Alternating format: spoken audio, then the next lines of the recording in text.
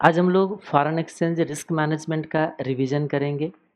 ये C A final के student and C M A final के स्टूडेंट के लिए रेलिवेंट है।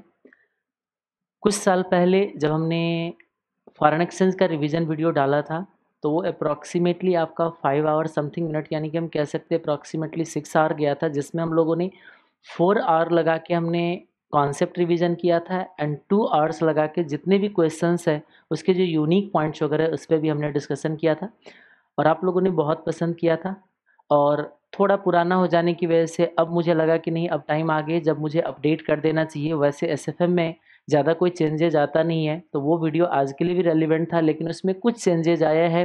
जैसे कुछ एक न्यू कॉन्सेप्ट वगैरह, एक न्यू कॉन्सेप्ट ऐड हुई है, कुछ न्यू क्वेश्चंस ऐड हुई है और एक लेट कैंसिलेशन की जो कॉन्सेप्ट है, उसमें कुछ मॉडिफिकेशन हुई है तो हम कोशिश करते हैं कि उन सारे चीज़ों को कवर करें और टाइम हम लोग ज़्यादा ना लगाए, यानी कि जो पुराना रिवीजन वीडियो था, उससे कम टाइम में हम रिवीजन करें, ये मेरा ऑब्जेक्टिव है। अब देखते हैं वो ऑब्जेक्टिव अचीव हो पाते हैं या नहीं हो पाते। पढ़ने का स्टाइल अभी भी सेम रहेगा। हम कॉन्सेप्ट का रिवीजन करेंगे, हम अपने समरी पीडीएफ से, वो पीडीएफ आपको डिस्क्रिप्शन बॉक्स में मिल जाएगा। क्वेश्चन की जो सॉल्यूशंस होगा वो हैंड रिटन सॉल्यूशन का भी आपको पीडीएफ आपको डिस्क्रिप्शन बॉक्स में मिल जाएँगे और जिस क्वेश्चन पे हम डिस्कशन करेंगे उसका भी मिल जाएगा। यानी कि पढ़ने का स्टाइल सेम रहेगा जिस तरीके से हमने पहले किया था।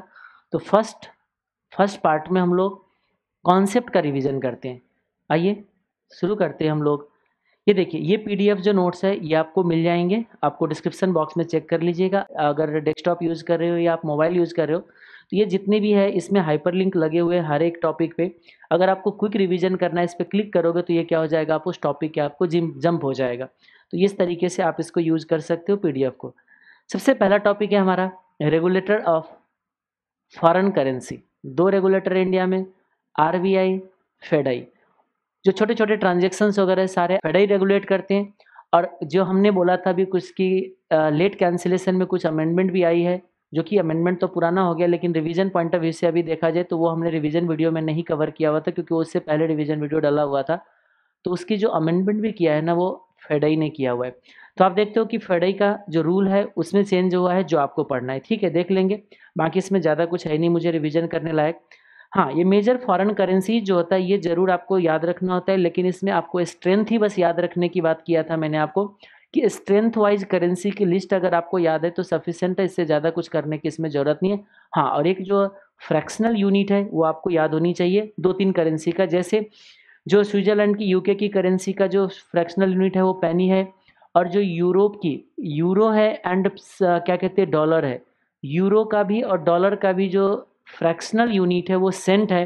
तो आप देख रहे होंगे कि यूरो का भी फ्रैक्शनल यूनिट सेंट है और डॉलर का भी फ्रैक्शनल यूनिट आपका क्या है सेंट है। ये जो आपको रेट दिख रहा है, ये थोड़ा पुराना हो गया क्योंकि जब हमने रिविजा करी समरी डिज़ाइन किया था, उस टाइम का रेट है ये। उसको अपडेट नहीं कर पाए थे रेट वगैरह चेंज नहीं कर पाए तो रेट से कोई फ़र्क नहीं पड़ता है क्योंकि वैसे भी हम ये मोटा मोटा आइडिया लेते। ये है स्ट्रॉन्गर से वीकर करेंसी का लिस्ट है। अगर एक बार अगर रिकैप करोगे आप लोग तो याद होगा आपको वर्ल्ड के सबसे स्ट्रॉन्गेस्ट करेंसी जो है कुवैत का दिनार है। उसके बाद यूके का पाउंड है, जिसका आईएसओ कोड है जीबीपी आईएसओ कोड जो होता है ना, वो यूनिक कोड होता है थ्री डेटर का लेटर एब्रीवेशन होता है। ऑफिशियली जितने भी एक्सचेंज रेट कोड होता है आईएसओ कोड से होते हैं। याद रखिएगा ऑफिशियली जितने भी एक्सचेंज रेट कोड होता है बैंक में जाओगे तो कभी भी बैंक आपको सिंबल के साथ एक्सचेंज रेट कोड करके नहीं देगा, ये चीज़ याद रखिएगा। बैंक हमेशा आपको आईएसओ कोड के साथ आपको एक्सचेंज रेट कोड करके देता है, क्योंकि आपको पता है, दो करेंसी का सिंबल भी जो है वो सेम हो सकता है। तो एक बार फटाफट कर ले। यूके का पाउंड उसके बाद यूरोप का यूरो ओके उसमें भी यूरो जोन के सेवनटीन कंट्री वगैरह यूज़ करते हैं। तो जैसे जर्मन में देखना क्वेश्चन आपको जो मिलेंगे, उसमें जर्मन के लिए दो दो करेंसी मिल जाएगा। कभी ड्यूच मार्क लिख के दे देगा, कभी आपको यूरो लिख के दे देगा। फ्रांस के लिए दो क्वेश्चन मिले, दो क्वेश्चन के अंदर दो करेंसी मिल जाएगा। कभी क्वेश्चन के अंदर फ्रांस वाले क्वेश्चन आएगा, कभी फ्रेंच फ्रैंक मिल जाएगा, कभी आपको यूरो मिल जाएगा। तो ये चीज़ है क्योंकि यूरोप की जो ये यूरोपियन यूनियन है, संगठन है ना, उसमें जो कुछ कंट्रीज़ वगैरह है तो सेवनटीन कंट्रीज़ जो है, वो तो यूरो को एज ए नेशनल करेंसी वो यूज़ करता है, लेकिन उसका अपना लोकल करेंसी भी है। तो इसीलिए क्वेश्चंस में जो होते हैं ना दो दो करेंसी आपको मिल सकता है एक ही कंट्री के लिए तो वो आपको पता होना चाहिए ओके तो क्या कहते हैं पाउंड का यूके का हो गया पाउंड उसके बाद आपका आ जाता है यूरोप का यूरो फिर उसके बाद स्विट्ज़रलैंड का सी एच एफ़ फिर उसके बाद यूएस का डॉलर फिर आपका Canadian dollar Australian dollar Malaysian ringgit Chinese yuan Japanese yen Nepalese rupees ये सीक्वेंस था स्ट्रॉन्गर टू वीकर की तरह। स्ट्रॉन्गर करेंसी की क्वांटिटी कम होता है वीकर करेंसी के। स्ट्रॉगर करेंसी की क्वांटिटी कम होता है वीकर करेंसी की क्वांटिटी ज़्यादा होता है। हम एक्सचेंज रेट की बात करें तो दो कंट्री के बीच के जो करें दो करेंसी के बीच का जो रिलेशनशिप है, वो हमारे को एक्सचेंज रेट बताता है। जैसे कि अगर कहीं पर लिखा जाए कि ये लिखा जाता है, अगर ये रिलेशनशिप है दो करेंसी के बीच में, इसको बोला जाता है एक्सचेंज रेट एक्सचेंज रेट कैसे डिसाइड होता है? परचेजिंग पावर से। परचेजिंग पावर पैरिटी क्या कहता है? कि अगर कोई एक प्रोडक्ट है, उस प्रोडक्ट को अगर इंडिया में कोई 490 में खरीद पाता है और यूएस में अगर डॉलर सेवन में खरीदता है तो इक्विवेलेंट टर्म में ये दोनों इक्वल होगा, ये परचेजिंग पावर कहता है। यानी कि परचेजिंग पावर कहता है, इसको परचेज करने का कैपेबिलिटी जो होती है, दो कंट्री में दो करेंसी का जो होता है, वो आपका सेम होता है। तो इस तरीके से आपका एक्सचेंज रेट डिराइव होते हैं, लेकिन इसमें परचेजिंग पावर थियरी ने क्या करा है? उसने जो ट्रांसपोर्टेशन कॉस्ट हो गया, जैसे मेड इन यूएस वाले सामान अगर इंडिया में लेके आओगे तो ट्रांसपोर्टेशन कॉस्ट होगा, वो आपका इन्वॉल्व हो जाएँगे। तो ट्रांसपोर्टेशन कॉस्ट को हटाना है और जो टैक्सेस डिफरेंसेज होते हैं, क्योंकि आप देखते हो जो कंट्री के लिए कोई सामान बनाया जाता है और जो एक्सपोर्ट के लिए सामान बनाया जाता है, उसमें टैक्स का जो टैक्स का ट्रीटमेंट हो, बदल जाता है। तो कहते हैं वो टैक्सेशन का डिफरेंस हटा दीजिए ट्रांसपोर्टेशन कॉस्ट हटा दीजिए तो दो कंट्री में एक ही गुड्स का सामान सेम रहेगा। ये परचेजिंग पावर कहता है और इसी तरीके से एक्सचेंज रेट जो होता है हमारा डिसाइड होता है। जो purchasing power depends upon the various factor purchasing power कुछ, क्योंकि कुछ लोगों के दिमाग में ये आता है, सर इंडिया के लोग 490 क्यों पे कर पाता है? डॉलर सेवन क्यों पे कर पाता है? तो वो डिपेंड करता है कि कौन सी कंट्री में करेंसी कितना सर्कुलेट हो रहा है। जिस कंट्री में ज़्यादा करेंसी सर्कुलेट होगा, वो करेंसी वीक होता है, उसकी परचेज करने की पावर यानी कि वीक हो जाता है तो क्वांटिटी उसको ज़्यादा देना पड़ता है। जिस कंट्री में करेंसी ज़्यादा सर्कुलेट हो, लोग कम सर्कुलेट होता है, वो करेंसी आपका स्ट्रॉगर करेंसी होता है।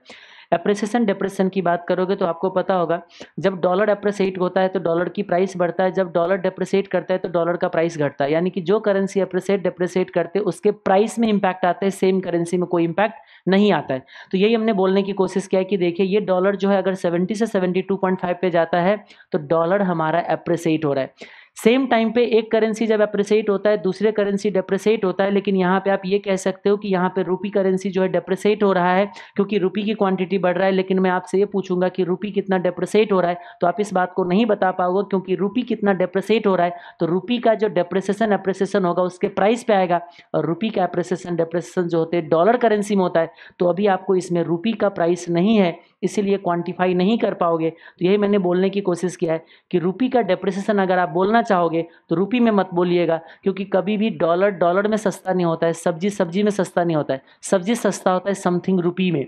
डॉलर समथिंग सस्ता होता है समथिंग रुपी में। इसीलिए इस बात को ध्यान रखना कि जो करेंसी प्रीमियम डिस्काउंट पे जाते हैं, उसके जो प्राइस होते हैं, वो बढ़ता घटता है। इसीलिए जब रुपी महँगा सस्ता बोलना होगा अगर आपको तो रुपी का पहले प्राइस निकालना पड़ेगा। और रुपी का प्राइस कैसे निकालोगे? Rupee one equal to dollar something करके तब सोचना पड़ेगा। ऐसे डेप्रिसिएशन की बात किया जाए तो अगर सस्ता होगा कोई करेंसी तो हम बोलेंगे डेप्रिसिएट होगा। और अगेन जब सस्ता होगा रुपी तो अमाउंट कम होगा आपका उसके प्राइस, यानी कि एन करेंसी का। रीजन बिहाइंड डिप्रेशन डिप्रेशन बहुत सारे होते हैं। एक रीजन है आपका इंटरेस्ट रेट का, दूसरा रीजन है आपका इन्फ्लेशन का, तीसरा है न्यूज़ ऑफ़ द इकोनॉमी का। अगर इंटरेस्ट रेट की बात करोगे तो जिस कंट्री का इंटरेस्ट रेट बड़ा होता है, वो करेंसी कल के डेट पर डिप्रिसिएट करता है। क्यों डिप्रिसिएट करता है? थोड़ा देर होल्ड करिए, आपको इंटरेस्ट रेट पैरिटी थ्योरी में मैं बता दूँगा। जिस कंट्री का इंटरेस्ट रेट छोटा होता है, वो करेंसी कल के डेट पर अप्रिसिएट करता है। जिस कंट्री का इन्फ्लेशन जो बड़ा होता है, वो कल के डेट पर डिप्रिसिएट करता है। इन्फ्लेशन अगर छोटा होता है तो उस करेंसी जो होते हैं, वो अप्रिसिएट करता है। क्यों करता है? Again purchasing power parity theory हम पढ़ेंगे, वहाँ तक वेट करिए। न्यूज़, अगर जो कंट्री के न्यूज़ होते हैं, उसके बेसिस पे भी करेंसी अप्रिसिएट डिप्रिसिएट होता है। जैसे होता क्या है, अगर कंट्री के लिए अच्छे न्यूज़ है तो बाहर के इन्वेस्टर इंडिया में पैसे लगाने आते हैं तो जो लेके आते हैं, वो डॉलर लेके आते हैं, और फिर डॉलर को बेच के यहाँ पे इन्वेस्ट करते यानी कि शेयर खरीदते हैं तो अब आप सोचिए, जब वो डॉलर बेचेगा तो डॉलर का सप्लाई बढ़ेगा और डॉलर का अगर सप्लाई बढ़ेगा तो डॉलर जो होगा वो डिप्रिसिएट करेगा और यहाँ पे शेयर खरीदे जाएँगे तो स्टॉक मार्केट जो होगा बढ़ेगा। तो इसीलिए मैं बार बार कहता हूँ स्टॉक मार्केट के साथ जो होता है डॉलर का जो होता है, वो इन्वर्स रिलेशन चलता है और यहाँ से आप इस चीज़ों को देख सकते हो। अगर हम रिस्क एनालिसिस करें तो देखिए रिस्क में हमने एक चीज़ आपको ध्यान रखना है कि हम रिस्क मैनेजमेंट पढ़ रहे हैं फॉरेन एक्सचेंज का रिस्क को हम मैनेज कर रहे हैं तो आप सोचिए रिस्क हमारा कैसे मैनेज होगा? तो रिस्क मैनेज करने के लिए पहले रिस्क तो पता हो कि क्या होगा? जैसे किसी को बोला जाता है कि सर ये बहुत ज़्यादा रिस्की है, ये बहुत ज़्यादा रिस्की है तो रिस्क बोलते ही आपके दिमाग में एक चीज़ आता है। क्या दिमाग में आता होगा? कि पॉसिबिलिटी टू मेक लॉस हम कितना लॉस कर सकते हैं, उसकी क्या पॉसिबिलिटी है, वो हमारे को क्या बताता है रिस्क तो आप मुझे बताइए, यहाँ पे फॉरेन करेंसी के साथ रिस्क कब अराइज होगा? जब आपके ट्रांजेक्शन के बीच में फॉरेन करेंसी का इन्वॉल्वमेंट होगा। यानी कि एक सबसे पहली बात, रिस्क तब अराइज होंगे जब फॉरेन करेंसी के ट्रांजेक्शन में आपको फॉरेन करेंसी इन्वॉल्व होगा।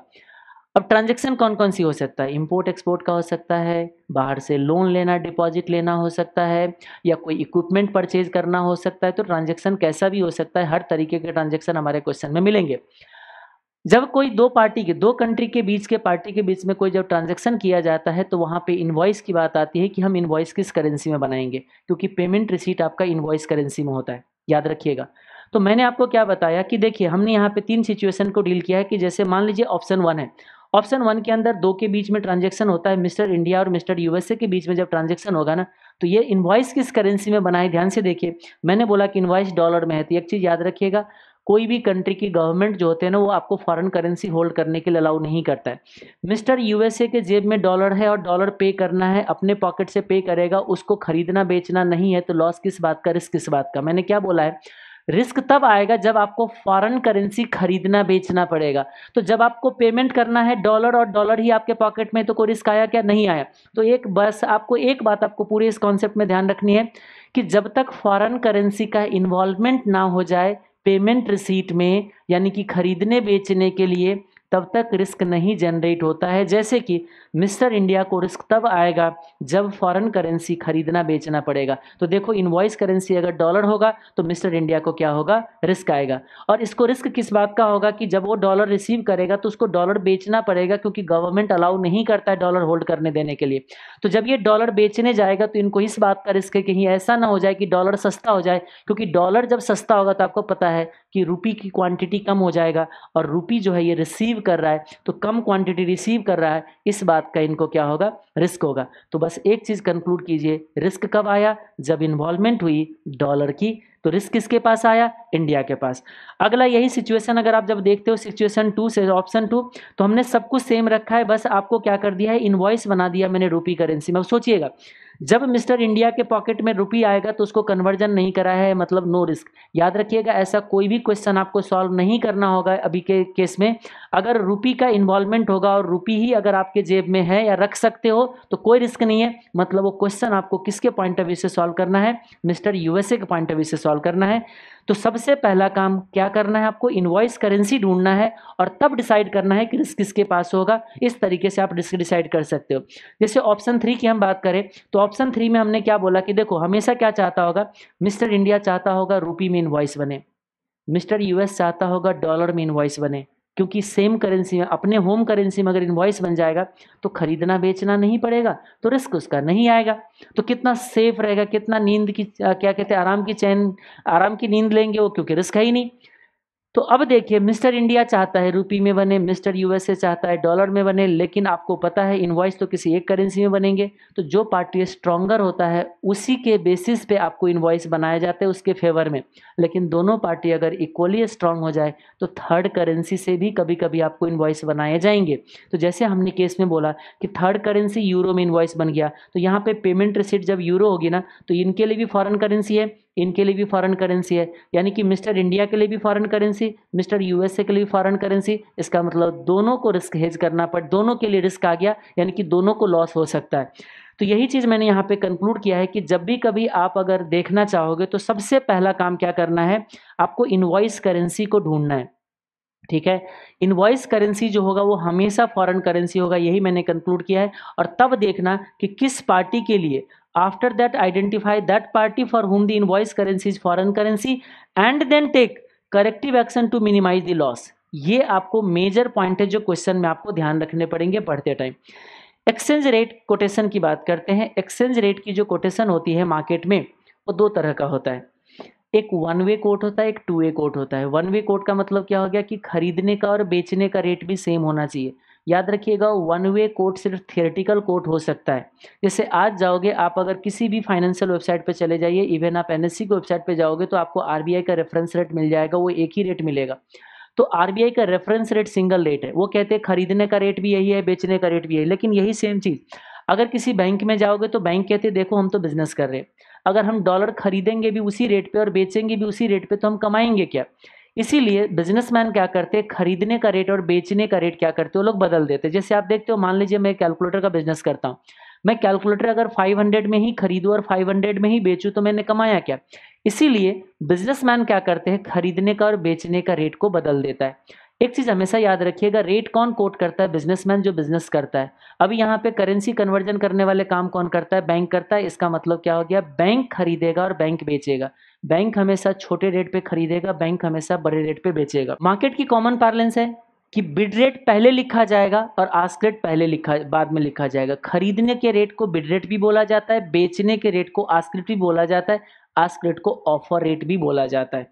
ओके तो यही है बिड रेट खरीदने का रेट बेचने का रेट लेकिन ये खरीदना, बेचना बिजनेसमैन का होगा। और दोनों के बीच के जो डिफरेंस उसको स्प्रेड बोला जाता है। अगर डॉलर बैंक खरीदता है 80 पे डॉलर बैंक बेचता है 81 पे, इस दोनों के डिफरेंस जो है, इसको हम बोलते हैं स्प्रेड और कभी कभी स्प्रेड का परसेंटेज निकाला जाता है तो अगर ये परसेंटेज अगर आपको निकालना हुआ तो उसके लिए बेस में आप लोग कभी बिड रेट भी ले सकते हो, कभी आस्क रेट भी ले सकते हो, क्योंकि आप जैसे देखते हो परसेंटेज प्रॉफिट निकालते हो on cost percentage profit on sale exactly वही सेम चीज़ है। वन वे कोट आपको वही पता है कि खरीदना और बेचना दोनों अगर सेम रेट हो जाए तो one rate one way quote है और ये सिर्फ़ एक थियोरिटिकल कोट है जो आपको कौन कोट करके देता है? आरबीआई उसके अलावा कोई नहीं देगा आपको। किसी भी बैंक में जाओगे आपको टू ए कोट मिलेगा। टू ए कोट में क्या होगा? खरीदने का रेट अलग और बेचने का रेट आपका अलग। मैंने बता दिया आपको, पहला रेट जो होता है बाई करने का होता है, दूसरा रेट होता है सेल करने का, लेकिन ये बाई सेल किसका? जिसने रेट कोट किया, और रेट कौन कोट करता है? बिजनेसमैन बिजनेसमैन कौन है? फॉरेक्स डीलर या फिर बैंक यानी कि ये बैंक का रेट है बैंक के खरीदने का बैंक की बेचने का। लेकिन एक और भी चीज़ पता है सेम टाइम पे जब एक पार्टी खरीद रहा होता है, जैसे आपने बोला कि ये बिड रेट है अग्री करता हूँ ये बिड रेट है, लेकिन आपको पता है सेम टाइम पे जब एक पार्टी खरीद रहा होता है, दूसरा पार्टी बेच रहा होता है, जैसे यहाँ पे दो पार्टी एक बैंक है और एक मिस्टर इंडिया है। आपको पता है जब बैंक इसको खरीद रहा है, इसका मतलब मिस्टर इंडिया क्या कर रहा है, बेच रहा है तो क्या मैं बोल सकता हूँ, ये बिड रेट पे कस्टमर जो होता है, बेचता है। कस्टमर जो होता है इसी रेट पे, इसी रेट पे उस करेंसी को बेचता है। किस करेंसी को? मैं इसको बोलूँगा बेस करेंसी इसको बोलूँगा प्राइस करेंसी आने वाले टाइम पे। याद रखिए बेस करेंसी जिसका प्राइस है और ये प्राइस करेंसी जिस करेंसी में प्राइस है, जैसे कि one apple equal two rupee something तो एप्पल आ गया हमारे लिए, जिस चीज़ का प्राइस कोट किया जा रहा है और उसका प्राइस किसमें है? रुपी में। तो वहीं पे डॉलर को खरीदा जाएगा। डॉलर को खरीदा जाएगा, डॉलर को बेचा जाएगा। ओके, जैसे अगर यहाँ पे लिखा गया रूपी वन यानी कि यहाँ पे बेस करेंसीज रूपी और प्राइस करेंसीज डॉलर हम कहते हैं बेस करेंसी खरीदा जाएगा इतने में बेस करेंसी बेचा जाएगा इतने में, लेकिन वो कौन खरीदेगा, कौन बेचेगा? बैंक कस्टमर क्या करता है? बिड रेट पे बेचता है और आस्क रेट पे खरीदता है। याद रख लीजिएगा। तो यही यहाँ पे डायग्रामेटिकली हमने बताने की कोशिश किया है। और क्या होता है? देखिए बिडरेट और आस्क रेट के बीच का जो डिफरेंस होता है बैंक का प्रॉफिट होता है और कस्टमर का लॉस होता है।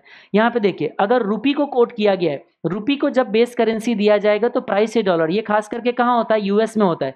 यूएस में जाओगे तो इस तरीके का रेट मिलेगा. इंडिया में जाओगे, इस तरीके का रेट मिलेगा. और जब हम लोग क्वेश्चन सॉल्व करते तो हमारे क्वेश्चन में कहीं का भी रेट दिया जा सकता है. कभी रुपी वन के साथ देगा, क्योंकि यूएस में जो होता है ना, हर एक कंट्री में जो प्राइस करेंसी होते हैं ना, अपने होम करेंसी होता है. जैसे इंडिया में किसी भी चीज़ का प्राइस रुपी में मिलेगा. प्राइस रुपी में मिलेगा. प्राइस रुपी में मिलेगा। चाहे किसी भी सामान का प्राइस हो या चाहे किसी भी करेंसी का प्राइस हो रुपी में मिलेगा। तो ये है इंडिया का कोड जब यूएस में जाओगे ना तो यूएस में जितने भी प्राइस होगी ना, वो सारे प्राइस आपको डॉलर में मिलेगी और किस चीज़ को कोट किया जाएगा? अदर करेंसी को। ओके यहाँ तक भी क्लियर होगा। कुछ selection of bid rate and ask rate की बात हो रही कि हम कैसे सेलेक्ट करेंगे कन्वर्जन करने के लिए। तो आपको सबसे पहला बात क्या करना है? जब भी कन्वर्जन कराना है तो दो तरह का ट्रांजेक्शन होगा, या तो रिसीवेबल होगा या फॉर पेएबल होगा। एक और भी बात, जैसे हमने यहाँ पे बोला पेएबल है डॉलर हंड्रेड आपके इन्फॉर्मेशन के लिए ये हमेशा फॉरन करेंसी होगा। अभी एक मिनट पहले हमने बोला था आपको।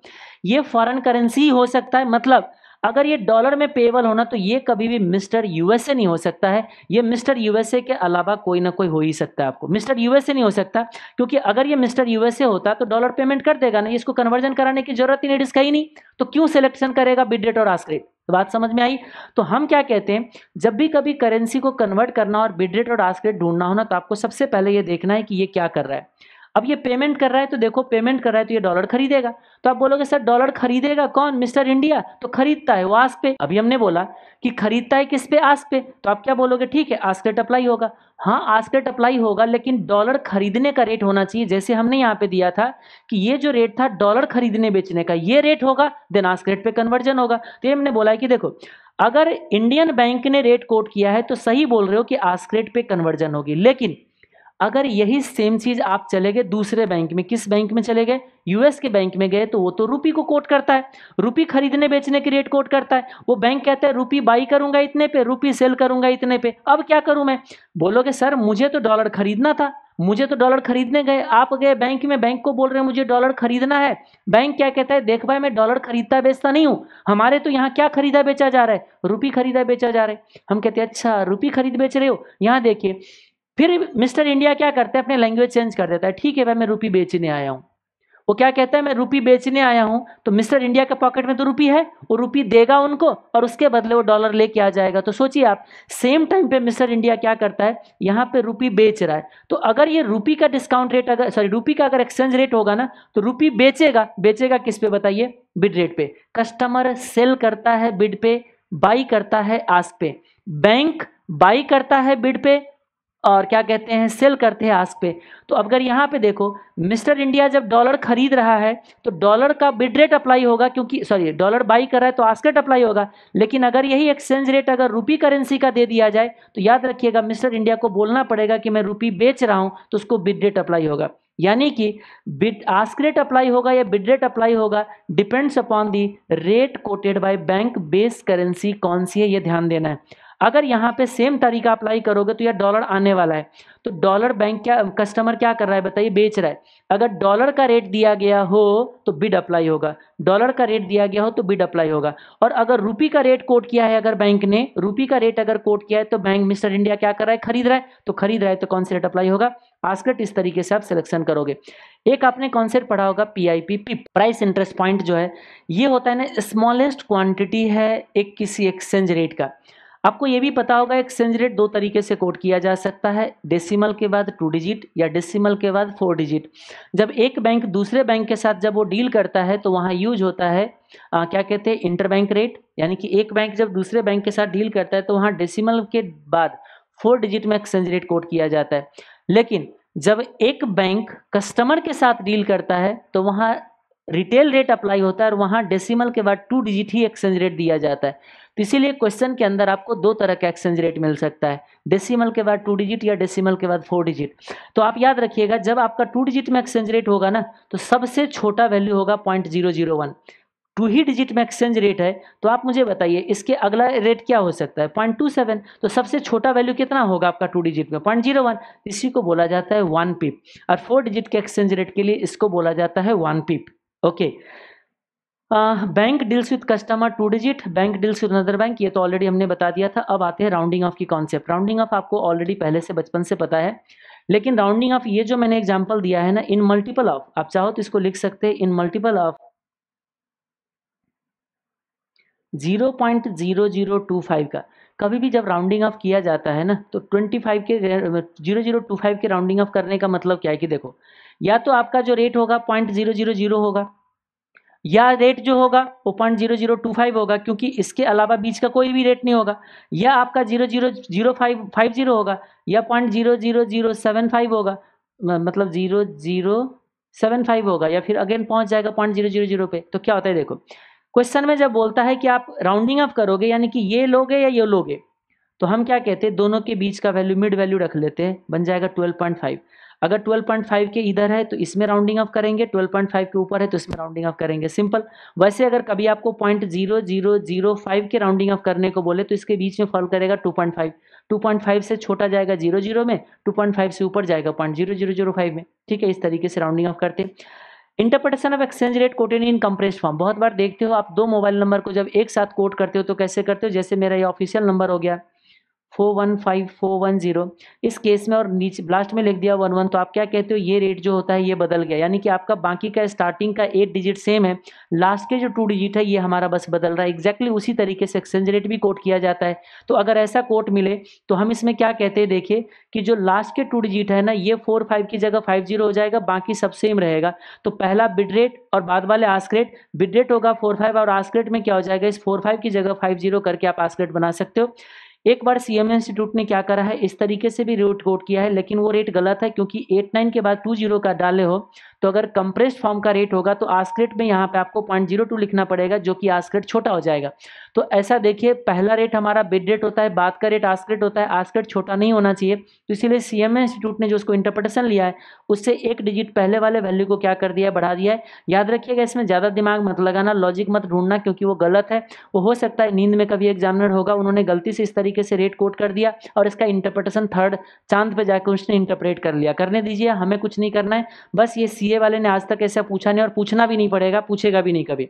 अगला पॉइंट है आपका interpretation of exchange rate in special case दो बार आरटीपी में क्वेश्चन आया है, जिसमें इस तरीके का एक्सचेंज रेट कोट करके दे दिया है तो मतलब क्या है इसका?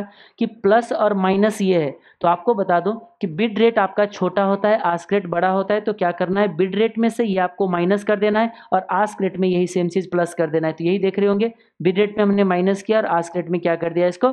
प्लस कर दिया।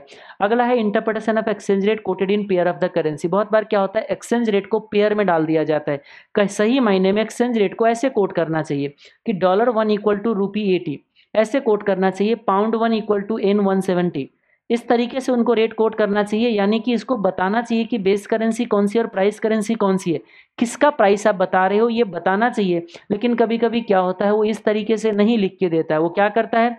आपको क्या करते पेयर में रेट डाल देते वो क्या बोलते पता है? देखो जी रुपी स्लैश डॉलर जो है ना, ये हमारा एटी आता है। तो कहते क्या मतलब है? इसको समझिए। कभी क्या करेगा आपको? यूएसडी अब्लिक आईएनआर लिख देगा आपको एटी इस तरीके से लिख के देंगे तो अब आप कंफ्यूज हो जाओगे कि इतना तो क्लियर है कि ये दो करेंसी के बीच का एक्सचेंज रेट है। बट एक्सचेंज रेट किसका? ये जो एटी है, वो एटी रूपी का है रूपी का अमाउंट है एटी या डॉलर का अमाउंट है एटी ये जानने के लिए आपको क्या हो जाता है? कन्फ्यूज़न हो जाता है। बोल, सर कन्फ्यूज़न क्यों होगा? डॉलर वन का रूपी ही एटी होगा। याद रखिए डॉलर और रुपी में तो आपको कन्फ्यूज़न नहीं होता है, लेकिन कोई ऐसा करेंसी का एक्सचेंज रेट दे दिया जाए जिसका स्ट्रेंथ आपको नहीं पता है कि कौन सी स्ट्रांगर है, कौन सी वीकर है तो उस केस में आपको मुसीबत आ जाएँगे। इसीलिए हमने आपको स्टार्टिंग में ही बोला था करेंसी का स्ट्रांगर टू वीकर की तरफ़ का लिस्ट आपको पता होना चाहिए।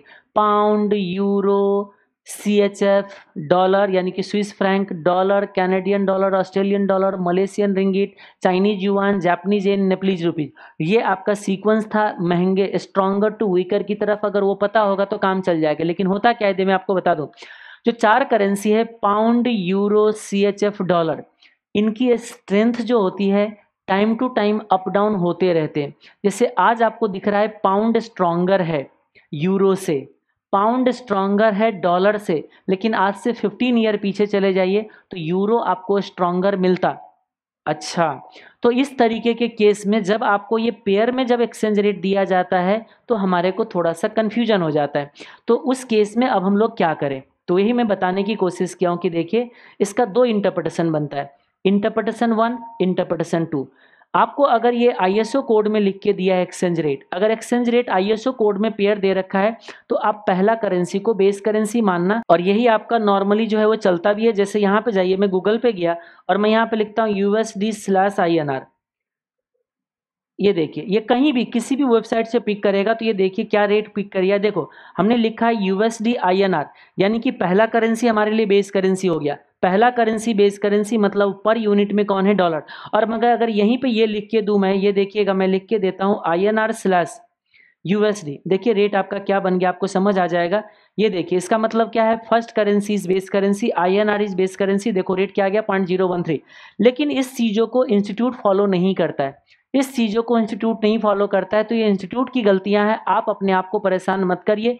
कोशिश कीजिए कि इसी दलदल में, इसी कन्फ्यूज़न के माहौल से ही आपको क्वालिफाई करना है। तो अब इस कन्फ्यूज़न के माहौल से हम लोग कैसे बाहर निकले? देखिए, सही मायने में ये एक्सचेंज रेट ऑफिशियली कोट करता है, यही होना भी चाहिए, यानी कि आपको बेस करेंसी डॉलर होना चाहिए।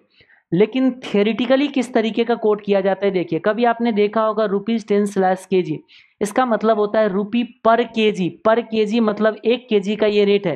तो इसी कॉन्सेप्ट के बेसिस पे कभी इस तरीके का लिखा गया तो इसको क्या बोला पड़ा है? रुपीज़ पर डॉलर अब तो दिक्कत हो गई ना। देखो आप, अब वही कह रहे हो कि पर डॉलर मतलब बेस करेंसी ये हो गई, देखो आप। अब कैसे कन्फ्यूज़न आ गया? तो ये इंस्टीट्यूट को सोचना चाहिए कि भाई ऐसे क्यों कर रहे हो तुम? इस तरीके से क्यों बेस करेंसी बना के रेट देते हो? ऐसे कैसे पता चलेगा? तो कहते, कोई बात नहीं, सब लोग इसी तरीके से पढ़ के क्वालिफाई किया। आपको भी ऐसे ही पढ़ के क्वालिफाई करना पड़ेगा। तो यही मैंने बोला है कि देखो, अगर सिंबल के साथ कभी एक्सचेंज रेट कोट करके दे तो आपका देखो, ये कौन सी करेंसी बेस करेंसी हुआ? देखो second currency base currency per unit में हमने डॉलर को डाला है। अब तो कन्फ्यूज़न हो गया। चलो डॉलर और रुपी के केस में तो कन्फ्यूज़न नहीं होगा, लेकिन कैसा एक्सचेंज रेट हो सकता है जिसमें आपको अगर स्ट्रेंथ ना पता हो तो दिक्कत आ जाएगी। तो इसी को मैंने आपको क्या बोला है कि देखिए इस तरीके के कंडीशन में आप क्या करना। एक तो सबसे पहले जब क्वेश्चन के अंदर चार पाँच एक्सचेंज रेट मिलता है तो चार पाँच एक्सचेंज रेट के अंदर एक तो कोई एक्सचेंज रेट होगा ऐसा जो रुपी डॉलर के साथ मिल जाएगा। है ना? तो आपको पता है डॉलर हमेशा स्ट्रॉन्गर है रूपी हमेशा वीकर है। तो यहाँ पे स्ट्रेंथ वाइज आपको एक्सचेंज रेट जो बनता है, वही लेना है। यानी कि कौन सी करेंसी को बेस बनाना है, वो स्ट्रेंथ डिसाइड करेगा हमारा। लेकिन तो उसमें क्या होगा? यही मैंने बोला है कि एक ही इंटरप्रिटेशन हर एक क्वेश्चन में लेना है। मान लीजिए, एक क्वेश्चन में आपने क्या अज्यूम किया कि हमारा ये थियोरिटिकल कोट है थियोरिटिकल कोड कौन सी वाले हो गया? सिंबल वाले। ये थियोरिटिकल कोड हो गया और second currency is base currency ये अगर आपने इंटरप्रिटेशन ले लिया एक एक्सचेंज रेट में तो उस क्वेश्चन में अगर पाँच एक्सचेंज रेट है ना तो सब में सेम इंटरप्रिटेशन लेना है। मान लीजिए कोई एक ऐसा क्वेश्चन मिला, जिसमें इसने आईएसओ कोड के साथ दिया था और इसमें क्या हुआ कि फ़र्स्ट करेंसी हमारे लिए बेस करेंसी बन गया तो आप क्या करोगे? उसमें जितने भी एक्सचेंज रेट दिया गया उस क्वेश्चन के अंदर, हर में सेम इंटरप्रिटेशन लोगे। तो क्या हो जाएगा? एक भी कोई एक्सचेंज रेट अगर आपके पकड़ में आ गया तो बाकी सब तो अपने आप आ जाएगा, क्योंकि सेम इंटरप्रिटेशन लेना है आपको। ओके अब क्या होता है कभी कभी हमारे वो जो पाँच एक्सचेंज रेट दे रखा है ना, उसमें डॉलर और रुपी का रेट नहीं मिला। तो अब क्या करें? तो हमने बोला है कि देखिए, जिस करेंसी के स्ट्रेंथ अप डाउन होता है, उसको इग्नोर कर दो। Euro dollar, pound C H F इस चारों के बीच में स्ट्रेंथ अप डाउन होते रहते हैं। और जो आपके पास एग्ज़ाम में क्वेश्चन आता है, वो ट्वेंटी ईयर पुराना क्वेश्चन भी कॉपी पेस्ट होता है। तो उस केस में क्या होगा? गलत स्ट्रेंथ के साथ आपको क्वेश्चन सॉल्व करने पड़ेंगे, क्योंकि आपको आज का स्ट्रेंथ पता है। आज से ट्वेंटी ईयर का, पहले का स्ट्रेंथ थोड़ा ना पता कर रखे हो। तो इसीलिए मैं आपको बोलता हूँ कि देखिए स्ट्रेंथ आप इग्नोर कर देना इन सब के बीच में। इनके बीच में स्ट्रेंथ इग्नोर कर देना और ऊपर का इंटरप्रटेशन ले लेना आप। मतलब क्या हुआ? आईएसओ कोड में है तो first currency base currency symbol में है सेकंड करेंसी बेस करेंसी लेकिन अगर कोई एक्सचेंज रेट अगर पाउंड और रूपी के बीच में है तो आपको पता है, हमेशा से पाउंड स्ट्रांगर है रूपी वीकर है. अब यहाँ पे कोई ऊपर के इंटरप्रिटेशन मत लेना, हमेशा स्ट्रेंथ देखो डॉलर और रूपी के बीच में एक्सचेंज रेट है. आपको पता है डॉलर हमेशा स्ट्रांग आज से पचास साल पहले भी डॉलर स्ट्रांग था और रूपी वीक था और आज भी यही है. तो जहाँ पे जिस करेंसी का strength time to time up down नहीं होता है, उस केस में आप स्ट्रेंथ को ही बेस बनाना। तो यही मैंने बोला है कि देखिए, आप किसको स्ट्रेंथ बनाना? Use strength wise correct exchange rate stronger currency low quantity weaker currency ज़्यादा क्वांटिटी बाय इग्नोरिंग दी अब इंटरप्रिटेशन ये भूल जाओ आईएसओ कोड में दिया है या सिंबल में दिया है, सब भूल जाए और आप क्या करिए इंटरप्रेट करके आइए। अब आता है हमारा क्या बताइए डायरेक्ट कोड इनडायरेक्ट कोड ऐसा एक्सचेंज रेट जिसका प्राइस होम करेंसी में हो, वो होता है हमारा डायरेक्ट कोट यानी कि इंडिया में जितने भी एक्सचेंज रेट कोट किया जाएगा, उसके प्राइस रूपी में होगा. ये देखो दिस इज़ दी प्राइस ये है इंडिया का डायरेक्ट कोट अच्छा जैसे यहाँ पे देखिए, अगर हम यही बात करें इनडायरेक्ट कोट अगर इसी में, अगर इस तरीके से रेट लिखा जाता pound one equal to yen something यानी कि चलो वन सेवेंटी आप बोलते, सर, कि ये एक्सचेंज रेट क्या डायरेक्ट कोट है या नहीं है? हाँ ये डायरेक्ट कोट है, लेकिन मुझे बताइए प्राइस कहाँ पे ये होम करेंसी है? क्योंकि हर एक कंट्री में प्राइस जो होते हैं ना होम करेंसी होता है, ये जापान का डायरेक्ट कोट है। तो इनडायरेक्ट कोट कैसा होगा? देखो, अगर होम करेंसी को बेस करेंसी डाल दिया जाए तो इनडायरेक्ट कोट ये बस थियोरिटिकल रेट है। ये थियोरिटिकल है प्रैक्टिकल कहीं नहीं होता है। जैसे रूपी वन डाल दिया इंडिया में। भाई, ऐसे थोड़ा ना होता है रूपी वन इंडिया में कोट करेगा? नहीं कोट करेगा इंडिया में रूपी तो क्या मतलब है इसका? तो वही कह रहे कि हम लोग कि अगर home currency price in foreign currency for one unit of home currency बोलोगे हंड्रेड यूनिट क्यों दिया है? क्योंकि जो वीकर करेंसी होता है ना, उसका एक्सचेंज रेट आपको हंड्रेड यूनिट के टर्म में कोट किया जाता है। तो ये इंडिया का इनडायरेक्ट कोट बन जाता है सिंपल आगे बढ़िए। तो यानी कि हम ऐसे समझ जाइए कि बेस करेंसी अगर होम करेंसी हो गया तो उस करेंसी उस कोट को इनडायरेक्ट कोट बोलेंगे और इनडायरेक्ट कोट सिर्फ़ थियोरिटिकल है, किसी भी कंट्री में मिलेगा नहीं आपको। Okay conversion of direct quote into indirect कितना आसान है बताइए। पहले क्या था? डॉलर वन का रेट था, अब आपको रुपी वन का रेट बनाना है। तो क्या करोगे? रेसिप्रोकल कर दीजिए उसका। तो यही चीज़ हो गया आपका इनडायरेक्ट तो हम बोल रहे हैं कि वन डिवाइडेड बाई डायरेक्ट जो होता है, वो इनडायरेक्ट बन जाते हैं। कितना सिंपल है। लेकिन टू ए कोर्ट में क्या करना होता है? टू ए कोर्ट में जो एक करेंसी का बिड रेट होता है, वो दूसरे करेंसी का आस्क रेट बनता है। बस ये आपको याद रखना और इसका रीजन क्या है? वो अभी हमने थोड़ा देर पहले जब रेट सेलेक्ट कर रहे थे तो आपने देखा होगा कि हमें किस करेंसी को खरीदना है और किस करेंसी को बेचना है। जिस टाइम मैं डॉलर बेच रहा होता हूँ, उस टाइम मेरे जेब में रुपी आ रहा होता है। तो हम रुपी खरीद रहे होते और डॉलर बेच रहे होते तो मुझे डॉलर बेचना है, ये बोलना है अगर तो आप सोचिए जिस टाइम मैं डॉलर बेच रहा हूँ रुपी खरीद रहा हूँ तो इक्विवेलेंट अमाउंट तो सेम होना चाहिए ना? मैं बोलूँ कि डॉलर बेच रहा हूँ, या मैं बोल रहा हूँ कि रुपी खरीद रहा हूँ, दोनों से जो कन्वर्ट किया हुआ अमाउंट तो सेम आना चाहिए। इसीलिए एक करेंसी का जो खरीदने का रेट होता है, वो दूसरे करेंसी के बेचने के रेट में डाला जाता है, ताकि एक करेंसी का खरीदना और दूसरे का बेचना रेट यानी कि इसका आस्क रेट जो होगा, वो इसके बिड रेट के साथ आपका मैच होगा, और मैच होगा तभी तो इस तरीके के कंडीशन में जो होगी ना, ये वाला, तभी तो इस तरीके के कंडीशन में इक्विवेलेंट अमाउंट सेम होगा। जैसे डॉलर का रेट है तो आस्क और रुपी का रेट है तो बिड तो यही आस्क जब बिड में जाएगा, तभी तो ये कन्वर्जन किया हुआ अमाउंट सेम आएगा, क्योंकि रास्ते बदलने से मंजिल नहीं बदल जाएगा। ये टेक्निक यूज़ करेंगे और ये टेक्निक यूज़ करेंगे तो इक्विवेलेंट अमाउंट नहीं बदलना चाहिए। इसीलिए हम कह रहे कि एक करेंसी का जो बिड रेट होता है वो दूसरे करेंसी का किसमें जाता है?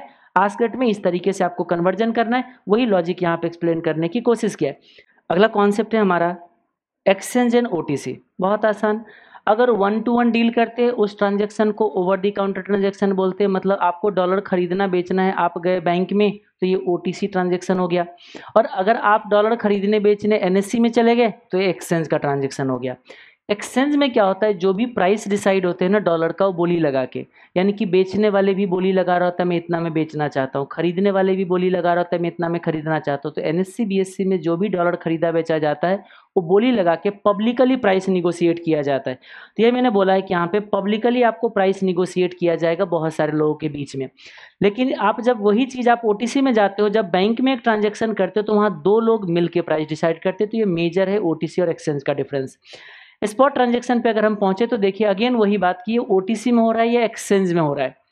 ओटीसी में हो रहा है मतलब आप जा रहे हो कहाँ पे? बैंक में डॉलर खरीदना, बेचना। तो ये स्पॉट ट्रांजेक्शन हुआ, अभी मैं डॉलर लेके गया। तो आपको क्या होगा पता है? अभी आपको रुपी मिल जाएगा। तो हम सिंपली क्या सकते क्या कह सकते हैं कि स्पॉट ट्रांजेक्शन अगर ओटीसी में जाओगे तो इमीडिएट सेटलमेंट होगी। इमीडिएट सेटलमेंट होगी। अगर ये स्पॉट ट्रांजेक्शन कहाँ पे है? ओटीसी में है तो। लेकिन अगर यही स्पॉट ट्रांजेक्शन अगर एक्सचेंज में है, जहाँ पे पब्लिकली बोली लगा के प्राइस डिसाइड किया जाता है तो वहाँ पे आपके सेटलमेंट जो होती है वो टी प्लस टू डेज़ पे होता है। मतलब आज आप डॉलर खरीदोगे तो डॉलर आज नहीं मिलेगा टू डेज़ के बाद मिलेगा। तो आप देखिएगा, बहुत सारे ऐसे क्वेश्चंस मिलेंगे जिसके अंदर बोलेंगे कि रेट यहाँ पे है डिलीवरी हमारा दो दिन बाद हो रही है। तो आपको समझ आ जाना चाहिए कि टू डेज़ बाद डिलीवरी की बात क्यों करता है, क्योंकि एक्सचेंज में जो होता है टी प्लस टू का सेटलमेंट चलता है। अब आप बोलोगे कि, सर, मुझे फील करना है टी प्लस टू को। आप फील नहीं कर पाओगे। क्यों नहीं कर पाओगे? क्योंकि एक्सचेंज में रिटेलर अलाउड नहीं है स्पॉट सेगमेंट में। यानी कि वहाँ पे कौन पार्टिसिपेट करता है? बड़े बड़े जो इन्वेस्टर जो बड़े बड़े पार्टी है जिसको बार बार करेंसी खरीदना बेचना पड़ता है वही पार्टिसिपेट कर सकता है। यानी कि डॉलर के टी प्लस टू के डिलीवरी को आप कभी भी फील नहीं कर पाओगे क्योंकि स्पॉट मार्केट में आपको आ, क्या कहते हैं अलाउ नहीं किया गया है। बोलते हो कि आप फील करना चाहो तो तो फिर आप एक काम करिए कैपिटल मार्केट यानी कि एक्सचेंज में जाइए और किसी कंपनी का शेयर खरीद लीजिए। आप देखिए आपका जो शेयर का डिलीवरी मिलेगा वो मिलेगा आपको दो दिन के बाद तो वहाँ से फील कर लीजिए टी प्लस टू को कैसे होता है? ओके अब आता है फॉरवर्ड ट्रांजेक्शन और फ्यूचर ट्रांजेक्शन फिर अगेन वही बात. हम लोग क्या कहते हैं? आज हम ट्रांजेक्शन करते हैं, यानी कि आज एक शर्त लगाते हैं. ध्यान से सुनिएगा. ये जो है ना एक डेरिवेटिव कॉन्ट्रैक्ट है. फॉरवर्ड कॉन्ट्रैक्ट और फ्यूचर कॉन्ट्रैक्ट जो एक डेरिवेटिव कॉन्ट्रैक्ट है डेरिवेटिव क्या होता है? कॉन्ट्रैक्ट यानी कि एक शर्त होता है जो आज लगाया जाता है और उस शर्त का एग्जीक्यूशन फ्यूचर डेट पे होता है. यानी कि हम लोग सिंपली क्या करते हैं? बताइए. आज एक कॉन्ट्रैक्ट पेपर पे साइन करते हैं रेट आज फिक्स करते हैं। ध्यान से सुनिएगा रेट हम लोग कब फिक्स करते हैं? आज फिक्स करते हैं, लेकिन उस रेट जो फिक्स किया गया है, उसके बेसिस पे जो करेंसी का जो डिलीवरी होता है, लेना और देना, वो कब किया जाता है? फ्यूचर के डेट पे। तो इस तरीके के जो ट्रांजेक्शन होता है, उसको फॉरवर्ड ट्रांजेक्शन या फ्यूचर ट्रांजेक्शन बोला जाता है। अच्छा फ्यूचर ट्रांजेक्शन वो है जो इस तरीके का कॉन्ट्रैक्ट अगर ये कॉन्ट्रैक्ट कहाँ किया जाए? ये अगर एनएससी में किया जाएगा तो इसको बोला जाएगा फ्यूचर और ये कॉन्ट्रैक्ट अगर बैंक में किया जाएगा तो इसको बोला जाएगा फॉरवर्ड फॉरवर्ड और फ्यूचर में मेजर डिफरेंसेस जो है, वो कहाँ पे ये कॉन्ट्रैक्ट किया जा रहा है? अब आती है सवाल कि चाहे वो ओटीसी में किया जाए, चाहे वो एक्सचेंज में किया जाए, कोई फ़र्क नहीं पड़ता है। दोनों का जो कॉन्सेप्ट होता है वो सेम होता है कि आज हम रेट तय करते हैं, यहाँ पे जाके सेम रेट पे डॉलर की डिलीवरी होती है। जैसे मान लीजिए आज अगर आपने 80 का रेट अगर तय कर लिया तो यहाँ पे 85 हो, तब भी आपका 80 पे ही डॉलर की डिलीवरी होगी और 90 हो, तब भी डिलीवरी की सॉरी क्या कहते हैं 70 हो, तब भी आपको 80 पे ही डॉलर की डिलीवरी मिलेगी। लेकिन एक और भी चीज़ है कि ओटीसी में क्या होता है डिलीवरी होता है। अभी हमने बोला था आपको। लेकिन ये जो फ्यूचर कॉन्ट्रैक्ट है ना ये जो एक्सचेंज में किया जाता है, यहाँ डिलीवरी नहीं होता, ये रूल है। एनएससी में अगर आज आप रेट तय करने जाते हो और अगर आज आपने एक रेट तय कर लिया तो उसके रेट, जो आपको एक्सपायरी पे जाके आप बोलोगे कि मुझे दे दो डॉलर तो एनएससी कहते हैं कि देखो, हमारे यहाँ डॉलर की डिलीवरी नहीं होती है। तो फिर क्या करूँगा उस केस में? मुझे तो डॉलर चाहिए थी। तो कहते हैं, देखो, अगर आपको डॉलर की डिलीवरी चाहिए तो जाइए बैंक के पास और वहाँ से आप डॉलर का डिलीवरी लो। हमारे पास तो सेटलमेंट जो होती है, वो डिफरेंशियल अमाउंट से ही होता है। इसका मतलब फ्यूचर की सेटलमेंट की जो ट्रांजे जो तरीका हो गया, वो थोड़ा सा बदल गया। तो जो बदल गया, इसीलिए हम इसको कहाँ पढ़ेंगे? डेरिवेटिव चैप्टर में पढ़ेंगे। यही मैंने बोला होगा आपको कहीं पे कि ये हम लोग बाद में पढ़ेंगे future contract to be covered in derivative chapter क्योंकि इसकी रूल्स एंड रेगुलेशन थोड़ा सा क्या होता है, बदल जाता है। अब आते फॉरवर्ड कॉन्ट्रैक्ट की जो हम बात कर रहे थे, इसको थोड़ा सा जानिएगा। क्या आने वाले टाइम के डिलीवरी की रेट आज अगर तय कर लिया तो क्या हमने एक ट्रांजेक्शन को हेज कर दिया? आप बोलोगे हाँ हेज कर दिया। तो क्या मैं ये बोलूँ कि ये हेजिंग का एक टेक्निक है फॉरवर्ड कॉन्ट्रैक्ट हाँ ये हमारा, ये जो है हेज करने का एक टेक्निक है। ठीक है? वैसे बता दूँ कहाँ पे था future contract India contract are available one year यानी कि इंडिया में जो आपको फॉरवर्ड कॉन्ट्रैक्ट या फ्यूचर कॉन्ट्रैक्ट जो मैक्सिमम मिलते हैं ना वन ईयर के लिए मतलब क्या हो गया कि आप एक साल आगे का रेट आज तय कर सकते हो। एक साल आगे का रेट आज तय कर सकते हो कहाँ पे? इंडिया में। आप जैसे एक्सचेंज में जाते हो एनएससी में जाके, देखो अब अभी बैंक में जाके तो आपको नहीं दिखा सकते पर ठीक है, एक सेकंड के लिए हम यहाँ पे अगर पहुँच जाए तो यहाँ पे आपको दिख जाएगा, ये देखिए मैं करेंसी डेरिवेटिव पे पहुँच चुका हूँ। और अब यहाँ पे मैं आपको दिखा देता हूँ। कोई भी ट्रांजेक्शन हम लोग अगर चेक कर ले तो यहाँ से आपको क्लियर हो जाएगा कि देखिए कितने दिन के आगे का हमें ट्रांजेक्शन मिल रहा है। हम कहते हैं, देखिए, ये आपका करेंसी फ्यूचर है। आपको दिख रहा होगा ये करेंसी फ्यूचर है। किस आई U S D I N और अभी बताया था कि ऑफिशियली जो कोड किया जाता है आई एस ओ कोड के साथ और फ़र्स्ट करेंसी जो होता है बेस करेंसी। यानी कि वन डॉलर का हम लोग रेट देख रहे हैं। देखो, आगे कब तक का रेट मिल रहा होगा? आप देखिए twenty ninth of August two thousand twenty ninth of August two thousand twenty three आज हम सितंबर टू थाउज़ेंड ट्वेंटी टू में हम सिंपली ये कह सकते वन ईयर आगे का रेट हमें मिल रहा है। आपको पता है, ये जो आगे का रेट मिलता है, क्या सेम रेट मिलता है हमें क्या? बिल्कुल नहीं। तो ये देखिए, मैं जैसे ट्वेंटी नाइन्थ अगस्त पे गया और मैंने बोला कि बताइए फ़िल्टर कर दीजिए। तो देखिए, यहाँ पे आपको लास्ट प्राइस जो दिख रहे हैं ना लास्ट प्राइस आपको दिख रहा है कितने का? Eighty one point nine four का। यानी कि इसका मतलब क्या हो गया इसमें? कि आज अगर कोई शर्त लगाता है वन ईयर बाद के लिए तो 81.94 का रेट है। जबकि देखिए, आज आरबीआई का रेफरेंस रेट यहाँ दिख रहा होगा को रेफरेंस रेट ये जो रेफरेंस रेट है, ये आरबीआई का आज का है। तो इसको बोले जाते हैं स्पॉट रेट ये 79.39 का है। लेकिन यही जो रेट आपको ये दिखा जा रहा था, ये था आपका फ्यूचर रेट तो एक चीज़ क्या आपने नोटिस किया यहाँ पे कि आपका एक साल बाद का रेट जो होगा रेट आज मिल रहा है। ये रेट आज का है। आज तय कीजिए, दुनिया इधर से उधर हो जाए। आपको इसी पे डिलीवरी होगी, लेकिन डिलीवरी होगा बैंक में। यही रेट अगर बैंक कोट करके देता तो डिलीवरी होता, लेकिन एक्सचेंज में आपको डिलीवरी नहीं होगा। तो एक्सचेंज की ट्रांजेक्शन कैसे किया जाता है, वो मैं आपको डेरिवेटिव में बताऊँगा। ओके आगे बढ़ते। प्रीमियम डिस्काउंट की हम बात करते हैं। प्रीमियम डिस्काउंट क्या होता है बता सकते हो? कितना परसेंट महँगा हो रहा है, कितना परसेंट सस्ता हो रहा है। देखो, मैंने दो प्राइस रखा है। एक चीज़ों का प्राइस है सेवेंटी एक प्राइस है सेवेंटी टू पॉइंट फाइव मैं बोलूँ कि कितना महँगा हो रहा है तो महँगा होता है यहाँ से देखो। टू रुपीज़ एटी एटी पैसे महँगा हो रहा है, कितने पे? सेवेंटी पे। तो परसेंटेज इंक्रीज जो है ना, ये आ गया फोर परसेंट अब देखो, अगर कोई प्राइस यहाँ से यहाँ गिरता है तो आप क्या कहते हो? देखो टू रुपीज़ एटी पैसे ही डाउन गया है। परसेंट डिक्रीज वही है। लेकिन जब परसेंटेज कैलकुलेट करते हो ना तो देखो बेस बदल जाता है। जब आप अपसाइड डाउन मूवमेंट निकाल रहे थे तो बेस जा रहा था आपका सेवेंटी लेकिन जब डाउन साइड का मूवमेंट निकाल रहे हो तो बेस हो जाता है इतना। इसका मतलब सेम एक्सचेंज रेट के अंदर percentage appreciation and percentage depreciation बदल जाता है due to the different base यही मैंने यहाँ पे बताने की कोशिश किया है कि परसेंटेज इंक्रीज और परसेंटेज डिक्रीज सेम नहीं होता है डिफरेंट बेस की वजह से। यही सेम चीज़ आता है हमारे करेंसी के साथ भी। ठीक है? करेंसी के साथ भी आता है कि जैसे दो एक्सचेंज रेट दिया गया है, यहाँ पे एक करेंसी अप्रिसिएट करता है, दूसरे करेंसी डिप्रिसिएट करता है, लेकिन जितना परसेंट का अप्रिसिएशन होता है और जितना परसेंट का डिप्रिसिएशन होता है, वो सेम नहीं होता है। लेकिन उसके बावजूद भी इंस्टीट्यूट आज के डेट पे रिसेंट पास्ट में, पिछले दो साल में तीन चार क्वेश्चन के अंदर यही अजम्पन ले लिया कि जितना परसेंट अप्रिसिएशन हो रहा है, उतना ही परसेंट डिप्रिसिएशन हो रहा है, जो कि सही नहीं होता है। अगर कोई बोल रहा है कैलकुलेशन करके देखना है तो सब तो ऑलरेडी हमने बहुत सारे एग्ज़ाम्पल में देख रखे हैं। आपको अगर यहाँ से डॉलर का अप्रिसिएशन निकालना है तो सीधा निकाल लोगे टू पॉइंट एटी रुपीज़ का अप्रिसिएशन ऑन सेवेंटी लेकिन अगर वो ये जानना चाहोगे कि इसमें रूपी कितना से डिप्रिसिएट कर रहा है, अगर ये निकालना चाहोगे तो आपको पहले इस रेट को रूपी का रेट बनाना पड़ेगा। यानी कि बेस करेंसी आपको रूपी करेंसी लेना होगा। यानी कि रूपी वन का पहले रेट निकालना पड़ेगा। देन आप लोग इसमें क्या कर सकते हो? प्रीमियम डिस्काउंट निकाल के आप चेक कर सकते हो कि मैंने जो बोला वो सही है या नहीं है। अब उतना हम लोग, आपको ऑलरेडी पता है ऑलरेडी इतना एनालिसिस कर चुके हो। सिर्फ़ हम अगर अभी यहाँ पे फॉर्मूला पे फोकस करें कि प्रीमियम डिस्काउंट कैसे निकालना है तो आप देखो कि बेस करेंसी का प्रीमियम डिस्काउंट अगर निकालना है तो forward minus spotted divide by spotted कर देना। और अगर प्राइस करेंसी का प्रीमियम डिस्काउंट निकालना है तो spot minus forwarded divide by forwarded करना। प्रीमियम डिस्काउंट हम लोग नॉर्मली एनुअली निकालते हैं, इसीलिए इसका भी एडजस्टमेंट हमेशा करते हुए चलना। ये जो है, ये है आपका बेस करेंसी का प्रीमियम डिस्काउंट बे प्रीमियम डिस्काउंट किस पे है? ऑन बेस करेंसी आप चाहो तो थोड़ा सा लिख सकते हो, ये लैंग्वेज थोड़ा सा अगर लगे कि कंफ्यूजिंग है तो आप ये लिख सकते हो ऑन बेस करेंसी आप प्रीमियम डिस्काउंट अगर बेस करेंसी का निकाल रहे हो, जिसके साथ वन अटैच है तो ये आप फॉर्मूला यूज़ करो। और ये फॉर्मूला यूज़ करना, अगर आप किस करेंसी पे निकाल रहे हो? प्राइस करेंसी पे निकाल रहे हो तो आप ये फॉर्मूला आप यूज़ कर सकते हो। और बस याद रखना है कि एक करेंसी का प्रीमियम जो होता है, दूसरे के डिस्काउंट पे इक्वल नहीं होता है।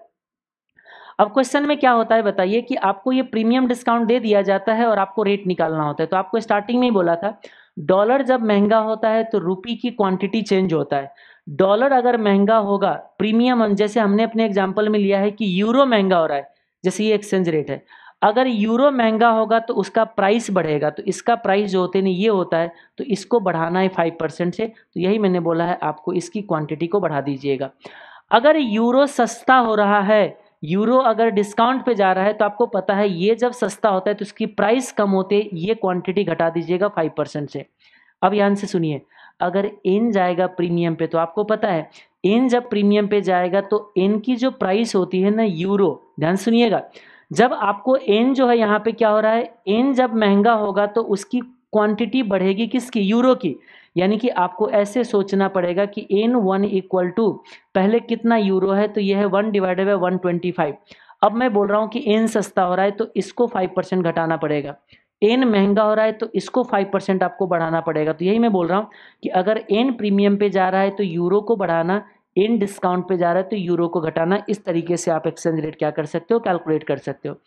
एक आता है लॉस गेन का कॉन्सेप्ट ठीक है, इस पर आपको बहुत सारे क्वेश्चन नज़र आता है। तो हमने यहाँ पे एक एग्ज़ाम्पल लिया है कि देखिए, मिस्टर इंडिया ने जो है इम्पोर्ट किया है किससे? मिस्टर यूएसए से।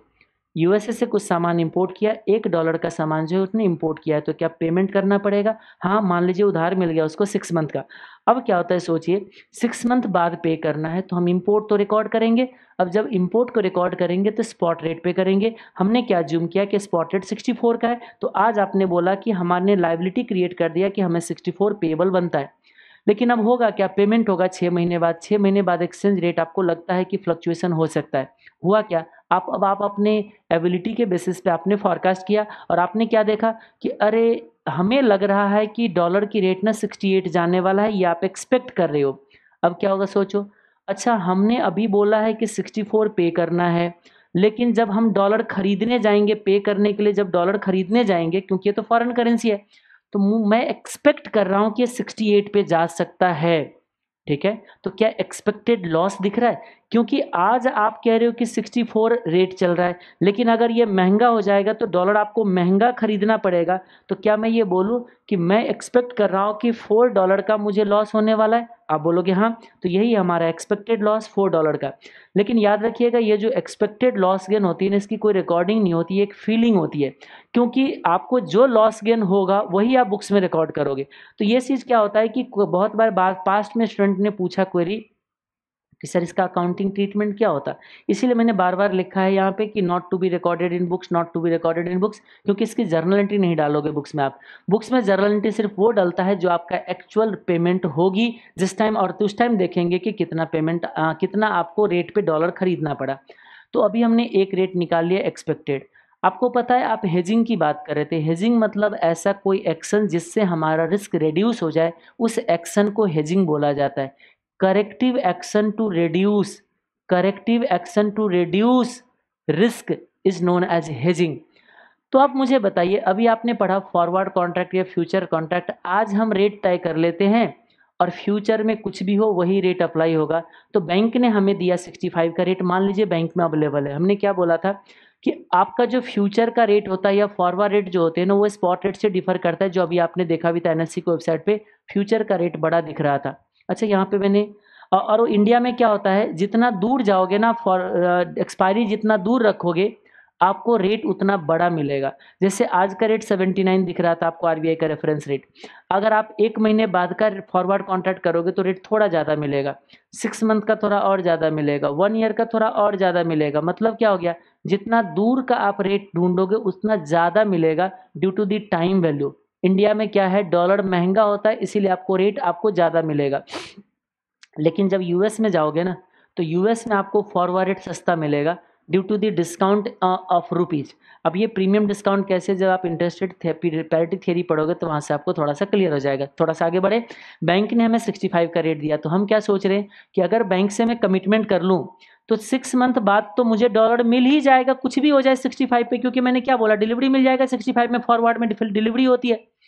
तो हम क्या सोच रहे अच्छा बैंक के साथ अगर फॉरवर्ड कॉन्ट्रैक्ट कर लूँ तो तो मेरे लिए ये रेट अप्लाई होगा, ये तो अप्लाई नहीं होगा। तो हम लोग कितना बचा लेंगे? तीन रुपये बचा सकते हैं। मतलब जो मैं एक्सपेक्ट कर रहा हूँ, मुझे जो फोर रुपीज़ का लॉस होने वाला जो एक्सपेक्टेशन है, उसको मैं रिड्यूस कर दूँगा ओनली वन रुपीज़ के लॉस पे, क्योंकि सिक्सटी फोर रिकॉर्ड किया है सिक्सटी फाइव आपको खरीदना पड़ेगा तो वन रुपीज़ का लॉस होगा। तो actual loss due to forward contract is one rupee actual loss due to forward contract चाहे मार्केट में कोई भी रेट हो जाए, कोई फ़र्क पड़ता नहीं है तो फॉरवर्ड कॉन्ट्रैक्ट से आपके कितने का लॉस होगा बताइए वन रुपी का। तो आपने एक्सपेक्टेड लॉस को कितने से रिड्यूस कर दिया? जो आपका एक्सपेक्टेड लॉस था ना फोर रुपीज़ का, उसको आपने वन रुपी के लॉस पे गिरा दिया मतलब आपने हेज कर दिया तीन रुपये से। या ऐसे भी सोच सकते हो एक्सपेक्टेड आउटफ्लो जो था ना, ये रहा आउटफ्लो है। सिक्सटी एट के एक्सपेक्टेड आउटफ्लो को हम लोगों ने सिक्सटी फाइव पे रिड्यूस कर दिया तो ये हेजिंग का अमाउंट हमारा तीन रुपये आ गया। याद रखिएगा अगेन ये हेजिंग का अमाउंट जो एक एक्सपेक्टेशन है, आप फील कर रहे हो, अरे हमने अपने आप को हेज कर लिया तीन रुपये से। ओके अब क्या होता है कभी कभी क्वेश्चन में क्या करते हैं, आपको बोलते हैं कि देखो जी, आपने फॉरवर्ड कॉन्ट्रैक्ट कर लिया। हम कहते हैं, ठीक है। कमिटमेंट कर ली, अपने आप का नहीं सुनेंगे। कुछ भी हो जाए, मेरे को डॉलर खरीदना है सिक्सटी फाइव पे करके मेरे को डॉलर मिल जाएगा। अब आपको क्या कहता है पता है? आपने फॉरवर्ड कॉन्ट्रैक्ट कर लिया कमिटमेंट कर ली, और सिक्स मंथ बीत भी गया, और मार्केट में रेट हो गया सेवेंटी का। अब आप क्या कह रहे हो? अरे, मज़ा आ गया। क्यों मज़ा आ गया? कमिटमेंट किया, इसीलिए मैं डॉलर खरीद पा रहा हूँ सिक्सटी फाइव पे। कमिटमेंट नहीं किया होता। तो सेवेंटी पे करना पड़ता। इसका मतलब कमिटमेंट करके मैंने फाइव रुपीज़ बचा लिया। अगेन वो फीलिंग है। अगेन वो फीलिंग है। आप खुश हो रहे होंगे कि पैसे का ना जाना भी आना होता है, लेकिन मैं बोलूँगा कि बुक्स में रिकॉर्ड कर दो तो ये आप रिकॉर्ड नहीं कर पाओगे कि पैसे का ना जाना आना ज़रूर होता है एक फीलिंग के लिए, लेकिन बुक्स में रिकॉर्डिंग नहीं होता है। के इसका मतलब अगर सिक्स मंथ बाद का रेट सेवेंटी पे पहुँच जाए तो आप फाइव रुपीज़ गेन कर चुके हो। उसी तरीके से अगर सिक्स मंथ बाद सिक्सटी थ्री हो जाए तो आपका टू रुपीज़ का लॉस होगा। एक चीज़ क्या ध्यान रखिएगा, बच्चे लोग सबसे ज़्यादा जो मिस्टेक करता है वो क्या करता है? आपने देखा होगा फॉरवर्ड कॉन्ट्रैक्ट की वजह से एक रुपये का लॉस भी तो था। देखो, ये भी है loss due to forward contract ही है। फॉरवर्ड कमिटमेंट करने की वजह से ये लॉस गेन हुआ।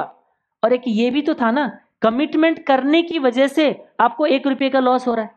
ये एक्चुअल है, ये एक्चुअल है, ये तो बुक्स में रिकॉर्ड करना ही पड़ेगा आपको। Forty five sixty four payable था और सिक्सटी फाइव पे कर रहे हो।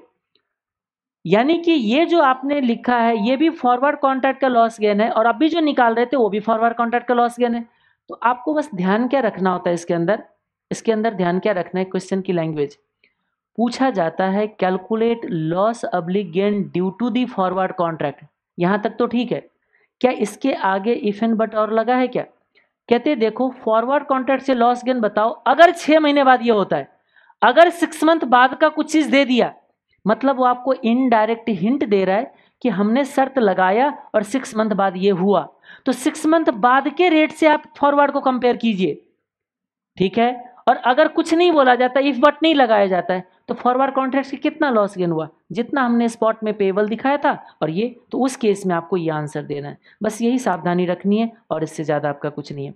ये कुछ एक शॉर्टकट है। क्या होता है? क्वेश्चन पढ़ते हुए टाइम आपको फटाफट डिसाइड करना होता है कि कब लॉस होगा, कब गेन होगा। आप सोचिएगा, जो चीज़ मुझे पे करना है, अगर वो महँगा हो जाए तो लॉस होगा, क्योंकि जो मैं पे करूँगा, उसको महँगा खरीदना पड़ेगा। तो जो पेबल है ना, अगर वो महँगा हो जाए तो आपको लॉस होगा। सिंपल जो पे करना है, जो पे करना है आपको जो पे करना है, अगर वो सस्ता हो जाए तो आपको क्या होगा? गेन होगा। जो रिसीव होने वाला है, अगर वो महँगा हो जाए, जो चीज़ मेरे पास आएगा, वो महँगा हो जाएगा। जो चीज़ आएगा, वो महँगा हो जाएगा गेन होगा। जो चीज़ आएगा, वो अगर सस्ता हो जाए लॉस होगा। इससे क्या हो जाता है? क्वेश्चन पढ़ते टाइम फटाफट हमें क्लिक कर जाता है कि क्या चीज़ है। एक है यहाँ पे आपका वेरिएबल रेट यानी कि फ्लोटिंग इंटरेस्ट रेट कुछ कुछ क्वेश्चंस में क्या कहते हैं आपको? कि देखो जी, आपने यूएस से ना लोन लिया है और इंटरेस्ट रेट है लाइबोर प्लस टू परसेंट या लिबोर प्लस टू परसेंट दोनों तरीके से प्रोनाउंसिएट करते लोग। यानी कि लाइबोर प्लस टू परसेंट क्या है ये? रेट तो दिया ही नहीं तुमने। तुमने क्या कर दिया? लिबोर लिख के दे दिया मुझे। कहते ये मैंने बेंचमार्क दे दिया। अब आप डिसाइड कर लो क्या लोन रेट होगा हमारा। क्या होता है कि वेरिएबल रेट ना हमेशा किसी एक बेंचमार्क से लिंक होता है। तभी तो वेरी करेगा ना। आप कह रहे हो वेरी करेगा। वह वेरी कैसे करेगा? जैसे मैं कहता हूँ कि अच्छा जी, चलो आप अगर इतना मार्क्स ले आते हो तो मैं ना आपको चलो कुछ भी ले लेते हैं कि चलो सौ कैलकुलेटर का जितना इक्विवेलेंट अमाउंट बनेगा ना, वो मैं आपको पे करूँगा। ठीक है? चलो सौ कैलकुलेटर का इक्विवेलेंट अमाउंट आपको पे करूँगा। अब मैंने ये अगर नहीं डिसाइड किया कि कौन सी कैलकुलेटर तो आपको पता है मार्केट में हंड्रेड रुपीज़ का भी कैलकुलेटर आता है फाइव हंड्रेड का भी आता है थाउज़ेंड का भी आता है। मैंने सीधा बोला कि आप अगर बहुत अच्छे मार्क्स ले आओगे तो मैं आपको हंड्रेड कैलकुलेटर के इक्विवेलेंट अमाउंट आपको पे कर दूँगा। ये अगर मैंने आपको बोला है तो पहले मुझे ये भी तो बताना पड़ेगा कि कौन सी कैलकुलेटर इसका मतलब वो जो होता है, उसको बेंचमार्क बोला जाता है। तो हमेशा वेरिएबल रेट कभी भी निकाला जाएगा तो बेंचमार्क होगा।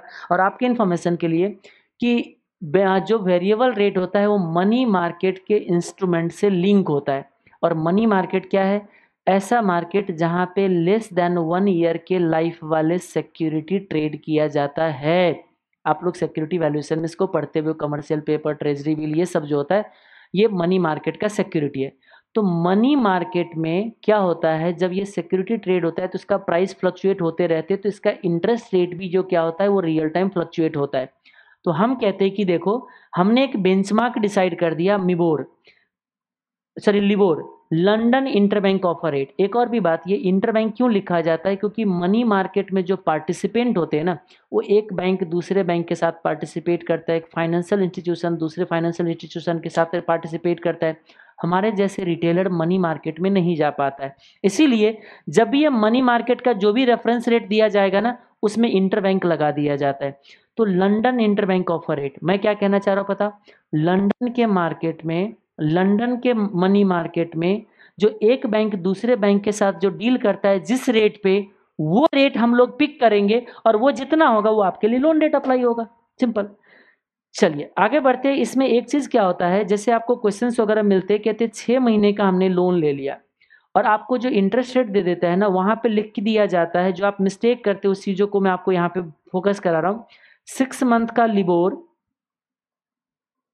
सिक्स मंथ का लिबोर प्लस वन परसेंट यहाँ पे दे दिया गया। मतलब क्या पता है? अब आपके दिमाग में क्या आएगा? और बाद में क्या कहता है कि देखो जी, सिक्स मंथ का लाइबोर जो है ना, ये चल रहा है हमारा, यानी कि लंदन के मनी मार्केट में ये रेट चल रहा है थ्री परसेंट तो आप क्या सोच रहे होगे पता है? अच्छा ये तो सिक्स मंथ का लाइबोर है थ्री परसेंट तो हमारा सिक्स मंथ का लोन रेट हो गया कितना? फोर परसेंट का ऐड कर दिया तो। गलत सोच रहे हो आप, इसी चीज़ों को ध्यान रखिएगा और ऐसा मिस्टेक मैं होलसेल क्वांटिटी में आप लोगों को करते हुए देखा हूँ।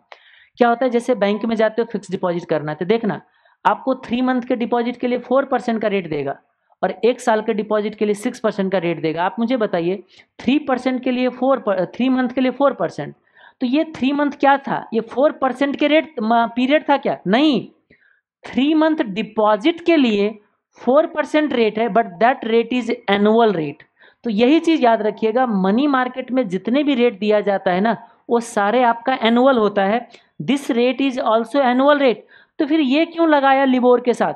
तो कहते देखो लंदन के मार्केट में आपको पता है कि थ्री मंथ वाले भी सिक्योरिटी ट्रेड हो रहा होगा वन ईयर वाले सिक्योरिटी भी ट्रेड हो रहा होगा सिक्स मंथ वाले भी सिक्योरिटी ट्रेड हो रहा होगा। और पीरियड अगर बदलता है तो रेट बदलता है। जैसे डिपॉजिट का पीरियड बदलोगे तो रेट बदलेगा। वैसे ही मनी मार्केट में सिक्योरिटी की पीरियड बदलता है तो रेट बदलता है। तो वो क्या कह रहा है आपको कि देखो, मैंने मनी मार्केट से लंडन के मनी मार्केट से ऐसे सिक्योरिटी का रेट दे रहा हूँ जो सिक्स मंथ पीरियड का है, लेकिन rate is still per annum ये चीज़ ध्यान रखिएगा, ये मिस्टेक नहीं करना है। यही नोट मैंने यहाँ पे लिख के आपको दे रखा है। कंट्रीब्यूशन टू सेल रेशियो बहुत आसान। क्या होता है? सेल में से अगर वेरिएबल कॉस्ट माइनस कर देते हैं तो ये आ जाता है हमारा कंट्रीब्यूशन और कंट्रीब्यूशन टू सेल रेशियो तो कंट्रीब्यूशन डिवाइडेड बाय सेल अब क्या होता है? एक से ज़्यादा प्रोडक्ट आपको दे दिया जाता है। ए बी मान लीजिए दो प्रोडक्ट दे दिया गया और दोनों का आपको क्या करते हैं? कंट्रीब्यूशन और सेल आपको मालूम हो। मान लीजिए आपको सेल है इसका टेन थाउज़ेंड का और इसका सेल है आपका फिफ्टी थाउज़ेंड का, है ना? और इसका कंट्रीब्यूशन भी आपको मालूम है। मान लीजिए इसका कंट्रीब्यूशन है ट्वेंटी परसेंट इसका कंट्रीब्यूशन है थर्टी परसेंट तो आपको मैं पूछूँ कि अच्छा बताइए जी कंट्रीब्यूशन टू सेल रेशियो यानी कि ये कंट्रीब्यूशन टू सेल हमारा ट्वेंटी परसेंट है मतलब हमारा कंट्रीब्यूशन आ रहा होगा टू थाउज़ेंड का और उसमें कंट्रीब्यूशन आ रहा होगा फिफ्टीन थाउज़ेंड का ओके तो कंट्रीब्यूशन टू सेल रेशियो दे दिया। हम आपको पूछते हैं कि बताइए कंबाइंड में कितना contribution to sale ratio generate कर रहे हैं? तो इसके लिए आप सीधा सिंपल एवरेज नहीं करना चाहिए आपको। कुछ लोग क्या करते हैं, सीधा कहते ट्वेंटी फाइव परसेंट वो गलत हो जाएगा। क्योंकि देखो, इसकी सेल क्वांटिटी सेल कम वॉल्यूम कम है। इसकी सेल्स जो है, क्या है यहाँ पे? ज़्यादा है। सेल अमाउंट की बात करें, यहाँ सेल कम है, यहाँ सेल ज़्यादा है। तो देखो, ज़्यादा वाले अमाउंट पे ज़्यादा कंट्रीब्यूशन जनरेट कर रहे हो आप। तो आप सीधा वेटेड एवरेज नहीं करना चाहिए था, वो तब होगा जब दोनों का सेल सेम होना चाहिए था। तो इस कंडीशन में हम लोग average contribution to sale ratio कैसे निकालते हम क्या कहते हैं आपको? देखो टोटल सेल आपका सिक्सटी थाउज़ेंड है। हाँ टोटल कंट्रीब्यूशन का अमाउंट ले लो और वो परसेंटेज निकाल दो, आपका एवरेज आ जाएगा।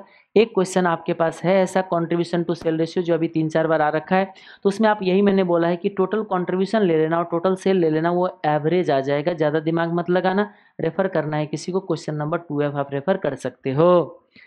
एक्सपेक्टेड वैल्यू आपके इन्फॉर्मेशन के लिए स्टैटिस्टिक्स में कोई भी चीज़ों का एवरेज अगर प्रोबेबिलिटी को एज ए वेट बना के कैलकुलेट किया जाता है तो वहाँ पे एक्सपेक्टेड बोला जाता है।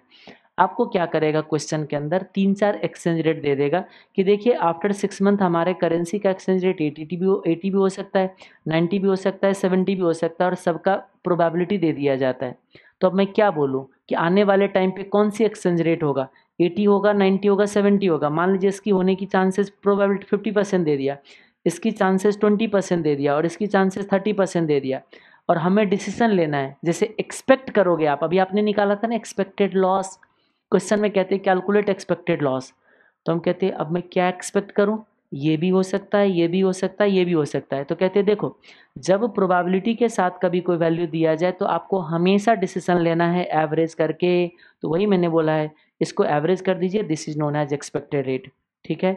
अब आते हैं स्वैप पॉइंट स्वैप पॉइंट या इसी को फॉरवर्ड मार्जिन भी बोलते हैं, इसी को फॉरवर्ड पॉइंट भी बोलते हैं फॉरवर्ड प्रीमियम डिस्काउंट भी बोलते हैं। ये क्या होता है? फॉरवर्ड रेट और स्पॉट रेट के बीच का डिफरेंस होता है। मतलब क्या हुआ कि आप मानिए कि ये हमारा स्पॉट रेट है डॉलर वन का। डॉलर वन का ये है रुपी एटी है ना? एटी पॉइंट टू फाइव मान लीजिए। और स्पॉट सॉरी आने वाले दिन का जो फॉरवर्ड रेट है, हमने कुछ फॉरवर्ड रेट ले लिया। ये जो है फॉरवर्ड रेट डॉलर वन का rupee eighty point five zero आप क्या कह रहे होगे कि सर ये जो है ना ये जो है हमारा पॉइंट टू फाइव जो है, ये क्या है? प्रीमियम पे है। इसी को स्वैप पॉइंट भी बोला जाएगा। तो बोलोगे कि पॉइंट वर्ड क्यों यूज़ किया गया? क्योंकि इसी को हम ना पिप में इंडिकेट कर देंगे। पिप में कोट कर देंगे। तो पिप क्या है? प्राइस इंटरेस्ट पॉइंट तो पॉइंट तो कहते हैं, देखो फॉरवर्ड रेट का डिफरेंस और spot rate forward and spot rate के बीच का डिफरेंस अगर पिप के टर्म में आपको कोट कर दिया जाए तो ये बन जाएगा आपका स्वैप पॉइंट तो क्या है swap point forward rate and spot rate के बीच का डिफरेंस है और कुछ नहीं है। तो यही मैंने बोला यहाँ पे देखिए कि जो स्वैप पॉइंट है वो है difference between forward rate and spot rate अब क्या होता है? ये तो हमने सिंगल रेट दिया। अब क्या होगा? डबल रेट आएँगे। तो डबल रेट आएगा तो यानी कि बिड और आस्क आएगा। मान लीजिए ये आ गया हमारा फाइव ज़ीरो और ये रेट जो आता है वो एटी पॉइंट एक चीज़ याद रखिएगा एटी वन नहीं होना चाहिए ट्वेंटी फाइव यानी कि eighty one point seven five से ज़्यादा होना चाहिए। बोलोगे ऐसा क्यों? क्योंकि देखिए, जब आपके स्पॉट रेट में स्प्रेड है ट्वेंटी फाइव पैसे का तो फॉरवर्ड रेट में आपकी जो स्प्रेड है ना, वो उससे बड़ा ही होना चाहिए। किससे? स्पॉट रेट से आपका जो स्प्रेड है वो बड़ा ही होना चाहिए, क्योंकि इसका सिंपल लॉजिक है। आज के डेट पे अगर बिजनेसमैन 25 पैसे से अगर वो कमा रहा है, आज के डेट पे अगर वो बिजनेसमैन 25 पैसे अगर वो कमा रहा है तो आने वाले टाइम पे ज़्यादा कमाएगा क्योंकि फ्यूचर में टाइम वैल्यू टाइम वैल्यू के इम्पैक्ट के बेसिस पे करेंसी का वर्थ कम हो जाता है। जब कम हो जाएगा तो आने वाले टाइम पे तो ज़्यादा ही कमाना चाहिए। तो इसीलिए इसका जो स्प्रेड होना चाहिए ना, अभी के केस में मैंने पॉइंट टू फाइव दिया है, लेकिन आपको इसको स्प्रेड ज़्यादा रखना चाहिए। अगर ज़्यादा रखोगे तो ये बन जाएगा, मान लीजिए सेवेंटी फाइव तो पता है आप कहाँ पहुँच गए आप? तो इस केस में देखिए फॉरवर्ड रेट और स्पॉट रेट का बीच का डिफरेंस आपका ये कितना बन गया? सॉरी सेवेंटी फाइव से ज़्यादा होना चाहिए ना? सेवेंटी फाइव से ज़्यादा होना चाहिए तो मान लीजिए आपका एट ज़ीरो आ जाता है अगर तो देखिए यहाँ पे कितने का डिफरेंस आ गया थ्री ज़ीरो आपको पता है, ये जो आपने अभी निकाला है ना, इसी चीज़ों को, ये प्रीमियम है, ये प्रीमियम है, इतना महँगा हो रहा है, ये प्रीमियम है। इसी प्रीमियम को अगर आपको पिप टर्म में बोल दिया जाए तो कितना पिप है ये? ट्वेंटी फाइव और ये कितना पिप है? थर्टी पिप तो इसी चीज़ों को बोला जाता है क्या? स्वैप पॉइंट अच्छा ये हो गया स्वैप पॉइंट तो यही बोला है कि अगर इंक्रीजिंग ऑर्डर में कोई स्वैप पॉइंट मिलता है इंक्रीजिंग ऑर्डर में तो वो प्रीमियम को बताता है. ये देख रहे हो? इंक्रीजिंग ऑर्डर में है, ये प्रीमियम है, क्योंकि आपको जब फॉरवर्ड रेट बड़ा होगा ना, तभी ये आपका इस तरीके का सिचुएशन नज़र आएगा पॉजिटिव में. अब आप मुझे बताइए फॉरवर्ड रेट अगर ये छोटा हो जाए, कौन सी फॉरवर्ड रेट अगर ये फॉरवर्ड रेट को मैं अगर छोटा कर दूँ, इसका मतलब डिफरेंस आपका निगेटिव आ जाएगा। मान लीजिए मैंने ज़ीरो ज़ीरो कर दिया तो ये आपका जाएगा क्या पता है? माइनस पॉइंट टू फाइव और अब आप देखिए इसमें इसमें आपको अभी बताया मैंने क्या कि फॉरवर्ड रेट का स्प्रेड ज़्यादा होना चाहिए। तो फॉरवर्ड रेट का अगर आप स्प्रेड ज़्यादा रखते हो ना यहाँ पे तो ये मान लीजिए अभी भी वही रखते हैं हम लोग थर्टी पॉइंट की तो ये देखिए थर्टी पॉइंट का स्प्रेड रखोगे तो ये पॉइंट थ्री ज़ीरो जाएगा। तो आपको पता है अब ये सिचुएसन जो है ना, ये बदल जाएगा आपका। ये अब इतना नहीं रह पाएगा, अब आ जाएगा माइनस पॉइंट टू ज़ीरो देखो, ध्यान से देखिए आप, आपको कुछ नज़र आ रहा होगा, ये आ जाएगा माइनस पॉइंट टू ज़ीरो तो देखो, ऐसा क्यों हुआ? क्योंकि आपको पता है आस्क रेट का डिफरेंस हमेशा बड़ा आएगा due to the higher spread of the forward contract अब देखिए, ये वैल्यू बड़ा है इससे, क्योंकि निगेटिव वैल्यू छोटा होना अच्छा होता है। अब क्या होगा? वो कहते हैं कि देखो जी, हम तो पिप में इंडिकेट करके देना है तो भाई डिफरेंसेस कितना पिप है? Twenty five piece and twenty pip तो आप मुझे बताइए, ये सीधा बोल देगा निगेटिव भी हटा देगा और बोलता है कि देखो कितना है डिफरेंस स्पॉट एंड फॉरवर्ड का। बोलते हैं कि देखो इतने पिप का डिफरेंस है। आप याद रखिएगा ये डिक्रीज होता हुआ जाएगा एक ही केस में जब ये निगेटिव होगा। अगर ये निगेटिव नहीं होगा तो ये वैल्यू डिक्रीज नहीं होगा। तो इसीलिए हम बोलते हैं, क्या पता है कि डिक्रीजिंग ऑर्डर का स्वैप पॉइंट जो होता है ना, इस तरीके का होगा तो वो डिस्काउंट को बताएगा मतलब फॉरवर्ड रेट जो है ना वो छोटा है। This is because of the higher spread ऐसा क्यों होता है? Due to the higher spread जो मैंने आपको दिखा दिया। Practically bank does not quote ये मैं क्या कहना चाह रहा हूँ, अभी बाद में बताता हूँ। यहाँ पे कुछ डिस्प्यूट है। डिस्प्यूट क्या है बता दूँ? एक बार इंस्टीट्यूट ने इस तरीके से क्वेश्चन पूछा है। एक तो सबसे पहले समथिंग यूरो सेंट आपको बता दूँ, जैसे हमने यहाँ पे पिप में लिया था ना तो स्वैप पॉइंट कभी कभी आपको पैसे में भी दे दिया जाता है। तो ये कह रहा है कि देखो, ये हमारा स्वैप पॉइंट है। बोलोगे कैसे? तो फॉरवर्ड प्रीमियम लिखा है। वही फॉरवर्ड प्रीमियम डिस्काउंट को तो स्वैप पॉइंट बोला है हमने। ओके क्वेश्चन में क्या लिख के दिया है? प्रीमियम है हमारा इतना सेंट का। तो ये तो पता चल गया कि ये फ्रैक्शनल यूनिट में है। तो इतना सेंट है तो कितना यूरो बनेगा? यूरो का सेंट है ये डॉलर का सेंट नहीं, इसीलिए लिख के दिया यूरो का सेंट है ये। तो ठीक है, इसको हम लोग यूरो में कैलकुलेट कर लेंगे। कैसे कैलकुलेट करेंगे तो पता है। मेन मुद्दे की बात यह है कि ये डिक्रीज कर रहा है और यहाँ है प्रीमियम अब हम लोग कैसे एडजस्टमेंट करें? क्या इसको डिस्काउंट अज्यूम करूँ या इसको प्रीमियम अज्यूम करूँ? इंस्टीट्यूट ने यही सेम चीज़ों को दो बार पूछा गया है। मैंने ये रेफरेंस दिया हुआ है कि देखो, इतने बार इंस्टीट्यूट ने इस लाइन के साथ क्वेश्चन पूछा है, लेकिन क्या किया है? एक बार इंस्टीट्यूट ने प्रीमियम अज्यूम करके ये ऐड किया है, क्योंकि आपको पता है प्रीमियम अज्यूम करोगे तो फॉरवर्ड रेट बड़ा होगा और डिस्काउंट रेट अज्यूम करोगे तो फॉरवर्ड रेट छोटा होगा। तो छोटा होगा तो ये माइनस करना पड़ेगा फॉरवर्ड रेट करने के लिए, अगर डिस्काउंट अज्यूम करोगे तो। और अगर प्रीमियम अज्यूम करोगे तो ये ऐड करना पड़ेगा। इंस्टीट्यूट ने एक बार प्रीमियम अज्यूम करके ऐड किया है और एक बार जो है डिस्काउंट अज्यूम करके माइनस किया है। मैंने आपको अपना ओपिनियन दिया है कि देखो, इस कंडीशन में आपको डिस्काउंट लेके अज्यूम करना चाहिए डिस्काउंट ये मेरा ओपिनियन है। और आप चाहो तो एक लाइन का नोट लिख के आ जाना कि हम चाहे तो प्रीमियम भी अज्यूम कर सकते ये आपके पास चॉइस है। ओके। अब आते हैं ब्रोकन पीरियड स्वैप पॉइंट पे। क्या होता है कि बैंक जो होते हैं ना, आपको swap point sorry forward rate quote करके नहीं देता है। क्योंकि होता क्या है देखिए, किसी इंसान को ज़रूरत होगा 80 डेज़ बाद पेमेंट करना होगा या रिसीव करना होगा फॉरेन करेंसी मैं बैंक में जाता हूँ, कोई पूछता है 80 डेज़ का फॉरवर्ड रेट दो। कोई कहता है 90 डेज़ का फॉरवर्ड रेट दो, कोई कहता है 95 डेज़ का फॉरवर्ड रेट दो तो बैंक कहता है, देखो, हम तो परेशान हो जाएँगे, अगर ऐसे किसी भी रिक्वायरमेंट के साथ हमारे पास आ सकता है। और हमने बोला था कि फॉरवर्ड रेट मैक्सिमम कितने दिन का मिलता है? 365 डेज़ का। तो बैंक को क्या करना पड़ेगा? 365 रेट को कोट करके अपने नोटिस बोर्ड पे लगाने पड़ेंगे। और अब क्या होगा? ध्यान से सुनिएगा। कल स्पॉट रेट बदल जाएगा फॉरवर्ड रेट भी बदलेगा। क्योंकि फॉरवर्ड रेट आज कोट किया जाता है रिप्रेजेंट करता है वो फ्यूचर को। तो आपको पता है, अगर कैलकुलेटर आज 500 का है तो कल का रेट तो 500 नहीं होगा। तो क्या होगा? टाइम वैल्यू को एडजस्टमेंट करो तो 500 से ज़्यादा ही होना चाहिए। तो यही चलता है इंडिया में। इंडिया में आज अगर डॉलर अगर 80 का दिखता है तो आपको छः महीने बाद 81 का दिखेगा और आज ही एक साल बाद के लिए 82 का दिखेगा क्योंकि यहाँ टाइम वैल्यू पॉजिटिव चलता है इंडिया में क्योंकि इंडिया का इंटरेस्ट रेट बड़ा है यूएस का इंटरेस्ट रेट छोटा है। इस पर हम बहस करेंगे इंटरेस्ट रिस्क मैनेजमेंट में, ये बड़ा छोटा प्रीमियम डिस्काउंट की। अच्छा वापस आइएगा। अब बैंक क्या कहता है कि देखिए, हमारे लिए बड़ी मुश्किल है हर एक दिन का एक्सचेंज रेट कोट करना, हर दिन 365 रेट कोट करने पड़ेंगे हर एक दिन के लिए। तो बैंक क्या करता है? मंथली बेसिस पे स्वैप पॉइंट कोट कर देता है आपको और स्पॉट रेट दे देता है। और आपको पता है स्वैप पॉइंट क्या है? प्रीमियम डिस्काउंट और कुछ नहीं है, यानी कि टाइम वैल्यू है ये। ये अगर टू मंथ का अगर आपको स्वैप पॉइंट दिया है ना तो ये नथिंग बट टाइम वैल्यू मतलब आज के और कल के रेट में डिफरेंस है। और आज के और कल के रेट में डिफरेंस जो होता है, वो टाइम वैल्यू का डिफरेंस होता है। सिंपल सी बात है। तो अब क्या करता है आपको? बैंक कहते हैं कि देखो, मैं स्वैप पॉइंट देता हूँ। टाइम वैल्यू तो सेम ही रहेगा। जैसे मान लीजिए, आज अगर एटी का रेट है और फ्यूचर का एटी वन का रेट है तो हम कह सकते हैं वन रुपीज़ टाइम वैल्यू है।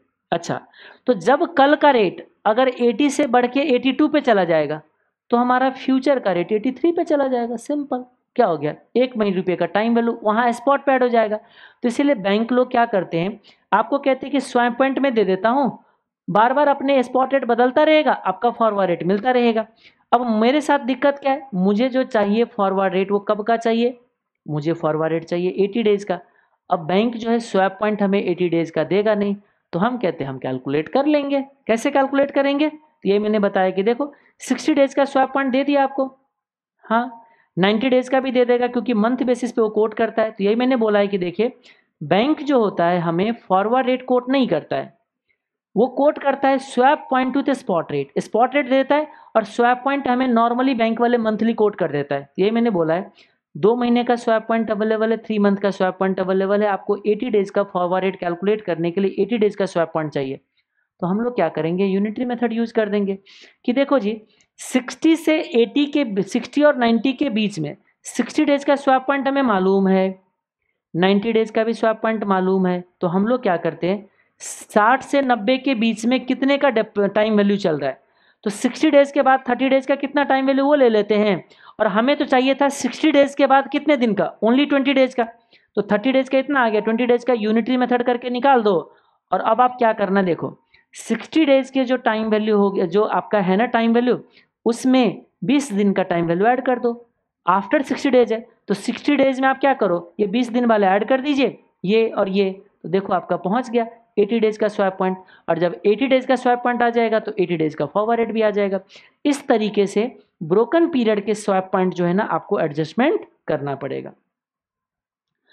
अब अगला कॉन्सेप्ट हमारा आता है money market and capital market की। ठीक है? Money market and capital market तो क्या है ये बताइए? ऐसा मार्केट जहाँ पे लेस देन वन ईयर की सिक्योरिटी ट्रेड होता है, वो है मनी मार्केट। और ऐसा मार्केट जहाँ पे लॉन्ग टर्म सिक्योरिटी ट्रेड होता है, इक्विटी प्रेफरेंस और that is the capital market, खत्म, कुछ है ही नहीं। अब क्या होता है, आपने अभी फॉरवर्ड कॉन्ट्रैक्ट को, सॉरी, आपने अभी फॉर फ्यूचर के पेमेंट रिसीट को हेज किया, फॉरवर्ड कॉन्ट्रैक्ट यूज़ करके। अच्छा छः महीने बाद हमारे पास डॉलर आने वाला है, हम एक काम करते हैं बैंक में जाते हैं, आज ही छः महीने बाद का रेट तय कर लेते हैं। हो गया हेजिंग तो वो आपका एक टेक्निक हुआ रिस्क को हेज करने का। अब हम क्या कर रहे हैं? एक दूसरा टेक्निक जनरेट कर रहे हैं, जिसमें हम लोग कहते हैं कि सिक्स मंथ बाद की जो अमाउंट आने वाले हैं ना, उसको हेज करेंगे, लेकिन हम फॉरवर्ड रेट यूज़ नहीं करेंगे। तो हम क्या करेंगे फिर? फॉरवर्ड रेट यूज़ नहीं करोगे तो कैसे पॉसिबल है? पेमेंट तो आएगा सिक्स मंथ बाद। तो जब सिक्स मंथ बाद के जो रिसीट होगी, उसको सिक्स मंथ बाद ही कन्वर्ट कराओगे। तो अब अगर कुछ नहीं करोगे आज तो रिस्क आ जाएगा। और अगर आज आपने कॉन्ट्रैक्ट कर लिया फॉरवर्ड तो फिर आपका तो हेज हो ही गया। हम कहते, नहीं, हम फॉरवर्ड कॉन्ट्रैक्ट भी नहीं करेंगे और हम कन्वर्जन भी छः महीने बाद नहीं करेंगे। ऐसा एक टेक्निक ढूंढते हैं, जिसको बोला गया मनी मार्केट हेज यानी कि मनी मार्केट को यूज़ करके हम ट्रांजेक्शन को हेज करते हैं। तो इस ट्रांजेक्शन में हम लोग क्या करते हैं? बहुत आसान सा हमने एक कॉन्सेप्ट बताया कि देखो, जो सिक्स मंथ बाद पेमेंट आने वाला है ना, उसके प्रेजेंट वैल्यू आज लोन ले लेते हैं। इसकी प्रेजेंट वैल्यू हम लोग क्या करते हैं? आज लोन ले लेते हैं। देखो, आपको रिसीव होने वाला था हंड्रेड डॉलर सिक्स मंथ बाद। उसकी प्रेजेंट वैल्यू आप क्या करो? आज लोन ले लो। बोलोगे, लोन क्यों ले रहे? इसीलिए लोन ले रहे, क्योंकि जब ये पेमेंट आएगा ना हमारे पास तो हम उस पेमेंट को, क्योंकि आपको पता है डॉलर आएगा अगर मिस्टर इंडिया के जेब में तो वो होल्ड नहीं कर पाएगा, क्योंकि गवर्नमेंट अलाउ नहीं करता है। तो बट गवर्नमेंट ये नहीं बोला ना कि आप होल्ड नहीं कर सकते, ये बोला है। किसी को पेमेंट नहीं कर सकते हो, ऐसा तो नहीं बोला है। तो हम क्या करेंगे? जब ये हमारे पास आएगा ना तो हम इसको एज इट इज़ इससे हम लोन का रिपेमेंट कर देंगे। तो देखो लोन का रिपेमेंट हंड्रेड अगर करना है तो लोन तो आपको कम लेना पड़ेगा। इसीलिए इतना लोन लो, इतना लोन लो ताकि वो after six month one dollar hundred dollar हो जाए और यहाँ से जैसे ही पेमेंट आएगा इसको हम रिपेमेंट कर देंगे। तो क्या होगा बताइए करेंसी का कन्वर्जन नहीं हुआ सिक्स मंथ बाद का तो जो करेंसी कन्वर्जन रिस्क था वो आपका रिस्क नहीं हो पाया। तो इसका मतलब हमने मनी मार्केट को यूज़ करके उस रिस्क को क्या करा, हमने खत्म कर दिया। तो आप बोलोगे मनी मार्केट ही क्यों यूज़ करें? हम बैंक यूज़ कर लेते हैं। क्वेश्चन में कभी कभी आपको बैंक दे देगा कि बैंक से लोन ले लेंगे। लेकिन होता क्या है सिक्स मंथ का लोन नॉर्मली बैंक में नहीं मिलता है इसीलिए हम लोग मनी मार्केट को यूज़ करके हम लोन लेते हैं और इसीलिए इस टेक्निक को मनी मार्केट हेज बोलते हैं। अब आपने क्या किया बताइए? प्रेजेंट वैल्यू आपने लोन ले लिया। अब ये अमाउंट आज ही कन्वर्ट करा लेना है स्पॉट रेट पे। अब सोचो कन्वर्जन स्पॉट रेट पे हो गया। कोई रिस्क नहीं है, इसी रिस्क को तो आपने बचाना चाहिए था, क्योंकि फ्यूचर में तो कन्वर्जन नहीं हुआ ना। तो फ्यूचर में अगर कन्वर्जन नहीं हुआ तो रिस्क हमारा हेज हो गया। अब क्या होता है? ये अमाउंट आज इनफ्लो हो जाता है। अब क्या होगा? अब इस इस हेजिंग के टेक्निक को ना आपको कंपैरिजन करना होगा। इस हेजिंग के टेक्निक को आपको कंपैरिजन करना होगा। दूसरे टेक्निक था ना हमारे पास कि आज जाओ बैंक में और रेट एक तय कर लो। तो जब मैं बैंक में जाके अगर फ्यूचर के लिए रेट तय करूँगा तो फॉरवर्ड कॉन्ट्रैक्ट में तो ये इनफ्लो जो होता ना, ये इनफ्लो जो होगा, वो तो सिक्स मंथ बाद होगा। लेकिन इसमें तो आज ही इनफ्लो हो गया तो दोनों कंपेरेबल नहीं होगा। आज का इनफ्लो छः महीने बाद के इनफ्लो से कंपेरेबल नहीं होगा। इसीलिए मनी मार्केट हेज में हम लोग क्या करते हैं, इस अमाउंट को हम लोग डिपॉजिट कर देते हैं आज। तो अब क्या होगा देखो, अब ये डिपॉजिट जिस टाइम पे विड्रॉ होगा, उस टाइम पे हमारा क्या हो जाएगा, जितना अमाउंट ये विड्रॉ किया जाएगा, यही विड्रॉवल अमाउंट हमारे लिए क्या कहलाएगा मनी मार्केट का इनफ्लो कहलाएगा। अब इस अमाउंट को हम लोग कंपेयर कर सकते हैं फॉरवर्ड कॉन्ट्रैक्ट के साथ। ठीक है? तो हो गया। अब ये चीज़ सोचो, जो हमने लोन लिया था, उसके साथ क्या हुआ? छः महीने बीत गए, उसको अब रिपे करना पड़ेगा तो छः महीने बाद यहाँ से भी आ रहा होगा रिपेमेंट हो जाएगा। अब वो बोला, देखिएगा, इस पूरे टेक्निक के अंदर कहीं पे भी आपका रिस्क इन्वॉल्व नहीं है, क्योंकि ये आया, ये गया, कोई कैश फ्लो है ही नहीं। ये आया, ये गया, कोई कैश फ्लो है ही नहीं। ये आया, ये गया, कोई कैश फ्लो है ही नहीं। आप देखोगे पूरे प्रोसेस के अंदर सिर्फ़ ये आपका इनफ्लो बनता है। This is the inflow under money market hedge जिसको आप लोग क्या करते हो? कंपेयर करते हो। फॉरवर्ड कॉन्ट्रैक्ट के साथ और फिर डिसीज़न लेते हो। क्या हम इसको ऐसे बोले? जब आने वाला होता है तो हम आज ही उसके पीवी ले लेते हैं स्पॉट पे कन्वर्ट करा लेते हैं, अपने कंट्री में डिपॉजिट करा लेते हैं विड्रॉवल अमाउंट जो होते हैं मनी मार्केट का इन्फ्लो हो जाता है। ये जो जो लॉजिक वगैरह था, वो सारे ऑलरेडी यहाँ पे लिखा हुआ उसको देख सकते हो। एग्जैक्टली पेबल अमाउंट के लिए सेम काम करेंगे। पेमेंट करना है ना तो हम यहाँ से ला के कन्वर्ट करा के पेमेंट नहीं करेंगे, क्योंकि अगर फ्यूचर में कन्वर्ट कराएँगे तो रिस्क आ जाएगा। और वो तो काम हम ऑलरेडी करते हैं फॉरवर्ड कॉन्ट्रैक्ट के अंदर। यहाँ क्या करते हैं? जितना हमें पे करना है ना, उसका पीवी आज बैंक में डिपॉजिट कर देते हैं। जो पे करना है तो आज यहाँ डाल दो। और ये क्या होगा? ग्रो करके इंटरेस्ट के साथ डॉलर हंड्रेड बनेगा, फिर आप ये डॉलर हंड्रेड यहाँ से विड्रॉ करके सामने वाले को पे कर देना। तो छः महीने बाद का पेमेंट भी हो गया करेंसी कन्वर्जन भी नहीं होगा तो रिस्क भी नहीं रहा। तो हम लोग क्या करते हैं बताइए? उसका पीवी डिपॉजिट करना है। अब इस डिपॉजिट के लिए कितना अमाउंट आपको पे करना पड़ेगा? क्योंकि खरीद के लाओगे तो कुछ तो दोगे। अब ये आउटफ्लो जो होगा ना फॉरवर्ड कॉन्ट्रैक्ट के साथ कंपेयर नहीं होगा। तो इसीलिए हम लोग क्या करते हैं, ये आउटफ्लो ना होने देने के लिए हम बोरोइंग करके हम इसको पेमेंट करते हैं। तो ये जो पेमेंट होगा, ये हमारा मनी मार्केट का आउटफ्लो हो जाएगा। इसको आपको फॉरवर्ड कॉन्ट्रैक्ट के साथ कंपेयर करके डिसीज़न लेना होता है। That is the money market hedge यानी कि अभी तक हमने दो हेजिंग का टेक्निक तो पढ़ लिया। तीसरा है effect of conversion of same currency at same time both side इसमें मैंने क्या बोलना चाहा कि होता क्या है कभी कभी हम एक्सपोर्ट भी करते इम्पोर्ट भी करते। तो हमारे पास पैसे आना भी होता है, जाना भी होता है।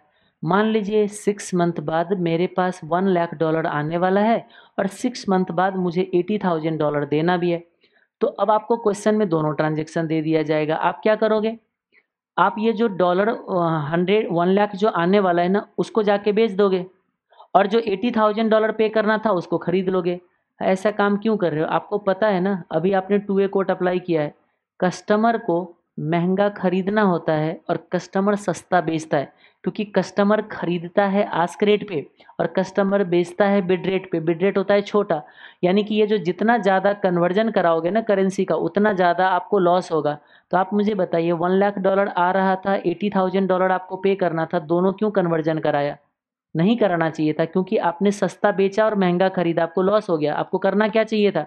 जो वन लाख डॉलर आ रहे हैं, उसी से आप वो एटी थाउज़ेंड को पे कर दो और जो बैलेंस रह गया ट्वेंटी थाउज़ेंड सिर्फ़ ट्वेंटी थाउज़ेंड को कन्वर्ट कराओ। यही सब चीज़ों को हमने यहाँ बोला है कि never convert same currency same time पे बोथ साइड मतलब खरीदना और बेचना, दोनों काम सेम डेट पे मत करना। आप क्या करना? नेट अमाउंट को कन्वर्जन कराना। टैक्स आपको पता ही है कि अगर मान लीजिए मुझे एक्सचेंज का लॉस होता है तो एक्सचेंज का लॉस होगा तो पी एंड एल में डेबिट करेंगे। मान लीजिए मुझे वन थाउज़ेंड का लॉस होता है तो मैं one thousand P and L में डेबिट करूँगा तो एक वन थाउज़ेंड से मेरा इनकम कम हो जाएगा। जब वन थाउज़ेंड से मेरा इनकम कम हो जाएगा तो हम क्या करेंगे बताइए? हम उसके रेस्पेक्ट में थर्टी परसेंट का टैक्स कम पे करेंगे। तो अगर कोई ऐसा खर्चा जो प्रॉफिट एंड लॉस अकाउंट में डेबिट होता है तो उसकी वजह से हमारे टैक्स कम पेमेंट होता है, क्योंकि इनकम कम हो जाता है ड्यू टू दैट खर्चा। तो अब हम क्या बोले? कि अगर कोई एक्सचेंज लॉस है तो वो तो प्रॉफिट एंड लॉस में अलाउ होता है, क्योंकि वो डेबिट करते हैं हम लोग। तो एक्सचेंज लॉस अगर वन थाउज़ेंड का होगा ना तो आपका net loss only seven thousand का सेवन हंड्रेड का होगा, क्योंकि उसमें थ्री हंड्रेड का टैक्स सेविंग हो जाएगा। तो मैं यही बोल रहा हूँ कि अगर कभी आपको नेट ऑफ़ टैक्स एक्सपेंसेस निकालना है टैक्स के साथ नेट एक्सपेंसेस निकालना है तो जितना एक्सपेंसेस को वन माइनस टी करना वन माइनस टी का मतलब one minus point three zero seventy percent कर दीजिए।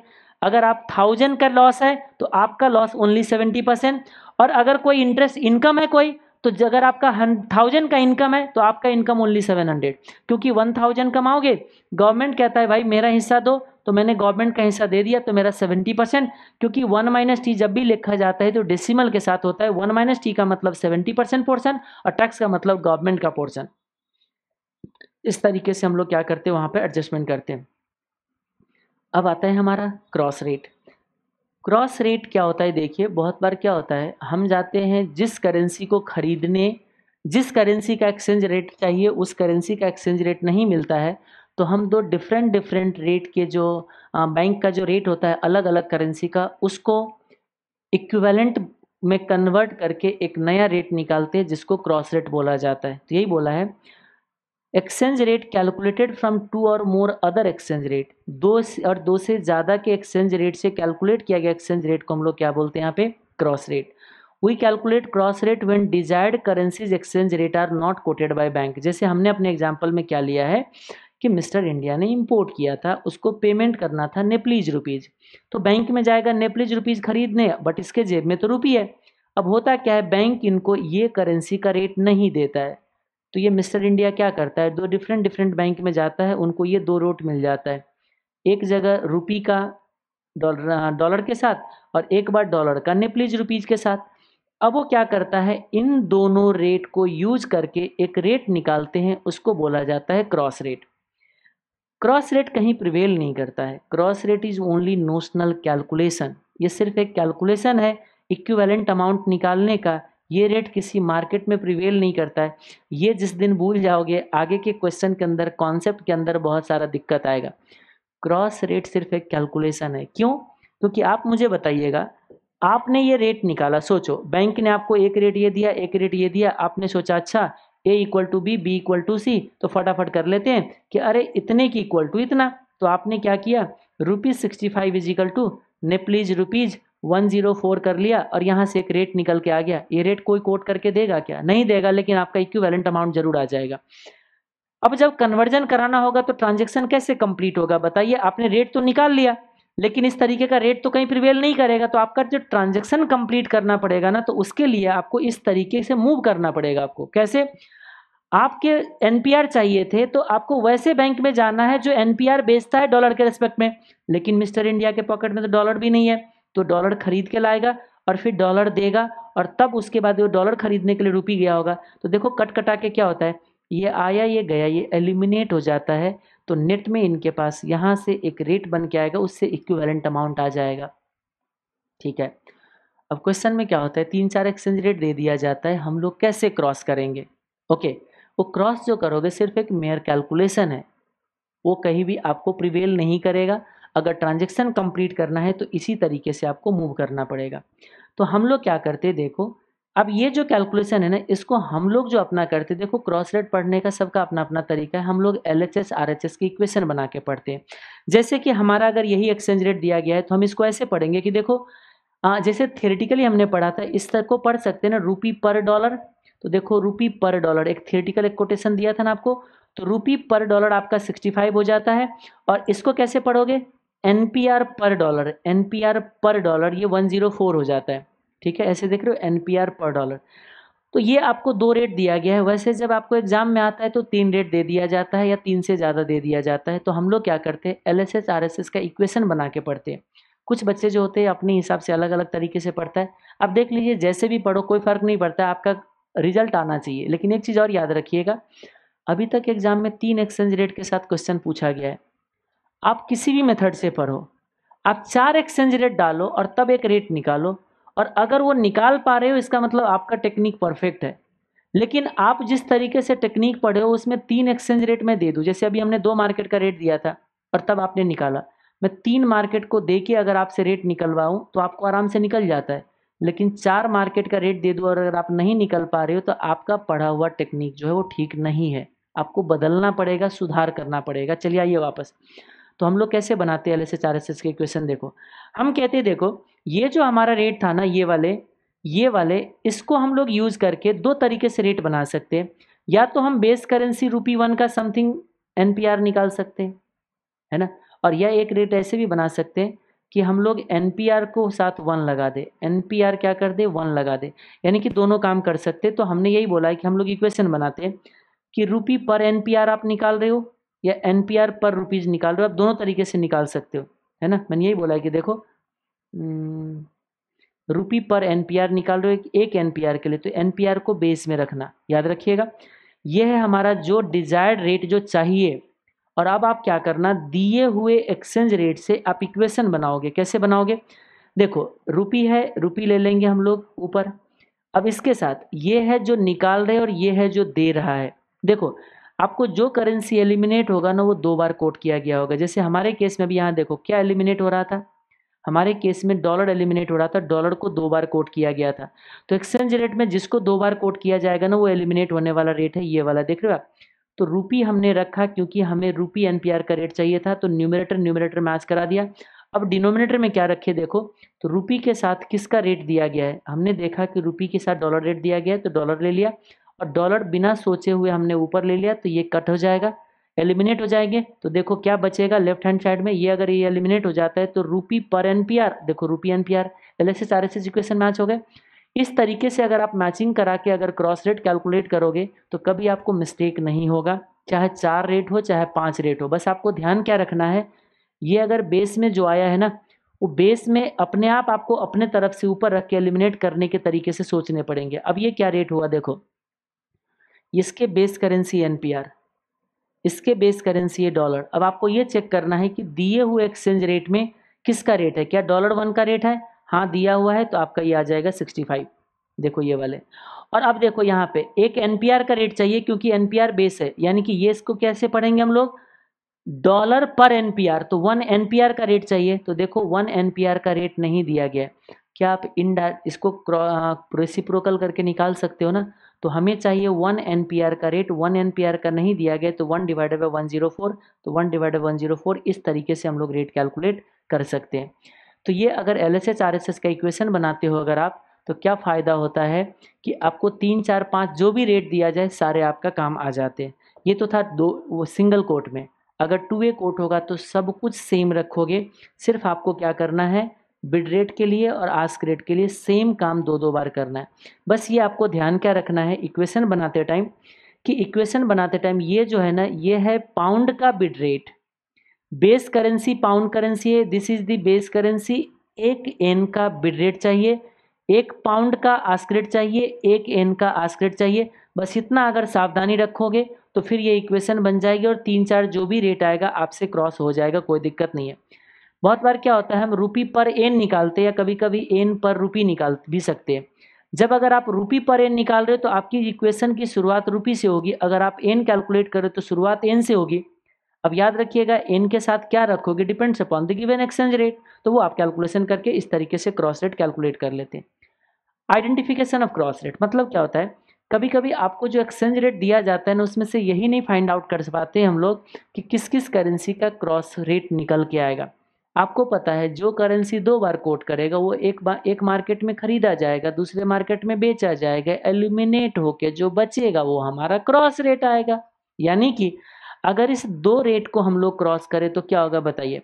यहाँ पाउंड पाउंड एलिमिनेट हो जाएगा तो डॉलर और रुपी का रेट आ जाएगा। सिंपल यानी कि पहला दो रेट को हम लोग अगर क्रॉस करें बैंक वन और बैंक टू का तो किसका क्रॉस रेट आएगा? डॉलर एंड रुपी का। इसी तरीके से अगर आप इस तीन को क्रॉस करते हो तो किसका रेट आएगा? तो देखो, इस तीन रेट को अगर क्रॉस करता हूँ तो डॉलर डॉलर एलिमिनेट होगी, पाउंड पाउंड एलिमिनेट होगी तो एन और रुपी का रेट आ जाएगा। यही बोल रहे, एन और रुपी का रेट आ जाएगा। यानी कि ये पहचानने का तरीका दिया है कि जब हमारे पास एक्सचेंज रेट दिया गया हो तो किस करेंसी का, किस करेंसी का क्रॉस रेट निकल के आएगा? और क्रॉस रेट सिर्फ़ कैलकुलेशन है, ये मत बोलना। इंटरबैंक ट्रांजेक्शन, मर्चेंट ट्रांजेक्शन, ये क्या होता है? जब एक बैंक दूसरे बैंक के साथ डील करता है तो होलसेल रेट पे डील करता है। और जब एक बैंक कस्टमर के साथ डील करता है तो वो रिटेल रेट पे डील करता है। अब बोलोगे हाँ ठीक है।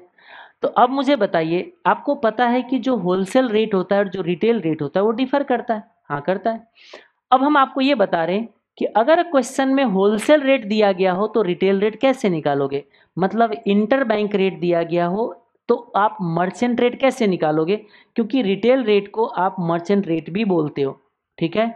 और ये है आपका इंटर बैंक रेट एक बैंक दूसरे बैंक के साथ डील करता है, वो इंटर बैंक रेट एक बैंक जो कस्टमर के साथ डील करते हो मर्चेंट रेट नॉर्मली क्या होता है? कस्टमर के साथ डील करने वाले रेट जो होते हैं ना डेसिमल के बाद टू डिजिट में होता है. और जो एक बैंक दूसरे बैंक के साथ जो डील करता है, वो आपका फोर डिजिट में होता है. ये रहा अप टू फोर डिजिट लेकिन इस चीज़ों को एक जो इंस्टीट्यूट जो है वो फॉलो नहीं करता है। तो हम भी भूल जाते हैं, कैसे समझ लेते हैं? ये जो भी कुछ बताया है, वो सिर्फ़ थियोरिटिकल है, सिर्फ़ पेपर पे होता है, बाकी और कुछ नहीं करना है। अच्छा यहाँ पे एक और भी चीज़ लिखा है। As per federal rule settlement of all merchant transactions shall be affected on the principle of rounding off of the rupee amount to the nearest whole rupee without पैसा। इंडिया में इवन आपका टू डिजिट भी नहीं मिलता है। Normally customer के साथ जो डील करते हैं, वो हम लोग क्या करते हैं? डेसिमल के बाद टू डिजिट में। मतलब ये कुछ क्या हुआ कि 80.20 में आपको रेट कोट करना चाहिए। लेकिन फेडरल ने रूल बनाया कि देखो, यहाँ पे कस्टमर के साथ डील करोगे ना तो सीधा राउंडिंग अप करोगे। सॉरी रेट तो यही रहेगा, लेकिन जो आपका लास्ट में जो राउंडिंग ऑफ़ आएगा ना रूपी अमाउंट आएगा। ठीक है? Principle of rounding off off the rupee amount to the nearest whole rupee आपको नियरेस्ट होल रूपी में आपको अमाउंट सेटलमेंट होंगे, खरीदा बेचा जाएगा फ्रैक्शन नहीं मिलेगा आपको। अच्छा। अब रहा सवाल कि इन दोनों के बीच में क्या डिफरेंस है? रिटेल रेट और इंटरबैंक रेट के बीच का जो डिफरेंस होता है, उसको एक्सचेंज मार्जिन बोला जाता है। और एक्सचेंज मार्जिन जो होता है बिड रेट में से माइनस किया जाता है और आस्क रेट में मार्जिन प्लस किया जाता है। क्यों किया जाता है? ये लॉजिक यहाँ पे हमने लिखा हुआ है। ये तो सबको समझ आता है, इसमें कुछ लोगों को थोड़ा सा दिक्कत रहता है तो मैं आपको बता दूँ क्या होता है। देखिए आप कस्टमर हो, आप मेरे पास वन लाख डॉलर लेके आए, मैं बैंक हूँ। आप कस्टमर हो, मेरे पास वन लाख डॉलर लेके आए, मैं क्या रेट दूँ? यानी कि रिटेल रेट क्या होना चाहिए डॉलर खरीदने का बिड रेट क्योंकि मैं डॉलर खरीद रहा हूँ, मैं मैं बैंक हूँ। तो मैं किस रेट पे खरीदूँ? तो सोचिएगा, आपसे जो मैं डॉलर खरीदूँगा, वो मैं क्या करूँगा? सोचना थोड़ा ध्यान से। मैं बैंक हूँ, मैं बैंक हूँ, मैं आपसे जो हंड्रेड लाख डॉलर खरीदेगा मैं उसको क्या करूँगा? क्या मैं दूसरे कस्टमर का इंतज़ार करूँगा? अब वो दूसरे कस्टमर आने में अगर वन मंथ लगा दी तो क्या मैं वन मंथ या डॉलर हंड्रेड लाख लेके मैं बैठा रहूँ क्या इतना फंड ब्लॉक करके? ये पॉसिबल नहीं है। तो हम इसको क्या करते हैं? आपसे जो मैं वन हंड्रेड लाख डॉलर जो खरीदेंगे वन हंड्रेड लाख बड़ा अमाउंट है, हम इसको जाके इंटर बैंक में बेचेंगे। हम इंटर बैंक में बेचेंगे। अब आप सोचो इंटर बैंक अगर मुझे 65.25 का रेट देगा तो मैं आपको जो रेट कोट करूँगा, वो क्या उससे ज़्यादा या कम? सब, स्वाभाविक सी बात है, मेरे जेब में अगर 65 ये मैं बैंक हूँ, मैं अभी बैंक हूँ, यहाँ हूँ मैं मैं यहाँ हूँ। जब मेरे जेब में 65.25 आएगा तो मैं आपको जो पे करूँगा ना, आपको जो पे करूँगा, मैं उससे कम ही पे करूँगा। तो यही मैंने बोला है लेसर देन दिस वन इसका मतलब इस बैंक का जो बिड रेट आएगा ना, वो इससे छोटा आएगा। इसीलिए बिड रेट में से मार्जिन को कम किया जाता है। एक लाइन अगेन याद रख लीजिए एक्सचेंज मार्जिन बिड रेट में से माइनस किया जाएगा। और आस्क रेट में एक्सचेंज मार्जिन को ऐड करके तब मर्चेंट रेट बनाओगे इंटर बैंक को यूज़ करके। ओके नेक्स्ट कॉन्सेप्ट है हमारा post shipment credit and transit period adjustment on the forward contract ये न्यूली इंसर्टेड कॉन्सेप्ट है। ये पहले से सिलेबस में नहीं था। ना कहीं पे स्टडी मैट में, ना कहीं पे क्वेश्चन ना कोई R T P M T P कहीं कुछ नहीं था। रिसेंट पास्ट में अभी एक क्वेश्चन डाला था। पोस्ट शिपमेंट क्रेडिट और जो ट्रांजिट पीरियड का एडजस्टमेंट है, वहाँ से क्वेश्चन डाला गया था। तो कुछ स्टूडेंट परेशान थे कि हमने ये नहीं पढ़ा। तो ये आउट ऑफ़ द सिलेबस था, कहाँ से पढ़ोगे? कुछ परसेंट किसी ने पढ़ के ही नहीं गया था, ये सिंपल सी बात है, क्योंकि ये था ही नहीं सिलेबस में। ये खास करके क्या है कि ये पोस्ट क्वालिफिकेशन एक कोर्स है, जिसमें से आपको उसमें एक मॉड्यूल है theory and practice of the forex and treasury management वहाँ से वो कॉन्सेप्ट उठा के, वहाँ से वो क्वेश्चन डाला था इंस्टीट्यूट ने। तो न्यू कॉन्सेप्ट है, लेकिन बहुत ही आसान है। इसको बस एक चीज़ इस तरीके से समझना है। देखिए इसको क्या है कि जब कोई पार्टी एक्सपोर्ट करता है, सपोज़ एक मिस्टर इंडिया ने कुछ सामान एक्सपोर्ट किया है तो आपको पता होगा एक्सपोर्ट इंपोर्ट जो है वो एलसी के तहत होता है, यानी कि उसमें लेटर ऑफ़ क्रेडिट का इन्वॉल्वमेंट होता ही होता है। क्योंकि अगर मैं मान लीजिए कि फ़ॉरन के पार्टी को अगर मैं सामान बेचता हूँ तो फ़ॉरन को पार्टी को अगर मैं सामान बेचूँगा तो उससे पेमेंट अगर नहीं दिया, मान लीजिए फॉरेन की पार्टी हमें अगर पेमेंट नहीं करेगा तो हम क्या कर ले? जैसे आप देखते हो, विजय मालिया, नीरव मोदी, जो भी यहाँ पे अगर कोई भी फ्रॉड करते तो सबसे पहले कंट्री चेंज कर देता है, क्योंकि उनको भी पता है, एक कंट्री से दूसरे कंट्री में कंट्रोल करना आसान नहीं होता है। तो एग्जैक्टली exactly इसी चीज़ों की वजह से क्या होते हैं कि हम कहते हैं, जब कोई सामने वाले दूसरे कंट्री के पार्टी को हम कुछ भी सामान बेचते हैं तो हम उनके बैंकर से अश्योरेंस ले लेते हैं कि देखो, तुम अगर पेमेंट नहीं करोगे ना तो तुम्हारे बैंकर मुझे देगा, यानी कि उसके बैंकर मुझे गारंटी देता है, मैं एक्सपोर्टर हूँ। मैं कोई सामान बेच रहा हूँ तो उसके एक बैंक जब तक मुझे अश्योरेंस ना दे दे कि टाइम पे पेमेंट मिलेगा, सारे पेमेंट मिलेगा, तब तक मैं उसको सामान नहीं भेजता। तो ये जो उसके बैंक से मुझे एक क्रेडिट डॉक्यूमेंट आता है कि ये डॉक्यूमेंट आता है कि हाँ उनको आप सामान भेज सकते हो, आप, मैं आपको गारंटी देता हूँ कि पेमेंट टाइम पे आ जाएगा। तब हम सामान भेजते तो उस बैंक ने जो हमें जो डॉक्यूमेंट भेजा, उसको हम लेटर ऑफ़ क्रेडिट बोलते हैं। अब क्या होता है, देखिए लेटर ऑफ़ क्रेडिट पे अगर कोई सामान हमने भेजा है, इसका मतलब इतना तो क्लियर है कि हमारे पेमेंट टाइम पे आ जाएगा। ये तो क्लियर है। अब ये पेमेंट आएगा कब? ड्यू डेट के बाद।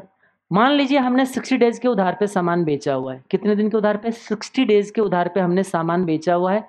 तो क्लियर है कि हमें सिक्सटी डेज़ के बाद पेमेंट आ जाएगा। लेकिन होता क्या है रियल लाइफ में वो सिक्सटी डेज़ जो काउंट करते हैं ना ये लोग, कौन?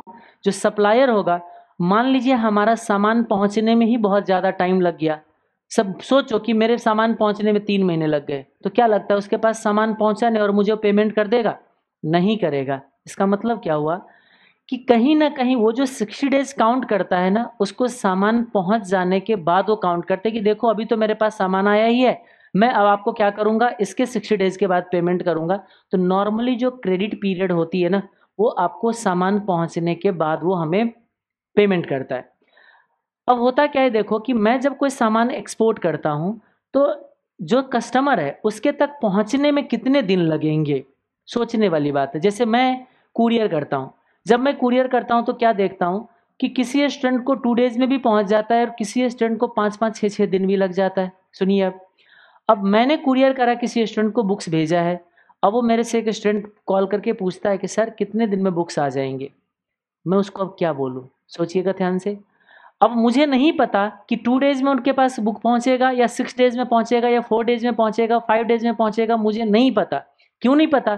क्योंकि आलेख हर एक जो पार्सल है, उसकी जो डिस्पैच टाइमिंग होती है, वो हो सकता है कुरियर सर्विसेज़ की जो ट्रांसपोर्ट फैसिलिटी है, कब अरेंज हो पाए कभी जल्दी अरेंज होता होगा, कभी थोड़ा लेट एक दो दिन हो गया होगा, उस हिसाब से टाइम डिले हो जाता है। क्या एग्जैक्टली exactly यही सिचुएशन इस केस में भी अराइज हो सकता है? हाँ ये केस में अराइज हो सकता है। तो अब सोचिए, मैंने भेजा उसको सामान, अब मुझे यही नहीं पता है कि ये सामान उनको कितने दिन में पहुंचेगा। ट्रांजिट में कितने दिन लगेंगे? मैं देखता हूँ, मैं यूएस सामान भेजता हूँ, कभी ये सामान पहुँच जाता है थर्टी डेज़ में, कभी ये सामान पहुँचता है टेन डेज़ में। अब मैं कहता हूँ कि मुझे कैसे पता, मैं क्या करूँ अब? मुझे खुद नहीं पता है कि सामान कितने दिन में उनके पास पहुंचेगा। ओके?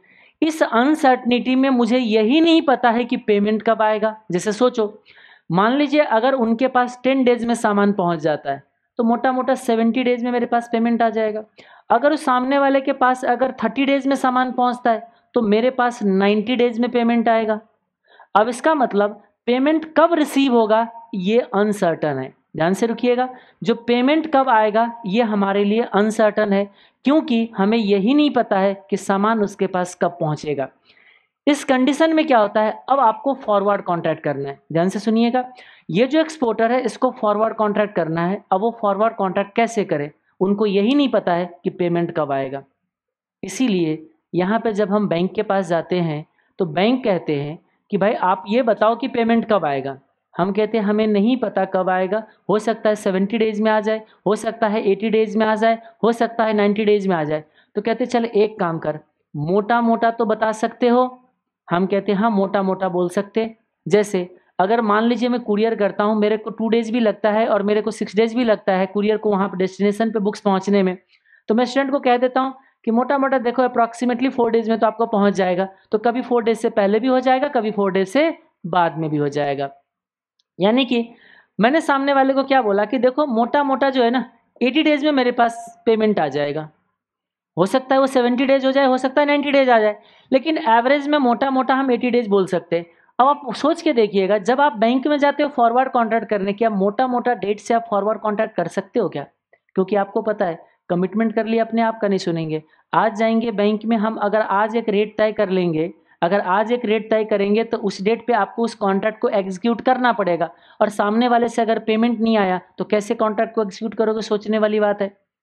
तो ये जो मुसीबतें हैं, इसी मुसीबतें से झेलने के लिए ये सारे कॉन्सेप्ट जो है, यहाँ पे बनाया गया है। इसके लिए आपको कुछ फड़े का रूल्स है। वो सारे चीज़ों को यहाँ अप्लाई करके इस इस जो सिचुएशन है, इस सिचुएशन को टैकल किया जाएगा। तो क्या है अब? एक एक करके पढ़ते, पहले सिचुएशन तो आपको समझ आ गया आ गया। यहाँ पे पोस्ट शिपमेंट क्रेडिट मतलब क्या हुआ कि हम जब सामान भेज देते हैं, जब हम सामान बेचते हैं तो उसके बाद इतना तो क्लियर है कि पैसे आएगा, क्योंकि बैंकर ने एश्योरेंस दिया है तो अगर वो पार्टी ना भी दे तो बैंकर से तो पैसे आएगा। तो हम क्या करते हैं, इस एक्सपोर्ट से जो रिसीवेबल है ना, उसके बेसिस पे अपने बैंक के पास जाके ना हम कुछ लोन ले लेते हैं। बैंकर भी हमें लोन दे देता है और ये सिक्योर्ड है। ये कहीं नहीं जानने वाला है पैसे। क्यों? क्योंकि उसके सामने वाले पार्टी के बैंकर ने हमसे क्या किया है? अश्योरेंस दिया है मुझे। मतलब पेमेंट आएगा कन्फर्म है। और एक बैंक उस बैंक के अश्योरेंस पे भरोसा करता है। तो कहते हैं, चलो सेफ़ है। चलो सस्ते रेट पे आपको लोन दे देते हैं। तो यही है। लो इंटरेस्ट लोन है ये। जैसे देखते हो, आज के रेट पे हाउसिंग लोन जो होते हैं, सबसे सस्ता होता है। क्यों पता है? क्योंकि बैंक को पता है घर तो कहीं जाने वाला है नहीं इमूवेबल प्रॉपर्टी है, इसीलिए वो सबसे सस्ते रेट पे आपको लोन दे देते हैं। फिक्स डिपॉजिट से थोड़ा सा ज़्यादा बढ़ा लो पॉइंट फाइव परसेंट आपको होम लोन मिल जाएगा आपको। तो क्यों? क्योंकि वो सिक्योर्ड है। तो यही चीज़ है कि लो इंटरेस्ट रेट पे आपको क्या किया गया है? यहाँ के बैंकर ने आपको थोड़ा सा एडवांसेस दिया है या लोन दिया है। किसके बेसिस पे? वो जो आपके जो एक्सपोर्ट है एक्सपोर्ट के बेसिस पे। तो यही बोलता है इंटरेस्ट और advance provided by the bank to an exporter for the period from the date of extended credit after the shipment of good to the realisation of export proceeds जब आपके पास उधर से एक्सपोर्ट से पैसे आ जाएगा, तब आप मुझे रिपेमेंट कर देना। इस पीरियड के लिए कुछ अगर लोन लिया जाए, इस लोन को बोला जाता है पोस्ट शिपमेंट क्रेडिट नेक्स्ट है आपका ट्रांजिट पीरियड ट्रांजिट पीरियड बोला गया है कि देखो ये एवरेज पीरियड है। बस इसको थोड़ा ध्यान रखना है, बाकी आपको उससे ज़्यादा कुछ पढ़ने की ज़रूरत नहीं है। ये एवरेज टाइम पीरियड है किसी दो के बीच में, क्योंकि कभी छोटा कम पीरियड लगता है, कभी ज़्यादा पीरियड लगता है तो एवरेज टाइम पीरियड को हम लोगों ने यहाँ क्या बोला है? ट्रांजिट पीरियड बोला गया। वो कहते हैं कि देखो, जब आप बिल को निगोशिएट करने जाते हो, जैसे बिल्स रिसीवेबल है, उसको जब आप जाते हो बैंक में निगोशिएट करने, और जब आपका बिल प्रोसीड्स आता है, उसके एवरेज टाइम पीरियड है। और फिर यहाँ लिखा है, ये जो आपको लैंग्वेज यहाँ दिख रहा है, ये मेरा लैंग्वेज नहीं है, वही जो आपका क्या कहते हैं जो पोस्ट क्वालिफिकेशन वाले treasury management and treasury and forex management वाले जो कोर्स है, उसके बुक में लिखा है। It is not confuse the time taken for the arrival of the goods at the destination कहने के लिए आपको कहते हैं कि जब सामान उसके डेस्टिनेशन पे पहुँचते, उसके टाइम पीरियड के साथ आपको कंफ्यूज नहीं होना है। यानी कि बिल को जब निगोशिएट करने जाते हो और जब बिल प्रोसीड्स होता है, उस पीरियड को समझना, लेकिन एक चीज़ याद रखना, ये क्या आपके लिए एवरेज पीरियड है, ये ध्यान रखिएगा। फिर अब क्या आ रहा है बात में? इसमें राउंडिंग अप की बात आ रही है। मैंने अभी बताया था आपको कि मान लीजिए, जैसे हमने बोला कि हमारा ट्रांजिट पीरियड मान लीजिए मिनिमम डेज़ टेन है और थर्टी है और इसको डिवाइडेड बाई कर दिया हमने टू ये कितना आ गया हमारा? ट्वेंटी डेज़ का। तो ये ट्वेंटी डेज़ का जो टाइम पीरियड है, ये हमारा ट्रांजिट पीरियड है। ओके तो अब इसमें क्या हो रहा है? देखिए, मैंने एक एग्ज़ाम्पल के साथ इसको समझाया, फिर समझाता हूँ ये क्या कहने की कोशिश किया कि देखो, आज हमारा फिफ्टींथ जनवरी है, मान लो ट्वेंटी फिफ्थ ऑफ़ जनवरी है। ABC exporter submitted a 60 days bill for 1 lakh under the irrevocable LC for negotiation. इसके लिए किया गया है और फिर कहते हैं ट्रांजिट पीरियड इज़ 25 डेज़ यानी कि इसका मतलब जब आप बिल को निगोशिएट करने के लिए जा रहे हो तो बिल्स का तो टाइम पीरियड कितना है बताइए? सबमिट किया आपने 60 डेज़ का बिल मतलब उधार पीरियड जो है 60 डेज़ का है।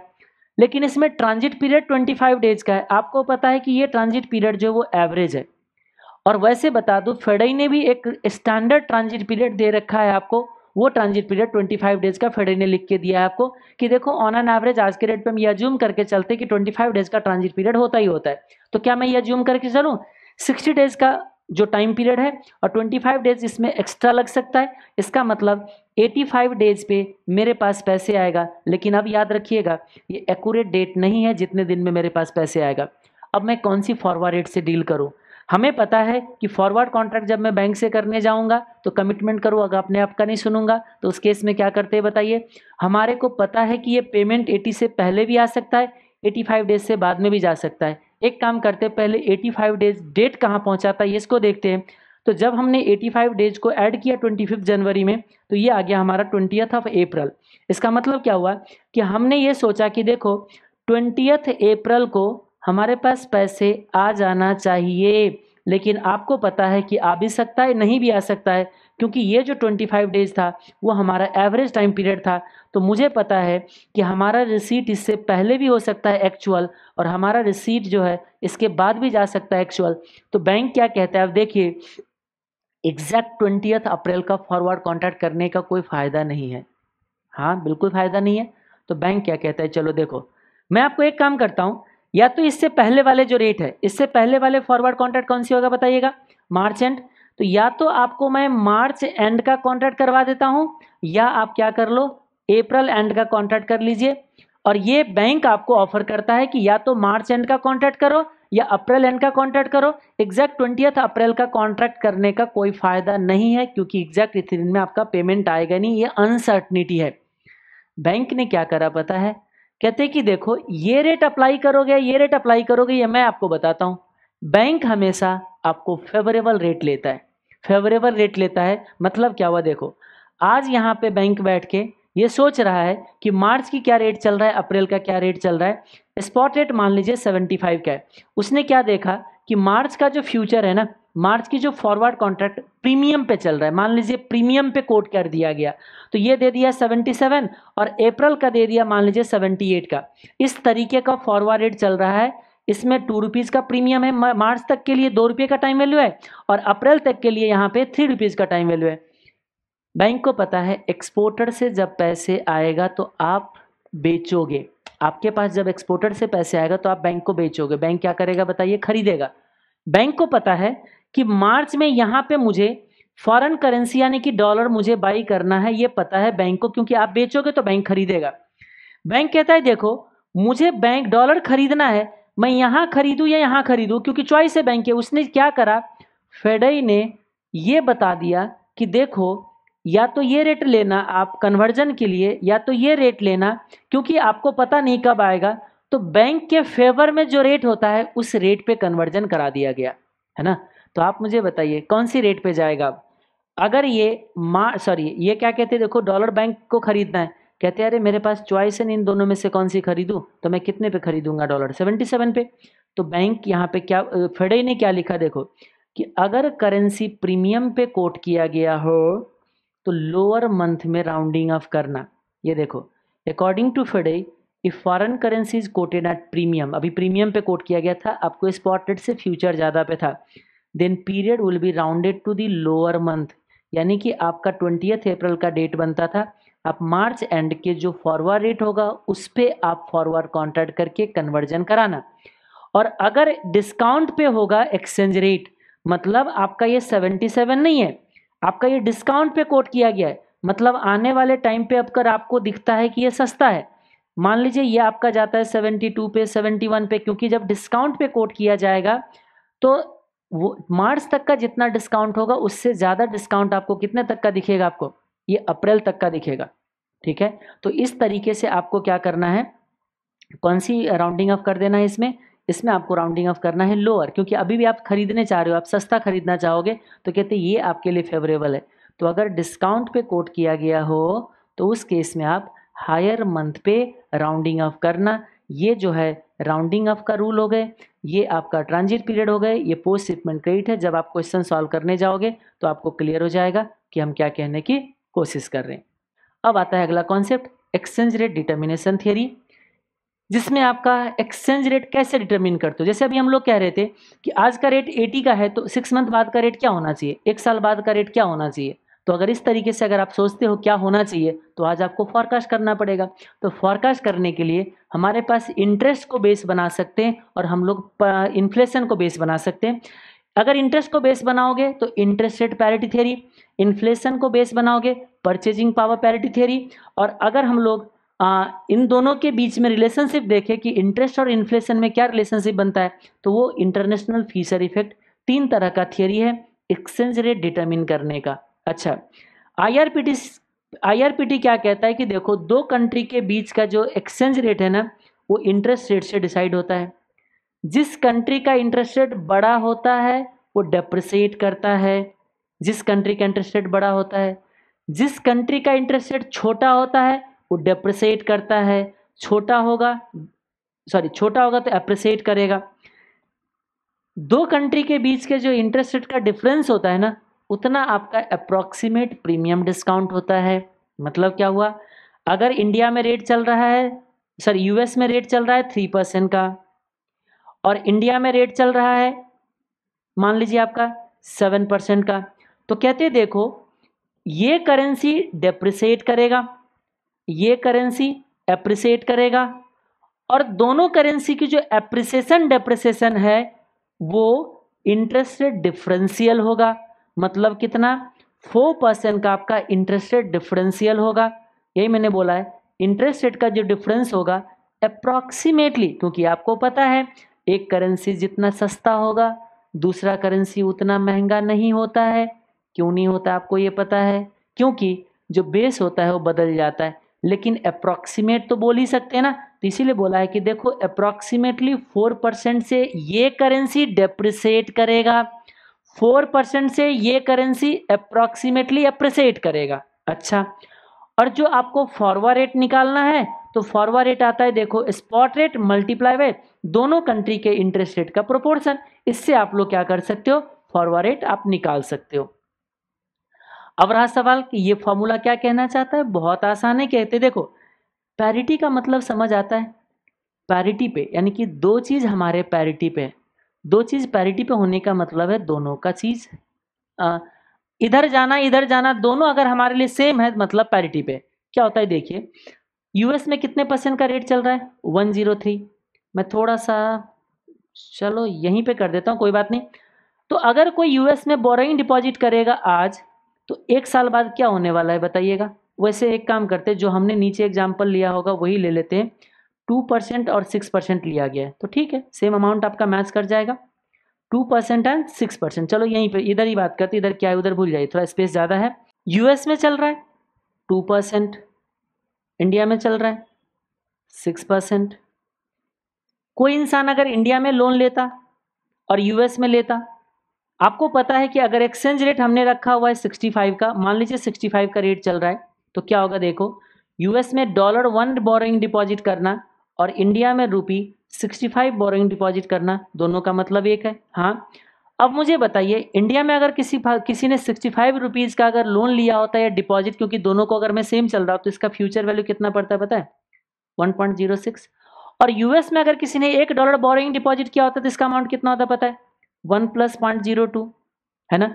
तो अब आप मुझे बताइए, ये अमाउंट जो होगा, ये अगर दोनों इक्वल हो जाए तो पैरिटी पे, यही कहता है पैरिटी आपको पहले से बोलते आ रहे हैं कि क्यों कि एक करेंसी महँगा होता है, क्यों एक डिस्काउंट होता है तो डिपेंड करता है कि आपको क्या कहना मतलब पैरिटी पे कब आओगे? पैरिटी पे तब आएँगे जब वहाँ का फ्यूचर वैल्यू यहाँ का फ्यूचर वैल्यू दोनों सेम हो जाता है। अच्छा तो सेम कैसे हो जाएगा? ये देखो dollar one multiply by one plus point zero two अगर इसको इक्वल करते हो rupee sixty five multiply by one plus point zero six ये आपका इक्वल होता है तो आप मुझे बता सकते हो डॉलर वन का रेट क्या बनेगा? आप बोलोगे, देखो sixty five multiply by one plus point zero six divided by one plus point zero two simple यही चीज़ हमने यहाँ पे देखो, आपको फॉर्मूला के अंदर दिया था कि देखिए spot rate multiply by one plus rupee rate ये रहा one plus rupee rate divided by one plus dollar rate ये रहा आपका वन प्लस डॉलर रेट तो आप मुझे बताइए, आने वाले रेट कैसे ऐसे निकल गया हमारा? हाँ गया। आपको एक और भी चीज़ पता है कि फ्यूचर का रेट आप डॉलर का निकाल रहे हो स्पॉट रेट मल्टीप्लाई बाय आपको पता है, ये जो आप निकाल रहे हो ना, ये प्रीमियम अब्लिक डिस्काउंट है। ये जो वैल्यू है ना, ये प्रीमियम अब्लिक डिस्काउंट का वैल्यू है। बोलोगे कैसी है? देखो 1.06 डिवाइडेड बाय 1.02 ये वैल्यू आ रहा है आपका 1.0392 इसको आप मल्टीप्लाई करें 65 से, और ये आपका डॉलर का रेट आ रहा है। आपको पता है इसको आप थोड़ा सा एक काम करिए सेग्रीगेट करके देखिए। 65 इसको ऐसे करते multiply by one plus point zero three nine two है ना? तो ये सिक्सटी फाइव इतना आ गया। और प्लस क्या करेंगे? Sixty five multiply by point zero three nine two यानी कि इस तरीके से हम बोल सकते हैं कि आप सिक्सटी फाइव को three point nine two percent से बढ़ा रहे हो। तो क्या मैं बोलूँ? कि three point nine two percent का एग्जैक्ट प्रीमियम डिस्काउंट है। अभी आपने थोड़ा देर पढ़ा कि इंटरेस्ट रेट का डिफरेंस जो है that is the approximate premium discount लेकिन एक्यूरेट प्रीमियम डिस्काउंट कितना है? 3.92 परसेंट का। अच्छा जो फोर परसेंट था अप्रोक्सीमेट था, ये एक्यूरेट है, क्योंकि आपको पता है, जो डॉलर का रेट आपका 65 का था पहले, वो डॉलर का रेट अब आप 65 को कितने से बढ़ा रहे हो? आपको पता है जब आप रुपी की क्वांटिटी बढ़ाते हो तो डॉलर अप्रिसिएट हो रहा होता है। तो डॉलर हमारा अप्रिसिएट हो रहा है 3.92 परसेंट से। ये 3.92 परसेंट कैसे निकाला? इन दोनों के प्रोपोर्शन के साथ। तो क्या मैं ये बोलूँ कि ये जो आपने अभी रेट निकाला है, जो भी रेट आता है आपका यहाँ से, कितना रेट आता है? चलो रेट निकाल भी देते हैं हम लोग। Sixty five multiply by one point zero six divide by one point zero two ये रेट आ रहा है हमारा sixty seven point five four nine आप मुझे बताइएगा, क्या यही रेट हमें बैंक कोट करके देगा क्या? देखो, यही सब चीज़ हमने यहाँ पे कैलकुलेशन करके दिया आपको कि देखो, इस तरीके से कैलकुलेशन करके दे दिया है। और आपको जो अभी यहाँ पे एग्ज़ाम्पल है इसी को मैंने यहाँ पे डायग्रामेटिकल रिप्रेजेंट किया कि देखो, यहाँ पे कोई लोन लेके आता हो इंडिया में और इंडिया में अगर डिपॉजिट करे और वो सिक्स परसेंट कमा के वापस लेके जाए और इसका जो रिपेमेंट है एग्जैक्टली वन ज़ीरो टू हो जाए, कुछ भी जेब में ना बचे, यानी कि दोनों अमाउंट इक्वल हो जाए, ये देखो, ये और ये इक्वल हो जाता है ये वन ज़ीरो टू जो आप पेमेंट कर रहे हो लोन का और जो यहाँ से कमा के ला रहे हो, दोनों इक्वल हो गया हो तो पैरिटी पे होता है और पैरिटी पे कोई फ़ायदा और कोई नुकसान नहीं होता है। ये जो हमने रेट सोचा है अभी this is the fair rate ये फेयर का मतलब क्या है? ये उचित है। पैरिटी पे ये होना चाहिए। और अगर पैरिटी वाले इंटरेस्ट रेट और एक्सचेंज रेट अगर मार्केट में प्रिवेल करे तो किसी भी पार्टी को फ़ायदा और नुकसान नहीं हो सकता है। जैसे बहुत बार क्या होता है, हम ये सोचते हैं कि हम यूएस से लोन ले लेते हैं और इंडिया में इन्वेस्ट कर लेते हैं, क्योंकि आपको दिख रहा था ना यूएस में टू परसेंट का इंटरेस्ट रेट चल रहा है इंडिया में सिक्स परसेंट चल रहा है, आपके दिमाग में आएगा, सर, हम यूएस से लोन ले लेते हैं इंडिया में डिपॉजिट कर देते हैं बताओ चार परसेंट कमा लेंगे, नहीं कमा पाओगे, क्यों नहीं कमाओगे?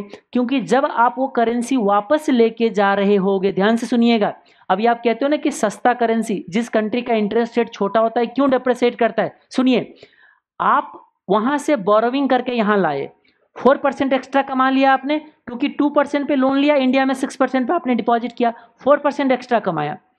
अब जब आप वापस जाओगे ना तो आपको डॉलर खरीदना पड़ेगा। सुनिएगा डॉलर खरीदना पड़ेगा। अब क्या करते हैं, आप जो फोर परसेंट कमाए थे ना इंडिया में आके, अब ये लॉस हो जाएगा, अगर डॉलर फोर परसेंट से महँगा हो जाए, क्योंकि डॉलर आपको फोर परसेंट महँगा खरीदना पड़ जाएगा तो आप आ जाओगे पैरिटी पे।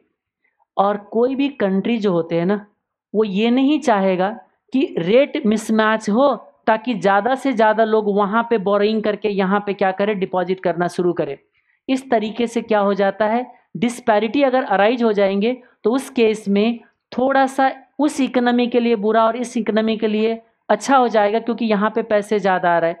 लेकिन होगा क्या, बाद में फिर डॉलर खरीदने का डिमांड इतना ज़्यादा बढ़ जाएगा कि वो महँगा होना ही पड़ेगा उसको, क्योंकि सब लोग यहाँ पे लगा रखे हैं। तो सबको अपने पैसे वापस लेके जाना है। डॉलर का डिमांड बढ़ेगा, डॉलर को महँगा होना ही पड़ेगा। इसीलिए जिस कंट्री का इंटरेस्ट रेट छोटा होता है, वो कल के डेट पे अप्रिसिएट कर ही जाता है, तभी जाके वो पैरिटी पे आएगा। यानी कि नो प्रॉफिट पे नो लॉस पे लाने के लिए जिस कंट्री का करेंसी सस्ता होता है इंटरेस्ट रेट सस्ता होता है, उस करेंसी को हम लोग क्या कर देते हैं? हम लोग नहीं करते, वो अप्रिसिएट होना चाहिए। अब होगा नहीं होगा, वो मार्केट बताएगा। मतलब ये रेट होना चाहिए और अगर ये रेट मार्केट में अवेलेबल नहीं है तो हम लोग क्या करेंगे बताइए? फिर वहाँ पे हम लोग प्रॉफिट कमा सकते और उस प्रॉफिट को बोला जाता है आर्बिट्रेज तो होप ये आपका क्लियर हो गया। तो हाँ अब हम यहाँ पे एक और भी चीज़ बोलते हैं कि अगर कभी आपको फेयर प्रीमियम डिस्काउंट निकालना पड़ा तो क्या फेयर प्रीमियम डिस्काउंट इस प्रोपोर्शन से निकाल सकते हो? हाँ तो यही हमने यहाँ पे बोला होगा, देखिए, ऊपर। फेयर प्रीमियम डिस्काउंट निकालना है। आते अभी ऊपर दोबारा आएँगे। अगर फेयर प्रीमियम डिस्काउंट अगर किसी को कैलकुलेट करना है तो आपको पता चला है कि वन प्लस प्रीमियम डिस्काउंट जो अभी निकाला था, किस करेंसी पे? अगर आपने वो डॉलर करेंसी पे निकाला था तो कैसे निकाला? वन प्लस रुपी का rate zero six divided by one plus point zero two dollar का रेट।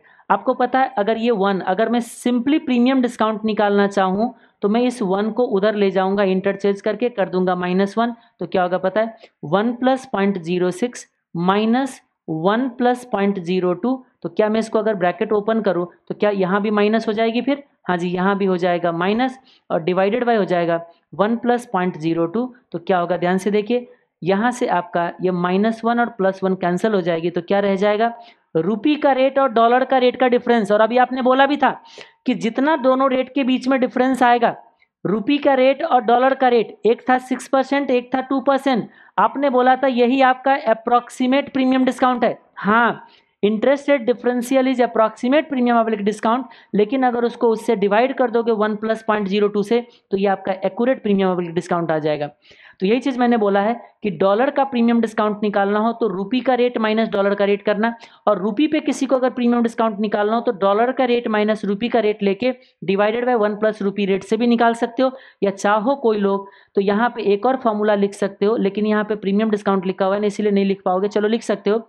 वन प्लस रुपी का रेट जितना बनता है वो, सीधा लिख दिया रुपी का rate divided by one plus dollar का रेट और इसमें कर देते हो अगर आप माइनस वन, तब भी आपका डॉलर का प्रीमियम डिस्काउंट आ जाता है। रुपी का प्रीमियम डिस्काउंट अगर किसी को निकालना हो तो आप डॉलर का रेट ले लेना और फिर वन प्लस रुपी का रेट ले लेना और इसमें से माइनस वन कर दोगे तो भी चलेगा। एक और भी बात, आप एक चीज़ याद रखिए, यहाँ का रेट है मान लीजिए सेवेंटी का, चलो यहाँ का रेट ले लेते हैं एटी फाइव का, है ना? और यहाँ का रेट है एटी का। आपको पता है ये कितना परसेंट ज़्यादा है, हम डायरेक्टली निकाल सकते 85 डिवाइडेड बाई 80 ये बन जाता है 1.0625 वैल्यू है ये। हमने क्या किया है? दिस इज़ फ्यूचर रेट यानी कि ये फॉरवर्ड रेट और ये स्पॉट रेट फॉरवर्ड रेट और स्पॉट रेट का जो प्रोपोर्शन होता है ना, ये बताता है कि this value is 6.25 percent higher than 80 hope ये छोटी छोटी कैलकुलेशंस आपको पता चल रहा होगा। मैं क्या कहना चाह रहा हूँ कि ये 85 जो है ना, ये 80 से कितना ज़्यादा है, कितना टाइम्स है? तो 1.0625 टाइम्स है। मतलब क्या होता है पता है? 6.25 परसेंट ज़्यादा है। 80 प्लस 6.25 परसेंट। तो क्या मैं बोलूँ 85 पे आ गए ना? तो इसीलिए आप इसको भी प्रीमियम डिस्काउंट बोल सकते हो। मतलब फॉरवर्ड रेट डिवाइडेड बाय अगर आप स्पॉट रेट करते हो, ये वाले value it indicates one plus premium oblique discount है ना? तो यही मैं बोलना चाहूँ कि देखो forward rate divided by spot rate ये भी है one plus premium oblique discount और one plus P I R of one currency divided by one plus P R of another currency ये भी बताता है आपको वन प्लस प्रीमियम डिस्काउंट तो इस तरीके से आप क्या कर सकते हो? रिलेशनशिप आप बना सकते हो। और ये बाई बी लिखा है ना मैंने, यानी कि A by B B indicates price of A currency for one unit of B price in A currency यानी कि जैसे होता है ना ए करेंसी मैंने नहीं लिखा है, क्योंकि क्या होता है? रुपी पर डॉलर तो बेस करेंसी डॉलर रुपी के लिए। तो वही मैंने बोला है पर यूनिट ऑफ़ बी के लिए इस तरीके से आप प्रीमियम डिस्काउंट निकाल सकते हो। चलिए वापस आइए। हमने ये जो कॉन्सेप्ट पढ़ाया ना, अभी ये बता रहे हैं कि अगर यूएस का रेट टू परसेंट हो इंडिया का रेट सिक्स परसेंट हो तो फेयर प्रीमियम डिस्काउंट कितना होना चाहिए, वो आप इस तरीके से निकाल सकते हो। मैं कहता हूँ फेयर प्रीमियम डिस्काउंट ऐसे भी तो निकाल सकते थे। कैसे? जैसे अभी हमने आपको थोड़ा देर पहले फॉरवर्ड रेट निकाल के दिया था। याद है कुछ? तो वो फॉरवर्ड रेट ले लीजिए और स्पॉट रेट के साथ कंपेयर कर लीजिए तब भी फेयर आ जाएगा। लेकिन ये फॉरवर्ड रेट कौन सी होना चाहिए आपका? फेयर वाले होना चाहिए। तो यही मैंने बोला है first calculate fair forward rate using I R PTC PT और तब इसके बाद ऐसे भी निकाल सकते हो। लेकिन ये जो भी कुछ निकाला है, क्या था ये आपका? उचित। ये दोनों कंट्री का इंटरेस्ट रेट कहता है, ये होना चाहिए। और ना होगा तो तो बैठ के आर्बिट्रेज कमाइए। आर्बिट्रेज बोलोगे आर्बिट्रेज कहाँ से आ गई बीच में? अगर ये मिसमैच होता है ना, अगर ये फॉरवर्ड रेट बैंक अगर कोट नहीं करता है, इसका मतलब यहाँ से ले गया अमाउंट ये अमाउंट 102 नहीं होगा। मान लीजिए, यहाँ ये अमाउंट आपको ज़्यादा हो जाता है, ठीक है? अब तो उस केस में ये अमाउंट जब ज़्यादा हो जाएगा तो रिपेमेंट करने के बाद सरप्लस बचेगा। उस सरप्लस को आर्बिट्रेज बोला जाता है। यानी कि बिना किसी रिस्क का अगर कोई प्रॉफिट कमाया जाए, बिना किसी रिस्क का अगर कोई प्रॉफिट कमाया जाए, उसको हम लोग क्या बोलते हैं? आर्बिट्रेज और अगर मिसमैच होगी तो हम आर्बिट्रेज कमा लेंगे, ना कैसे? वहाँ से हम टू परसेंट पे लोन लेके आएँगे, यहाँ पे सिक्स परसेंट पे डिपॉजिट करेंगे। और मान लीजिए करेंसी फ्लक्चुएट नहीं हुआ तो हम सीधा लेके जाएँगे और उसको रिपेमेंट कर देंगे तो हमारा फोर परसेंट बच जाएगा। लेकिन करेंसी जब उतना ही अप्रिसिएट हो, जितना होना चाहिए तो फिर आपका जो अमाउंट है दोनों इक्वल हो जाएगा। पैरिटी पे हमने क्या किया है? दोनों अमाउंट इक्वल कर दिया। जब दोनों अमाउंट इक्वल हो गया तो कहीं से आपको फ़ायदा होगा, ना कहीं से नुकसान होगा। मतलब आर्बिट्रेज नहीं हो सकता है। इसके अगला कॉन्सेप्ट हमारा आर्बिट्रेज निकालने का होगा। तो हम वहाँ पे जाके क्या करते हैं पता है? यही पैरिटी मैचिंग करते हैं। कि अच्छा रुको जी, हम जो सोच रहे हैं वही है या नहीं है? अगर वो नहीं है तो आर्बिट्रेज होगा। लेकिन हम जो सोच रहे हैं अगर वही मार्केट में है तो फिर आर्बिट्रेज नहीं होगा। है ना? ओके तो ये जो अभी हमने पढ़ा है, इसी सारे चीज़ों को यहाँ पे वेरिफिकेशन करा के दिखाया कि देखो, इसका जो प्रीमियम आया 3.92 परसेंट याद है ना? 3.92 परसेंट हम बोल रहे थे, जबकि अप्रॉक्सीमेट बोल रहे थे आप, फोर के इक्वल होना चाहिए तो हो गया। आपने बोला था कि डॉलर करेंसी अप्रिसिएट होना चाहिए, देखो अप्रिसिएट हो गया। आपने बोला था कि रूपी करेंसी का रेट बड़ा है डिस्काउंट पे जाना चाहिए, देखो डिस्काउंट पे गया, आप निकाल के चेक कर लीजिए अप्रॉक्सीमेट फोर परसेंट का होगा। तो इसी का जो एक्सप्लेनेशन था, ये था इंटरेस्ट रेट पैरिटी थियरी अब नेक्स्ट आता है परचेजिंग पावर पैरिटी थियरी ये इन्फ्लेशन को बेस बनाता है। ये क्या कहता है कि दो कंट्री के बीच के जो एक्सचेंज रेट आते हैं ना, किसी भी एक प्रोडक्ट के प्राइस से आता है। कहते हैं अच्छा ये देखो जी, कहते कि देखो, ये आज की बात कर रहे हो आप, अगर ये एबीसी प्रोडक्ट इंडिया में 490 का चलता है और यूएस में डॉलर सेवन का चलता है तो ये बताता है कि दोनों दोनों इक्वल है। लेकिन इसमें हमने क्या क्या चीज़ हटा रखा है? टैक्सेशन का डिफरेंस हटा रखा है, ट्रांसपोर्टेशन का कॉस्ट हटा रखा है, सारे ट्रांजेक्शन कॉस्ट हटा रखा है तो कहते ये बताता है spot rate this is the purchasing power parity अब आपके दिमाग में आता है कि ये इतना क्यों, ये इतना क्यों? मैंने बोल दिया है ऑलरेडी आपका, ये करेंसी सर्कुलेशन कंट्री में कितना करेंसी पब्लिश कर रखा है। ज़्यादा करेंसी पब्लिश कर रखा होगा तो इतना आपको ज़्यादा पे कर पाओगे सेम करेंसी के लिए। जहाँ पे करेंसी का पब्लिश कम होता है, वहाँ पे कम अमाउंट पे करते उसी सामान के लिए। अब क्या होता है, एक साल के बाद मान लीजिए इंडिया में इन्फ्लेशन हो गया फाइव परसेंट और यूएस में इन्फ्लेशन हो गया one point five percent India में है फाइव और यूएस में वन पॉइंट फाइव तो आपको क्या लग रहा होगा कि 3.5 का गैप है? तो अप्रॉक्सीमेटली 3.5 परसेंट अप्रिसिएट डिप्रिसिएट होना चाहिए। याद रखिएगा, वो अप्रॉक्सीमेट होगा अप्रॉक्सीमेट होगा। कहाँ गए कहाँ गए? अप्रॉक्सीमेट होगा। एक्यूरेट तो कुछ और होगा। बोलो एक्यूरेट कुछ और कैसे होगा? आपको पता है कि इंडिया में फाइव परसेंट का इन्फ्लेशन चलता है। तो जो सामान एक साल पहले फोर नाइन्टी का था, वो हमारा five hundred fifteen point five का होगा। और जब यूएस में हमारा इन्फ्लेशन चल रहा है वन पॉइंट फाइव का तो ये सेवन डॉलर का जो सामान है, वो हमारा वन पॉइंट फाइव से महँगा हो जाएगा। अब पैरिटी क्या कहता है, बताइए फिर से। एक साल बाद भी ये दोनों इक्वल होना चाहिए।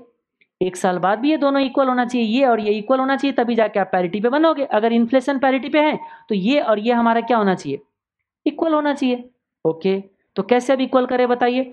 तो यहाँ पे अगर आप एक डॉलर का रेट निकालोगे तो इतना आ जाएगा आपका। या हम इसको ऐसे भी बोल सकते देखो, ऐसे कर देते हम, ज़्यादा अच्छा रहता कि rupees seven multiply by one plus point zero one five यानी कि हमने डॉलर के रेट सॉरी रुपी नहीं था, ये रुपी गलत लिखा है हमने। ये रुपी मिस्टेक है जी। मिस्टेक है ये रुपी नहीं आएगा, ये डॉलर है, क्योंकि डॉलर वाले प्राइस को आपने बढ़ा रहे हो ना यूएस वाले तो डॉलर में है वो, ठीक है? आप लोग उसको कटिंग कर लीजिएगा। तो ये देखिए यहाँ पे क्या जाता है, ये डॉलर आपको पता है, ये जो है, ये इक्वल होना चाहिए इसका। किसकी इक्वल होना चाहिए बताइएगा? रुपीज़ जो ये फोर नाइन्टी था multiply by one plus point zero five का। तो अब आप कैलकुलेशन करो डॉलर वन का साथ कितना आएगा बताइए। अगर मैं डॉलर वन का रेट निकालना चाहूँ तो four ninety divided by seven कर दो। सेवन और इधर कर दो one point zero five divided by one point zero one five. यही तो हमने यहाँ पे कर रखा है। देखो ना, सिंपल। ज़्यादा क्यों दिमाग लगा ये देखो, यही चीज़ तो हमने कर रखा है यहाँ पे। तो ये क्या है बताइए? यही तो स्पॉट रेट था। स्पॉट रेट और ये देखो, one plus inflation rate of rupee divided by one plus inflation rate of dollar. तो एक पैरिटी बन गया यहाँ से। क्या पैरिटी बन गया बताइए आप यहाँ से? कि अगर आपको एक्सपेक्टेड रेट फ्यूचर का रेट निकालना है तो स्पॉट रेट में इन्फ्लेशन इंडिया का और डॉलर इन इंडिया का ले लीजिए। अगर वही बात है इन्फ्लेशन रेट डिफरेंशियल जो होगा अप्रॉक्सीमेटली इक्वल होगा प्रीमियम डिस्काउंट का। जिस करेंसी का इन्फ्लेशन ज़्यादा होगा, वो डिप्रेसिएट करेगा। जिस करेंसी का इन्फ्लेशन कम होगा, वो अप्रिसिएट करेगा। एग्जैक्टली exactly सब कुछ क्या है यहाँ पे? सेम है। तो इसी के साथ जो होता है आपका इन्फ्लेशन रेट पैरिटी भी खत्म हो जाता है।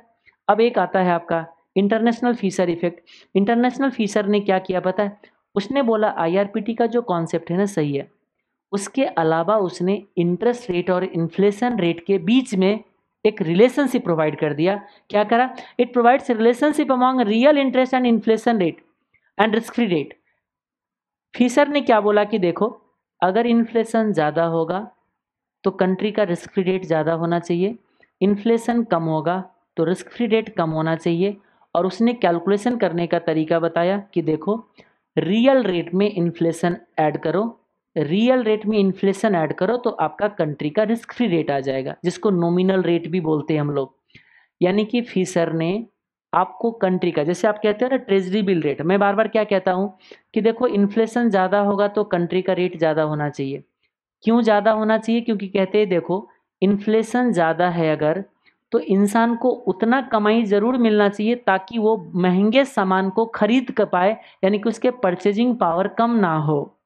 अच्छा अगर फाइव परसेंट का इन्फ्लेशन है अगर तो आपके जो रिस्क फ्री रेट जो ट्रेजरी बिल का होना चाहिए ना, उसमें फाइव परसेंट ज़्यादा मिलना चाहिए। तो हम कहते हैं कि कैसे कैलकुलेट करें? तो फीसर ने बोला कि देखो रियल रेट वो रेट है जिसमें इन्फ्लेशन ऐड नहीं है। इन्फ्लेशन को एक्सक्लूड कर दो तो जो इंटरेस्ट रेट होता है उसको रियल रेट बोलते हैं।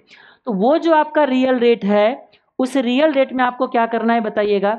इन्फ्लेशन का एडजस्टमेंट करना है और वो आपका आ जाएगा one plus risk free rate ये फीसर ने फॉर्मूला दिया, ठीक है?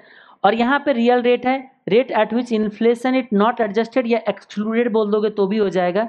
जिसमें इन्फ्लेशन एक्सक्लूड किया हुआ है वो है, और जिसमें इंक्लूड किया हुआ है वो आपका कौन सी है? रिस्क फ्री रेट यानी कि रिस्क फ्री के अंदर इन्फ्लेशन का प्रीमियम ऑलरेडी होता है। इसके एक्सप्लेनेशन जो है, यहाँ से हमने एक एग्ज़ाम्पल से दे रखा होगा। अच्छा एग्ज़ाम्पल नहीं दे रखा है। ठीक है, कोई नहीं। रियल रेट में आपको इन्फ्लेशन एडजस्ट करने के बाद रिस्क फ्री जाता है और इसका फॉर्मूला इस तरीके से एडजस्टमेंट होता है। इसका मैं एक लाइन का लॉजिक बता दूँ, क्योंकि एग्ज़ाम्पल तो नहीं ले सकते। वन प्लस क्यों किया जाता है दोनों तरफ़? क्योंकि क्या होता है इन्फ्लेशन की जो एडजस्टमेंट होते हैं, वो सिर्फ़ अमाउंट जो इंटरेस्ट का अमाउंट होता है, उस पर नहीं होता है। आपको इंटरेस्ट प्लस प्रिंसिपल दोनों पे होता है। ये बताता है प्योर टाइम वैल्यू और ये बताता है इन्फ्लेशन का एडजस्टमेंट जैसे हम क्या कहते हैं कि देखो, अगर यहाँ का हंड्रेड रुपीज़ है हंड्रेड रुपीज़ है और रियल रेट चल रहा है रियल रेट चल रहा है मान लीजिए दो परसेंट का तो यहाँ का अमाउंट बना वन ज़ीरो टू तो कहते देखो इन्फ्लेशन जो इम्पैक्ट डालता है ना, वो इन्फ्लेशन आपको इस पूरे पे इम्पैक्ट डालता है। ऐसा नहीं है कि टू रुपीज़ पे इन्फ्लेशन इम्पैक्ट डालेगा और इसके प्रिंसिपल पे नहीं डालेगा। इसका मतलब वन प्लस ये जो आपका पूरा का पूरा वन ज़ीरो टू है, इस पे आपको मान लीजिए फाइव परसेंट का इन्फ्लेशन चलते हैं तो आपको इस पूरे को फाइव परसेंट से बढ़ाना पड़ेगा, क्योंकि इन्फ्लेशन का इम्पैक्ट जो आता है, पूरे प्रिंसिपल एंड जो आपका टाइम वैल्यू मिला है, पूरे पे बनेगा। तो आप इस केस में अगर आप देखते हो तो ये बन रहा होगा one zero two plus five percent ये बन रहा होगा आपका, देखिए one zero seven point one zero. इसका मतलब क्या है पता है? आपका जो रिस्क फ्री रेट है ना यहाँ पे, ये देखो हंड्रेड रुपीज़ बढ़ के जाता है one zero seven point one zero मतलब सेवन पॉइंट वन परसेंट का आपका क्या है यहाँ पे? सेवन पॉइंट वन परसेंट का आपका रिस्क फ्री आता है। वो डायरेक्टली भी निकाल सकते थे, कैसे पता है? One plus real rate multiply by one plus inflation rate is equal to one plus risk free rate तो ये देखिए one point zero two multiply by one point zero five, आ गया ना? One point zero seven one और उसमें से one plus risk free था, one हटा दीजिए, सेवन पॉइंट वन परसेंट आ गया। तो ये था फीसर का adjustment.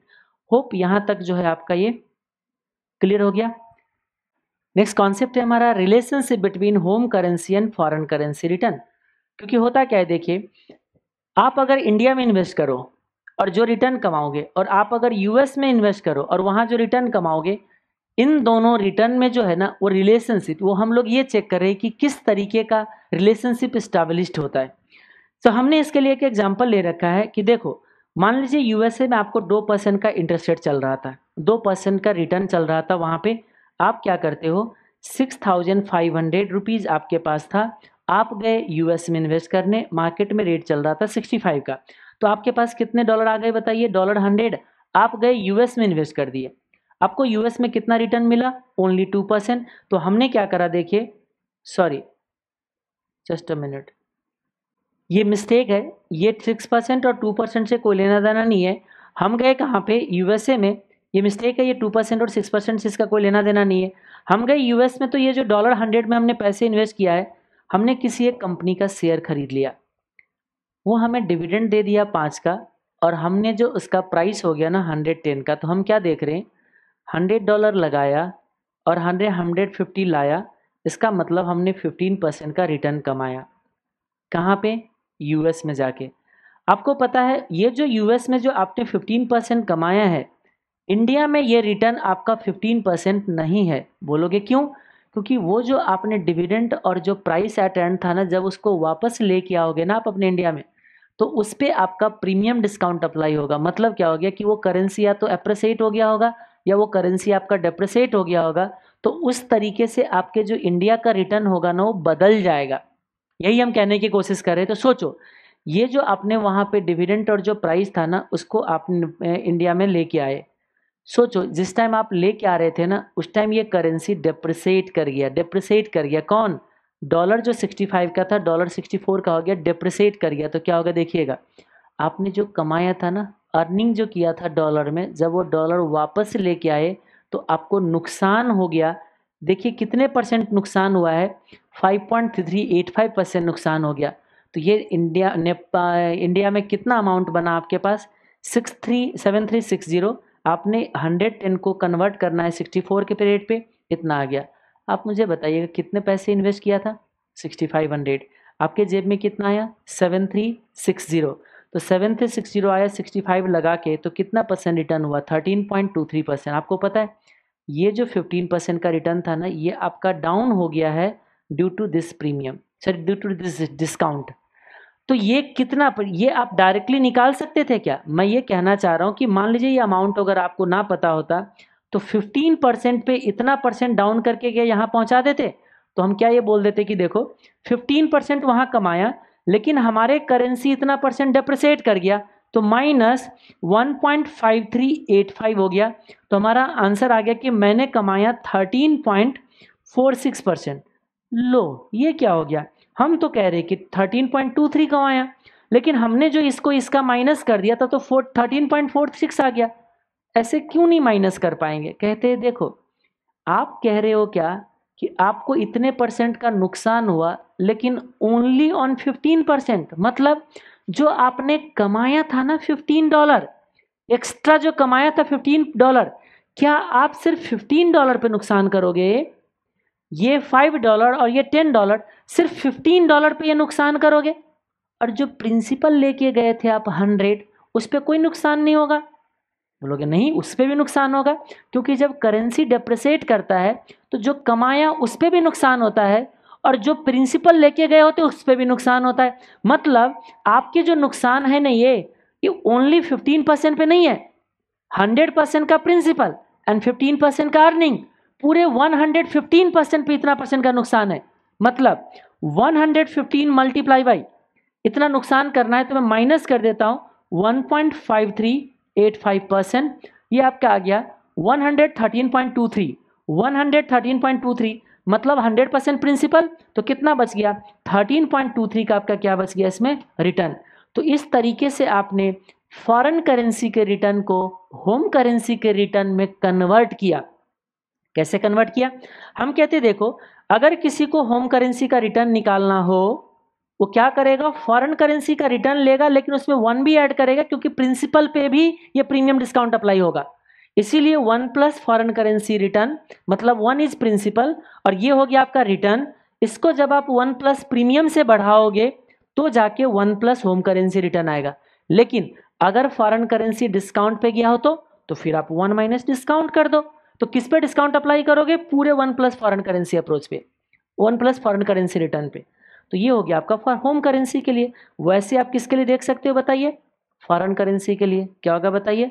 One plus foreign currency return निकालना है तो होम करेंसी का रिटर्न में आप प्रीमियम डिस्काउंट अप्लाई करना, होम करेंसी का ये मत भूलना। अगर होम करेंसी का रिटर्न है तो प्रीमियम डिस्काउंट अप्लाई करना होम करेंसी का। सिंपल, और कुछ नहीं है इसके अंदर। ओके, चलिए आगे बढ़ते हैं हम लोग। ऑल्टरनेटिवली यही कह रहे कि हम डायरेक्टली भी निकाल सकते थे तो इस तरीके से ये कॉन्सेप्ट हमारा क्लियर हो जाता है। नेक्स्ट कॉन्सेप्ट आता है हमारा आर्बिट्रेज अभी जो हमने कुछ देर पहले जो आईआरपीटी सी आईआरपीटी पढ़ा, जिसमें आपने देखा कि अगर किसी कंट्री से बोरोविंग किया जाए, किसी कंट्री में डिपॉजिट किया जाए तो आपको एडिशनल बेनिफिट नहीं मिलता है, अगर वो पैरिटी पे हो तो। लेकिन पैरिटी पे ना हो तो तो आपको प्रॉफिट हो सकता है, उस प्रॉफिट को आर्बिट्रेज बोलते हैं। लेकिन वो प्रॉफिट जो होता है, उसको हम लोग कवर इंटरेस्ट आर्बिट्रेज बोलते हैं, क्योंकि आर्बिट्रेज दो तरीके का होता है। कवर इंटरेस्ट आर्बिट्रेज तब होते हैं जब हमारा जो पैरिटी पे ना हो यानी कि जो दो कंट्री का इंटरेस्ट रेट और स्पॉट रेट और फॉवर रेट अगर पैरिटी पे ना हो तो हम लोग कवर इंटरेस्ट आर्बिट्रेज अर्न कर सकते हैं। और एक है जोग्राफिकल आर्बिट्रेज उसमें क्या होता है कि दो डिफरेंट डिफरेंट मार्केट में, दो डिफरेंट डिफरेंट मार्केट में सेम करेंसी का दो रेट मिल जाता है तो उस मिसमैच को हम लोग इनकैश करके आर्बिट्रेज अर्न करते हैं। आर्बिट्रेज का मतलब होता है बिना किसी रिस्क का प्रॉफिट यानी कि आप जो भी ट्रांजेक्शन कर रहे हो, आज ही श्योर है क्योंकि पता है फ्यूचर में अनसर्टनिटी है, लेकिन उस अनसर्टनिटी से आपके प्रॉफिटेबिलिटी पे कोई फ़र्क अगर ना पड़ता हो, इसका मतलब वो रिस्क फ्री है। तो कोई भी ऐसा प्रोसेस जिसके अंदर अगर आप रिस्क फ्री प्रॉफिट अर्न कर पाते हो तो उसको हम लोग क्या बोलते हैं? आर्बिट्रेज ओके तो देखिए यहाँ पे arbitrage is an act to earn risk free profit अगर दो कंट्री में सेम करेंसी का दो अलग अलग रेट हो तो उसको हम लोग बोलते हैं जोग्राफिकल आर्बिट्रेज तो वही बोलते हैं कि हाई रेट पे आप बेचो और लो रेट पे आप खरीदो। और बोरोविंग और borrow at low rate and invest at high rate in cover interest arbitrage ये इस तरीके के एक्शन होता है जिसमें हम लोग आर्बिट्रेज करते हैं। तो हमने क्या बोला है देखिए possible due to mismatch in the spot rate of same currency in different market यानी कि एक मार्केट में डॉलर वन है एटी रुपीज़ का। दूसरा मार्केट में डॉलर वन है रुपीज़ एटी वन का मिसमैच हो गए। आर्बिट्रेज होगा। कैसे आर्बिट्रेज करोगे? बाई एट स्मॉल रेट छोटे रेट पे खरीदे इन वन मार्केट में और सेम एंड सेल होगा ये and sell at high rate in another market same currency को दूसरे मार्केट में बेच दीजिए। For everyone, there are maximum two possible routes. In one route, we get profit and in another route we get loss मतलब क्या कहना चाह रहा हूँ कि देखिए दो मार्केट है। सॉरी दो रूट होता है हर एक पार्टी के लिए। जैसे अभी के केस में हमने बोला है कि देखिए, एक मार्केट में डॉलर का रेट चल रहा है 80 दूसरा मार्केट में डॉलर का रेट चल रहा है 81 तो आप क्या सोच रहे होंगे? 80 पे खरीद लेते हैं 81 पे बेच देते हैं। हाँ बहुत बढ़िया। लेकिन ये कौन खरीदेगा, कौन बेचेगा और क्या खरीदेगा, क्या बेचेगा? डॉलर का रेट है। तो डॉलर परचेज करेगा डॉलर सेल करेगा। फ़र्स्ट मार्केट में परचेज करना है सेकेंड मार्केट में सेल करना है। तो मैं कहता हूँ, ये काम कौन कर सकता है? वो इंसान भी कर सकता है, जिसके जेब में रुपीज़ है, यानी कि मिस्टर इंडिया भी कर सकता है। और वो इंसान भी ये काम कर सकता है, जिसके जेब में डॉलर है यानी कि मिस्टर यूएसए भी कर सकता है। यूएसए भी ये इस मिसमैच को यू, इनकैश कर सकता है, ठीक है? और मिस्टर इंडिया भी इनकैश कर सकता है, लेकिन दोनों का रूट डिफर करता है, दोनों का रूट डिफर करेगा, क्योंकि देखो, जिसके जेब में पहले से डॉलर है वो डॉलर लेके पहले जिस मार्केट में जाएगा ना, वहाँ डॉलर बेचना पड़ेगा उसको और यहाँ पहले जाना पड़ेगा उसको। लेकिन जो मिस्टर इंडिया के जेब में रूपी है तो पहले डॉलर खरीदने जाएँगे। तो होता क्या है, पार्टी के बदलने से रूट बदलता है। रूट बदलने का मतलब क्या है कि पहले यहाँ जाऊँ या पहले यहाँ जाऊँ? ये दो अलग अलग रास्ता हुआ। यानी कि मैं यहाँ जाता हूँ और यहाँ से यहाँ जाता हूँ। दिस इज़ वन रूट मैं पहले यहाँ जाता हूँ और फिर यहाँ से इस मार्केट में जाऊँगा। This is the another route तो यही मैंने बोला है कि चाहे कितने भी पार्टी हो, हर एक पार्टी के लिए मैक्सिमम दो पॉसिबल रूट होगा, चाहे कितना भी मार्केट क्यों ना हो। बात समझ में आ गई? ओके। तो हम कैसे फाइंड करेंगे? देखो, can we find profitable route directly? Yes, see, explanation. हम एक्सप्लेनेशन में आपको बता रहे कि हाँ कैसे हम लोग प्रॉफिटेबल रूट हम ढूंढ सकते हैं। इसमें खास करके थोड़ा टाइम बचाने के लिए हमने दो ही मार्केट लिया है कि मुंबई है एक न्यूयॉर्क है। एक मार्केट में क्या चल रहा है? देखिए, डॉलर वन का रूपी सिक्सटी फाइव और दूसरे मार्केट मान लीजिए न्यूयॉर्क में गए, वहाँ चल रहा है rupee hundred is equal to dollar one point five five अब ये रेट मिसमैच है या नहीं है, वो कैसे पता चलेगा? तो आपको इस तरीके से रेट कन्वर्ट करके लेना पड़ेगा कि आपको सेम करेंसी का दो रेट जब तक ना मिले, तब तक आपको पता नहीं चलेगा कि यहाँ पे हमारे के क्या हो रहा है। तो अब देखिए इसमें, हम अगर यहाँ पे ले ले डॉलर वन इक्वल टू तो यहाँ क्या दिखेगा रुपी देखिए hundred divided by one point five five ये दिख रहा होगा आपको sixty four point five one six one. अब इस तरीके से आप कंपेयर कर पा रहे होंगे कि अरे हाँ ये दोनों में मिसमैच तो है। ठीक है, अब हम कहाँ बाई करें, कहाँ सेल करें? तो देखिए, यहाँ पे आपको बाई करना चाहिए। न्यूयॉर्क में बाई और मुंबई में सेल ये आपका प्रॉफिटेबल रूट है। न्यूयॉर्क में बाई डॉलर और वहाँ सेल तो ये देखिए, जिसके पास रुपी था वो मुंबई गया पहले। हमने क्या बोला था? देखिए, आपका प्रॉफिटेबल रूट क्या बनता है? आपको इस मार्केट में डॉलर खरीदना चाहिए था। लेकिन आप मुंबई में जाके डॉलर खरीद रहे हो, कैसे? रुपी था। रुपी दे के अगर डॉलर ला रहे हो तो डॉलर खरीद रहे हो ना?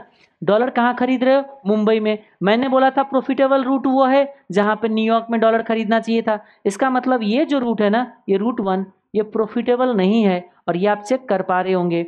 वन थाउज़ेंड यहाँ है और ये one nine nine nine two आ गया। तो ये प्रॉफिटेबल रूट नहीं लॉस है। तो प्रॉफिटेबल रूट क्या होगा बताइएगा? जिसके जेब में रुपी है, याद रखिएगा, ये हम किसके लिए चेक कर मिस्टर इंडिया के लिए। जिसके जेब में रुपी है, वो डॉलर लेने गया न्यूयॉर्क और आपने बोला भी था कि न्यूयॉर्क जो हमारे लिए प्रॉफिटेबल है, अगर डॉलर यहाँ खरीदा जाए तो तो हमने देखा कि अच्छा यहाँ पे गया वो। मिस्टर इंडिया न्यूयॉर्क गया डॉलर खरीदने तो आपने क्या देखा? थाउज़ेंड की कैलकुलेशन स्टार्ट किया और उनके जेब में कितना आ गया? थाउज़ेंड सेवन पॉइंट फाइव, यानी कि सेवन रुपीज़ का क्या इसमें प्रॉफिट है? और आपकी इन्फॉर्मेशन के लिए आर्बिट्रेज है। क्यों आर्बिट्रेज है? क्योंकि ये दोनों आपका स्पॉट रेट किसी भी रेट में कोई रिस्क नहीं है। ओके चलिए तो ये आपका हो गया मिस्टर इंडिया के लिए। ऐसे ही अगर आप मिस्टर यूएसए के लिए सोचोगे तो देखो, उनके भी प्रॉफिटेबल रूट वही है। उसको क्या करना पड़ेगा? न्यूयॉर्क में डॉलर को खरीदना पड़ेगा। वो क्या करता है, देखिए, पहले गया मुंबई। जेब में इसके पास डॉलर था क्योंकि वो मिस्टर यूएसए है। तो जिसके जेब में डॉलर होगा तो पहले डॉलर बेचने जाएगा। अच्छा डॉलर बेच रहा है मुंबई। मतलब खरीद तो नहीं रहा है ना मुंबई में? मुंबई में बेचने का था? यानी कि इसका मतलब ये रूट जो है ना, ये प्रॉफिटेबल है मिस्टर यूएसए के लिए। तो ये देखिए, इतना आ गया। लेकिन एक चीज़ नोटिस कीजिएगा। मिस्टर यूएसए के जेब में डॉलर वन थाउज़ेंड था। तो इसका जो सेकेंड ये रूट जो है ना, जो रूट उसके लिए लॉस वाले था, उसके लिए ये रूट प्रॉफिटेबल हो गया। और वो प्रॉफिट भी इतना ही है, देखो dollar seven point five zero ही है। और आपको पता है, दूसरे रूट में मिस्टर इंडिया को भी यही प्रॉफिट था। तो ये आपको हमेशा चलेगा। कोई भी क्वेश्चन हो, चाहे कोई भी पार्टी हो अमाउंट अगर उसके पॉकेट में सेम होगा तो प्रॉफिट भी सेम आएगा, क्योंकि मिसमैच उतना ही है जो पहले था। ओके तो इस तरीके से हमने चेक किया। इसके लिए रूट टू जो होगा ना लॉस होगा। एक चीज़ यहाँ पे ध्यान क्या रखना है, देखिए। लॉस हो रहा है dollar seven point four five का प्रॉफिट हो रहा है dollar point five zero seven point five zero का। इसका मतलब एक रूट का लॉस जो है ना, दूसरे रूट के प्रॉफिट के इक्वल नहीं होता है। इसका रीज़न क्या है?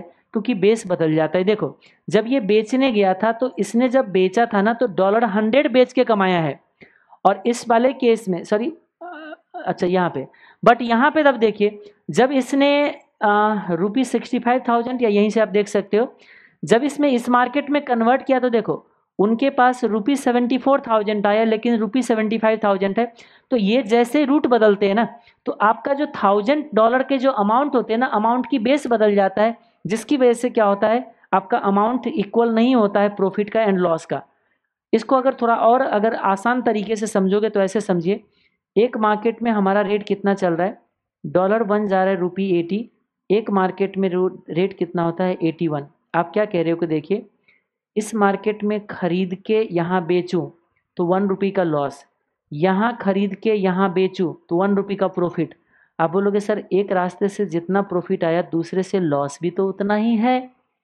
लेकिन आपके अमाउंट बदल चुके हैं। देखो ना कैसे, यहाँ खरीदने गए, आपका इन्वेस्टमेंट कितना? आप 81 इन्वेस्ट करके वन रुपी लॉस करते हो। और जब आप इस रूट में यहाँ खरीदने गए तो 80 इन्वेस्ट करके वन रुपीज़ कमाते हो। तो बेस बदल गई ना। जब आपने लॉस निकाला तो आपने 81 की इन्वेस्टमेंट पे वन रुपी लॉस किया। और जब प्रॉफिट निकाला तो 80 के इन्वेस्टमेंट करके एक रुपीज़ प्रॉफिट कमाया। तो इन्वेस्टमेंट अमाउंट बदल चुका है। लेकिन यहाँ पे लॉस और गेन दोनों का इन्वेस्टमेंट अमाउंट सेम है। इसीलिए आपका दोनों का अमाउंट क्या हो जाता है? यहाँ पे बदल जाता है। यहाँ पे हमने दिया है shortcut to find the profitable route बहुत बार क्या होता है? अभी तो, तो दो एक्सचेंज रेट था तो फटाफट आपने डिसाइड कर लिया। तीन एक्सचेंज रेट होगा तो कैसे आप प्रॉफिटेबल रूट डिसाइड करोगे? तब भी कर लेंगे। बोलो कैसे? जैसे अभी हमने क्या किया था? ये दो रेट को कंपेयर किया था ना? इसको और इसको तब प्रॉफिटेबल रूट निकाला था। तो अभी भी वही कर लेंगे ना हम लोग। क्या करेंगे बताइए? ये तीन एक्सचेंज रेट दिया है मुंबई न्यूयॉर्क लंदन ठीक है? अब मुझे कहता है आर्बिट्रेज के लिए पॉसिबिलिटी चेक करो। तो पहले तो मुझे मिसनाच ढूंढना पड़ेगा। हम क्या करेंगे पता है? एक डॉलर का रेट है। दूसरा डॉलर का रेट भी निकाल लेंगे इसको क्रॉस करके। आपको पता है ना क्रॉस किया जा सकता है। हम इसको क्रॉस करेंगे और हमें पता है कि देखो पाउंड वन पाउंड वन ठीक है? यानी कि dollar 1.35 is equal to rupee ninety इससे हमने क्या करा? डॉलर वन का एक रेट निकाला और ये रेट क्या हो गया बताइए? 90 डिवाइडेड बाई 1.35 ये आ जाएगा आपका 66.67 ऐसे ही दिख रहा है। यहाँ सस्ता है, यहाँ महँगा है। तो हो गया, हमारा रूट पता चल चुका है। मुंबई में डॉलर को सेल करना प्रॉफिटेबल है। मुंबई में डॉलर को सेल करना प्रॉफिटेबल है। अब आप देख लीजिए, कैसे करोगे, ये आपको पता चल जाएगा। अब कैसे करेंगे? अब जब आप डायग्राम बनाने जाओगे तो किसके पार्ट क्या है, देखो। अब यहाँ पे तीन करेंसी का इन्वॉल्वमेंट है है ना? तीन करेंसी का इन्वॉल्वमेंट है। इस मिसमैच से कोई भी पार्टी पैसे कमा सकता है, वो मिस्टर इंडिया भी हो सकता है, मिस्टर यूएसए भी हो सकता है, मिस्टर यूके भी हो सकता है। तीनों पार्टी यहाँ क्या कर सकता है?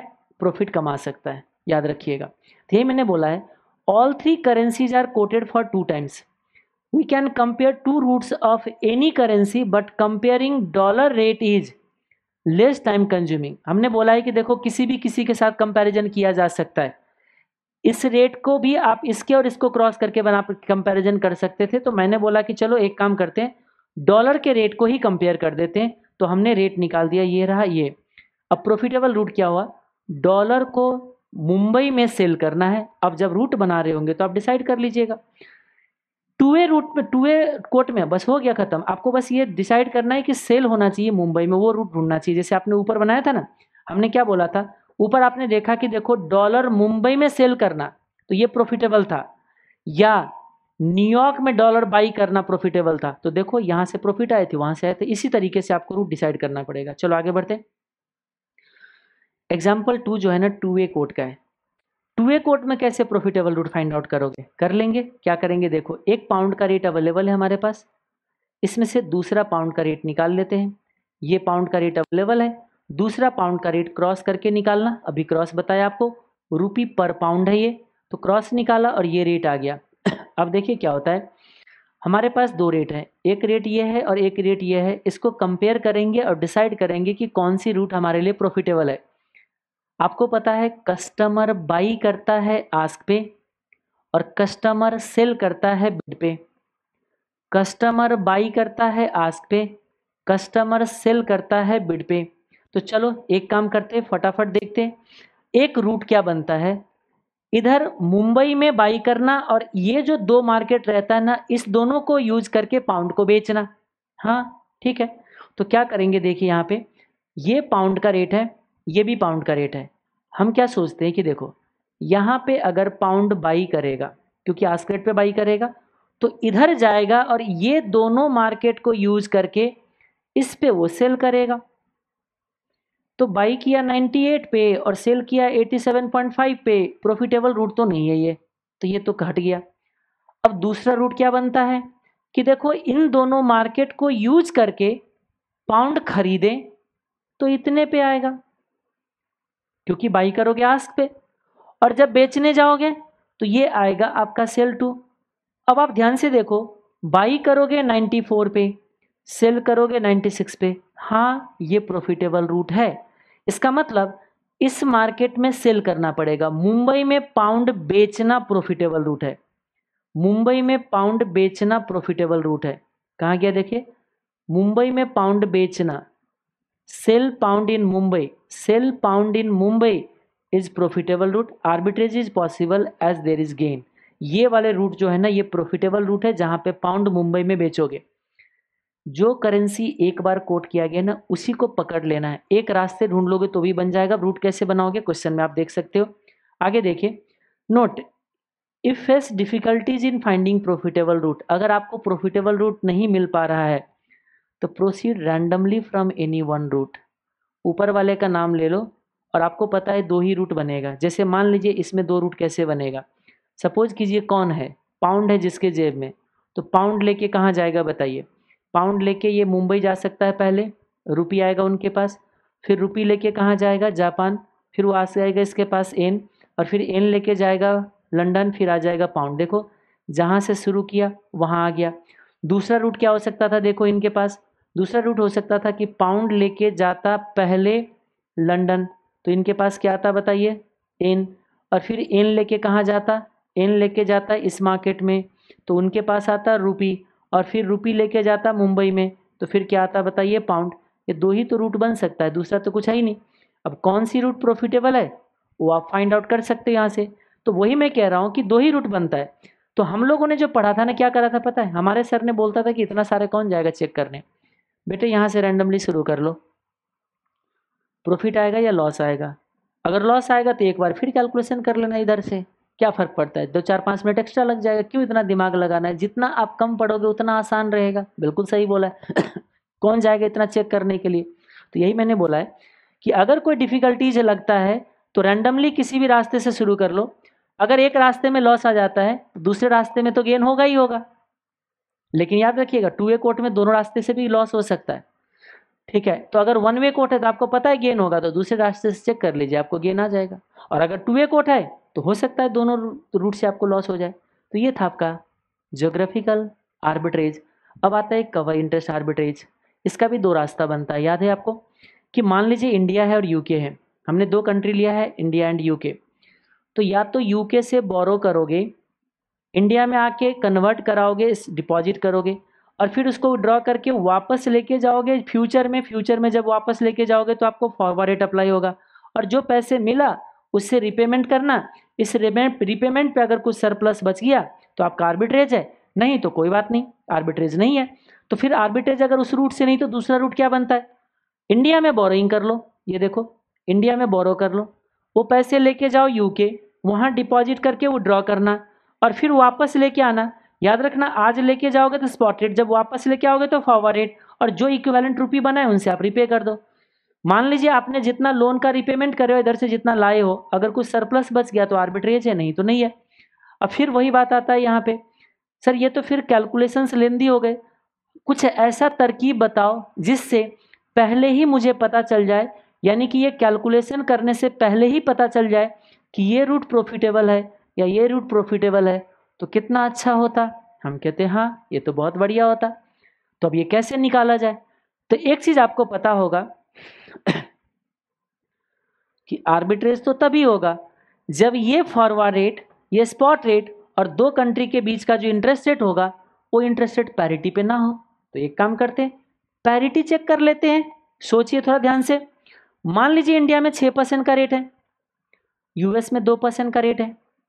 और ये रेट हमारे को एटी मिल रहा था। हम कहते हैं हाँ बहुत बढ़िया। तो आपको पता है कि यूएस का कोई पार्टी अगर यूएस में जाके इन्वेस्ट करता और वो इंडिया में लाता, या यूएस में लोन लेके इंडियन करेंसी में अगर वो कॉस्ट निकाले, आपको पता है कि जो इंसान दो परसेंट इन्वेस्ट करेगा यूएस में, उसका इक्विवेलेंट इंडिया में टू परसेंट तो नहीं है। अभी आपने कन्वर्ट किया था, याद है कुछ? यूएस में जाके आपने एप्पल के आईएनसी में फिफ्टीन परसेंट अर्न किया था, लेकिन इंडिया में वो रिटर्न ओनली थर्टीन परसेंट था, क्योंकि वो डॉलर डेप्रेसेट कर गया था। मतलब क्या हुआ? ध्यान से देखिए। अगर कोई इंसान यूएस में जाके बोरोविंग या डिपॉजिट करे तो उसका टू परसेंट कॉस्ट नहीं आएगा। टू परसेंट प्लस इसका प्रीमियम डिस्काउंट आएगा। कि कितना से प्रीमियम डिस्काउंट जा रहा है? अगर मान लीजिए प्रीमियम पे हो गया तो वो आप इस टू परसेंट पे प्रीमियम अप्लाई कर दो। क्या बताइए? One plus point zero two मान लीजिए हमारे करेंसी जो है, वो पाँच परसेंट से अप्रिशिएट कर जाता है। कितने परसेंट से? फाइव परसेंट से अप्रिशिएट कर जाता है। एटी फोर का रेट हो जाता है। तो आपको पता है टू परसेंट का रिटर्न यूएस का multiply by one plus point zero five बोलोगे, ये क्या कर दिया आपने? हमें पता है ना, यहाँ से यहाँ पाँच परसेंट का प्रीमियम अप्लाई हुआ है।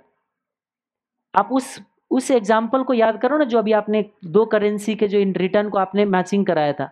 मैं ये कह रहा हूँ कि मान लीजिए किसी ने, अब ये भूल जाओ, ये बोरिंग सोरिंग भूल जाओ अभी थोड़ा देर के लिए। हम ये कह रहे हैं कि कोई गया यूएस में और दो परसेंट पे वहाँ पैसे लगा दिया तो उसके पैसे कितना हो गया? One point zero two one dollar लगाया या वन यू पाउंड लगाया? वो बढ़ के हो गया वन पॉइंट ज़ीरो टू क्योंकि हमने टू परसेंट पे इन्वेस्ट किया था।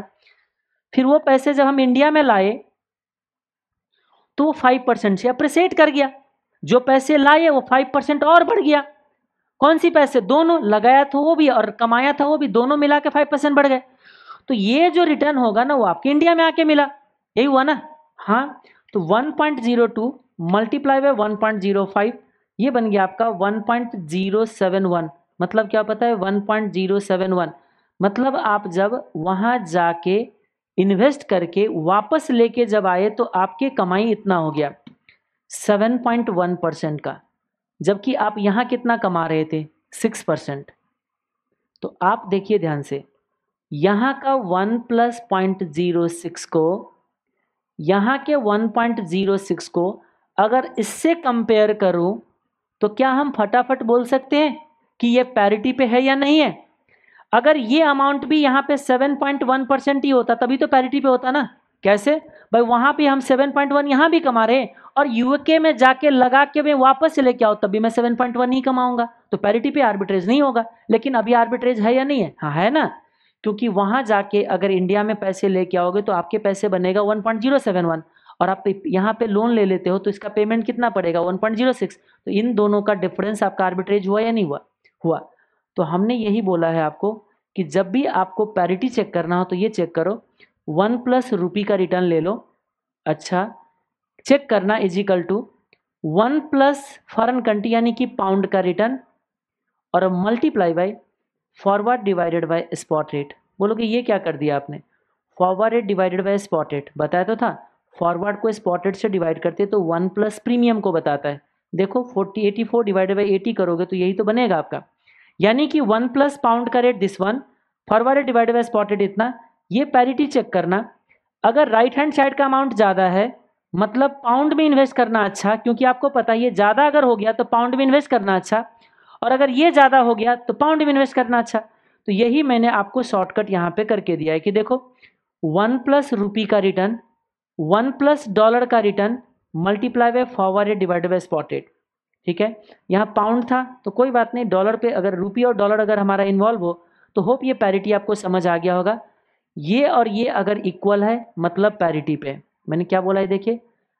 ये तो अब कैसे डिराइव हो गया तो मैंने बता ही दिया। इनफैक्ट ये क्या है? One plus home currency return is equal to one plus foreign currency return और multiply one plus premium discount और प्रीमियम डिस्काउंट कैसे आता है? Forward divide by spot rate से, यही बोला है। Forward divide by spot rate premium discount dollar पे अप्लाई कर दीजिए। रुपी की अगर इक्वल है तो नहीं होगा तो अब चेक करना क्या है? देखो, या तो ये बड़ा होगा या तो ये बड़ा होगा, दोनों तो इक्वल होगा नहीं आपका। अगर इक्वल है तो आर्बिट्रेज नहीं है। तो ये मैंने बोला इक्वल हो गया तो आर्बिट्रेज नहीं है।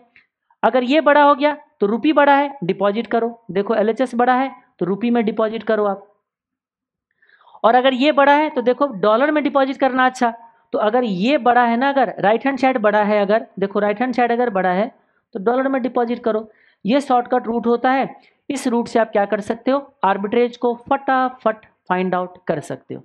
Okay if if given rates are two a quote और borrowing deposit rate are different होता क्या है देखिए? आपने अभी आईआरपीटी पढ़ा था तो पैरिटी तो तभी चेक कर पाओगे ना जब सोचो। एक ही रेट है बोरोविंग और डिपॉजिट का, तभी तो यहाँ डाल पाए ना। अब बोरोइंग का रेट अलग दे दे डिपॉजिट का रेट अलग दे दे। और यहाँ पे forward divide by spot rate किया है। फॉरवर्ड में बिड अलग दे दे आस्क अलग दे दे। स्पॉट में बिड अलग दे दे आस्क अलग दे दे। तो इसमें क्या हो जाएगा? फिर ये पैरिटी चेक करना आपके लिए दिक्कत हो जाएगा।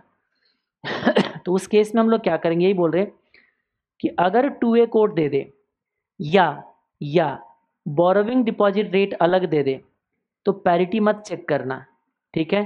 तो क्या करोगे? Hence can't find profitable route hence proceed randomly from any route अगर ऐसा केस होगा तो किसी भी रास्ते से रैंडमली मूव करो। और अगर वही बात है कि प्रॉफिटेबल रूट अगर पता चल गया तो ठीक है, नहीं तो फिर दूसरा रूट से आप चेक कर लेना।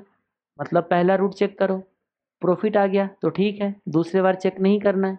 लेकिन पहले बार जब कैलकुलेशन किए एक रूट से तो अगर लॉस हो गया तो आपको पता है चांसेज है कि दूसरे रूट में आपको फ़ायदा हो सकता है तो दूसरा रूट भी चेक कर लो। ठीक है, अगर ये कौन सी केस होगा? टू ए कोट हो या बोरोइंग डिपॉजिट का रेट अलग हो, तब ये काम करना। अच्छा और हम कहते हैं कि अगर, ऐसा भी होता है, बहुत बार होते हैं कि ये चेक नहीं कर पाते कुछ लोग। तो नहीं कर पाते तो फिर ऊपर वाले का नाम लीजिए और किसी भी रूट से शुरू कीजिए। हम भी तो ऐसे ही पढ़े थे, किसी भी रूट से शुरू करके।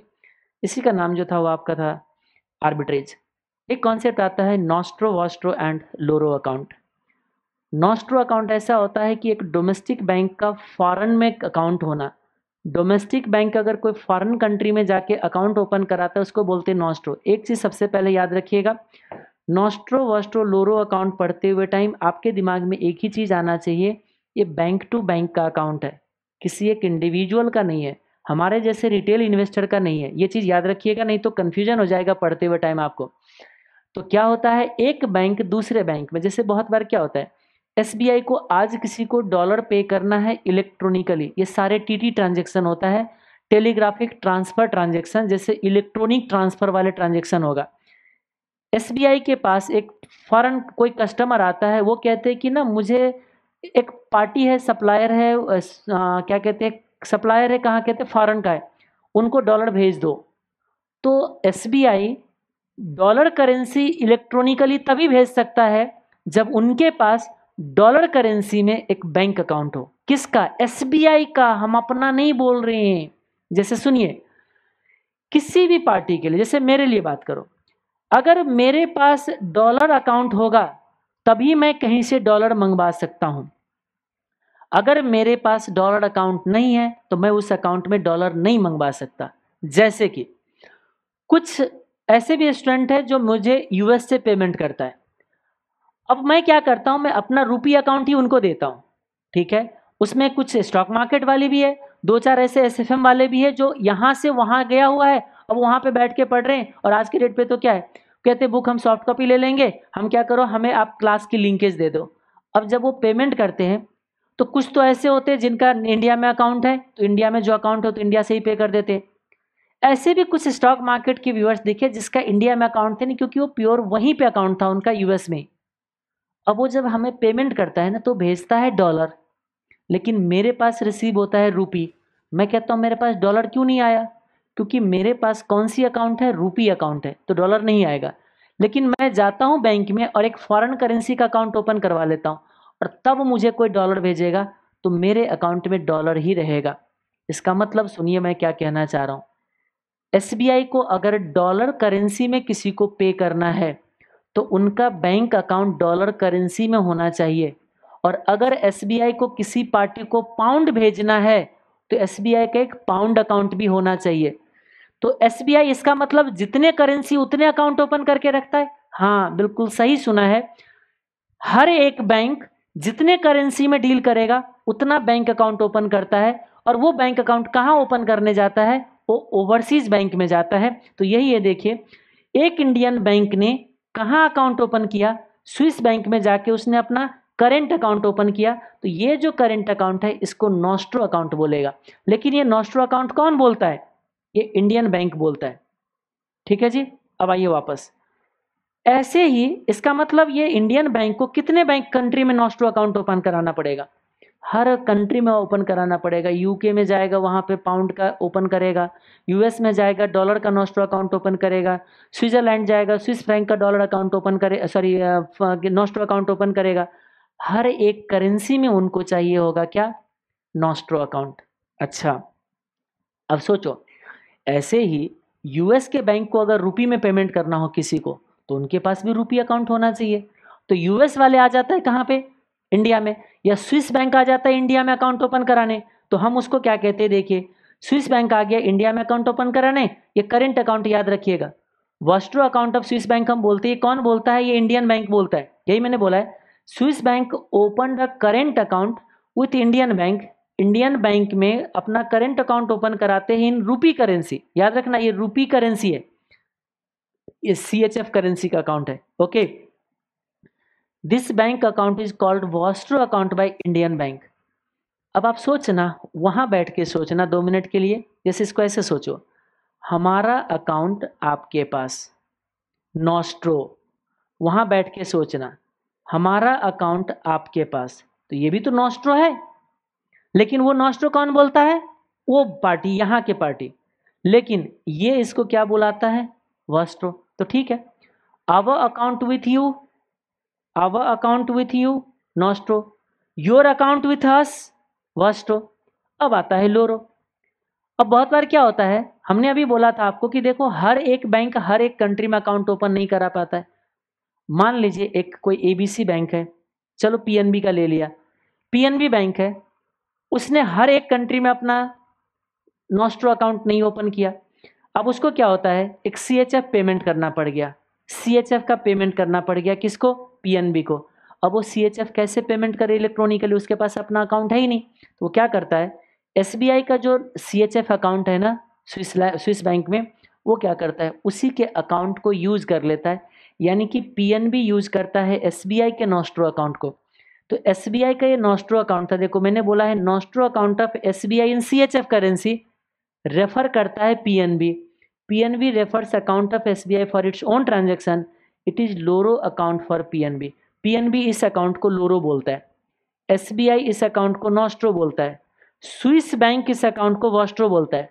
यानी कि एक ही बैंक का तीन नाम, एक ही अकाउंट का तीन नाम नॉस्ट्रो भी वॉस्ट्रो भी लोरो भी. सिंपल और कुछ नहीं है.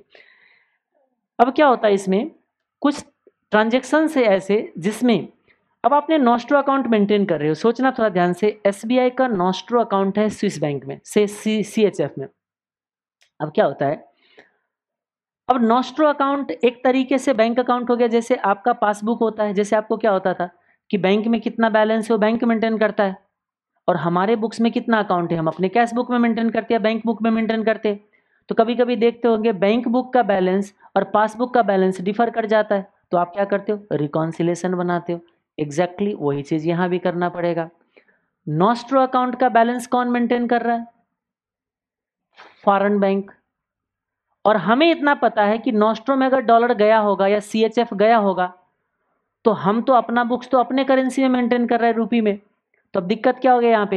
हिसाब मैचिंग कराना तो थोड़ा दिक्कत हो जाएगा, क्योंकि आप इंडियन बैंक हो, आप अपना बुक्स ऑफ़ अकाउंट रूपी में मेंटेन करते हो। वो बुक्स ऑफ़ वो जो बैंक है, वो आपका फॉरेन करेंसी में अकाउंट मेंटेन करता है तो मैचिंग नहीं हो पाएगा। तो इसीलिए क्या करता है होम बैंक डोमेस्टिक बैंक यहाँ पे बैठ के डोमेस्टिक बैंक यहाँ पे बैठ के उन सारे हिसाब को रखता है जो मेरे नोस्ट्रो में चल रहा होगा।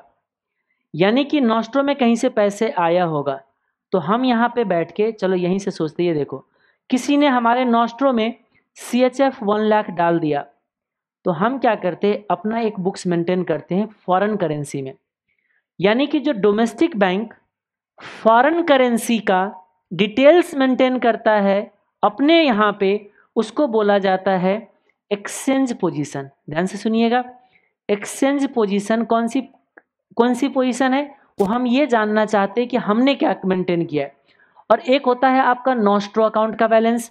तो नॉस्ट्रो अकाउंट का बैलेंस कौन मेंटेन करता है? बैंक। अब नॉस्ट्रो अकाउंट के बैलेंस में और एक्सचेंज पोजीशन में अगर कोई डिफरेंसेज आएगा तो वही डिफरेंस है जो बैंक बुक और पासबुक का डिफरेंस आप जो अभी बैंक में कहते हो। ओके ये कुछ जनरल इन्फॉर्मेशन है क्वेश्चन के अंदर मिलता है। स्विट्जरलैंड की करेंसी सी एच एफ़ है। जूरिच जो है, वो एक स्विट्जरलैंड की सिटी है। टेलीग्राफिक ट्रांसफ़र बार बार मिलेगा आपको। टीटी ट्रांजेक्शन टीटी ट्रांजेक्शन मतलब इलेक्ट्रॉनिकली ट्रांसफ़र करना है। तो उसका मतलब ये क्या है आपका? टेलीग्राफिक ट्रांसफ़र जो ओवरसीज ट्रांसफ़र के लिए यूज़ किया जाता है। एक्सचेंज पोजीशन अभी मैंने बोला है, जो एस अपने घर पे फॉरेन करेंसी का डिटेल मेंटेन करेगा। जब ये परचेज ये जो होते हैं ना परचेज और सेल करके अपना डिटेल मेंटेन करता है। मान लीजिए एसबीआई ने वन लाख डॉलर खरीदा तो कहता है परचेज किया। वो क्या करता है? वन लाख डॉलर किसी को ट्रांसफ़र किया तो कहते हैं, हमने सेल किया। ठीक है? अब आप मान लीजिए एसबीआई ने परचेज किया डॉलर वन लाख और सेल किया डॉलर एटी थाउज़ेंड क्या किया जी? सेल किया है डॉलर एटी थाउज़ेंड। तो बताना क्या होता है यहाँ पे ध्यान से?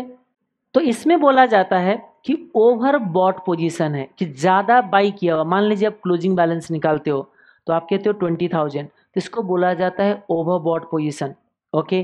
तो ये देखिए, ज़्यादा परचेज किया हुआ ट्रांजेक्शन परचेज किया हुआ, अगर ज़्यादा खरीद रखे हो तो ओवर बॉट ज़्यादा बेच रखे हो तो क्या हो जाएगा आपका?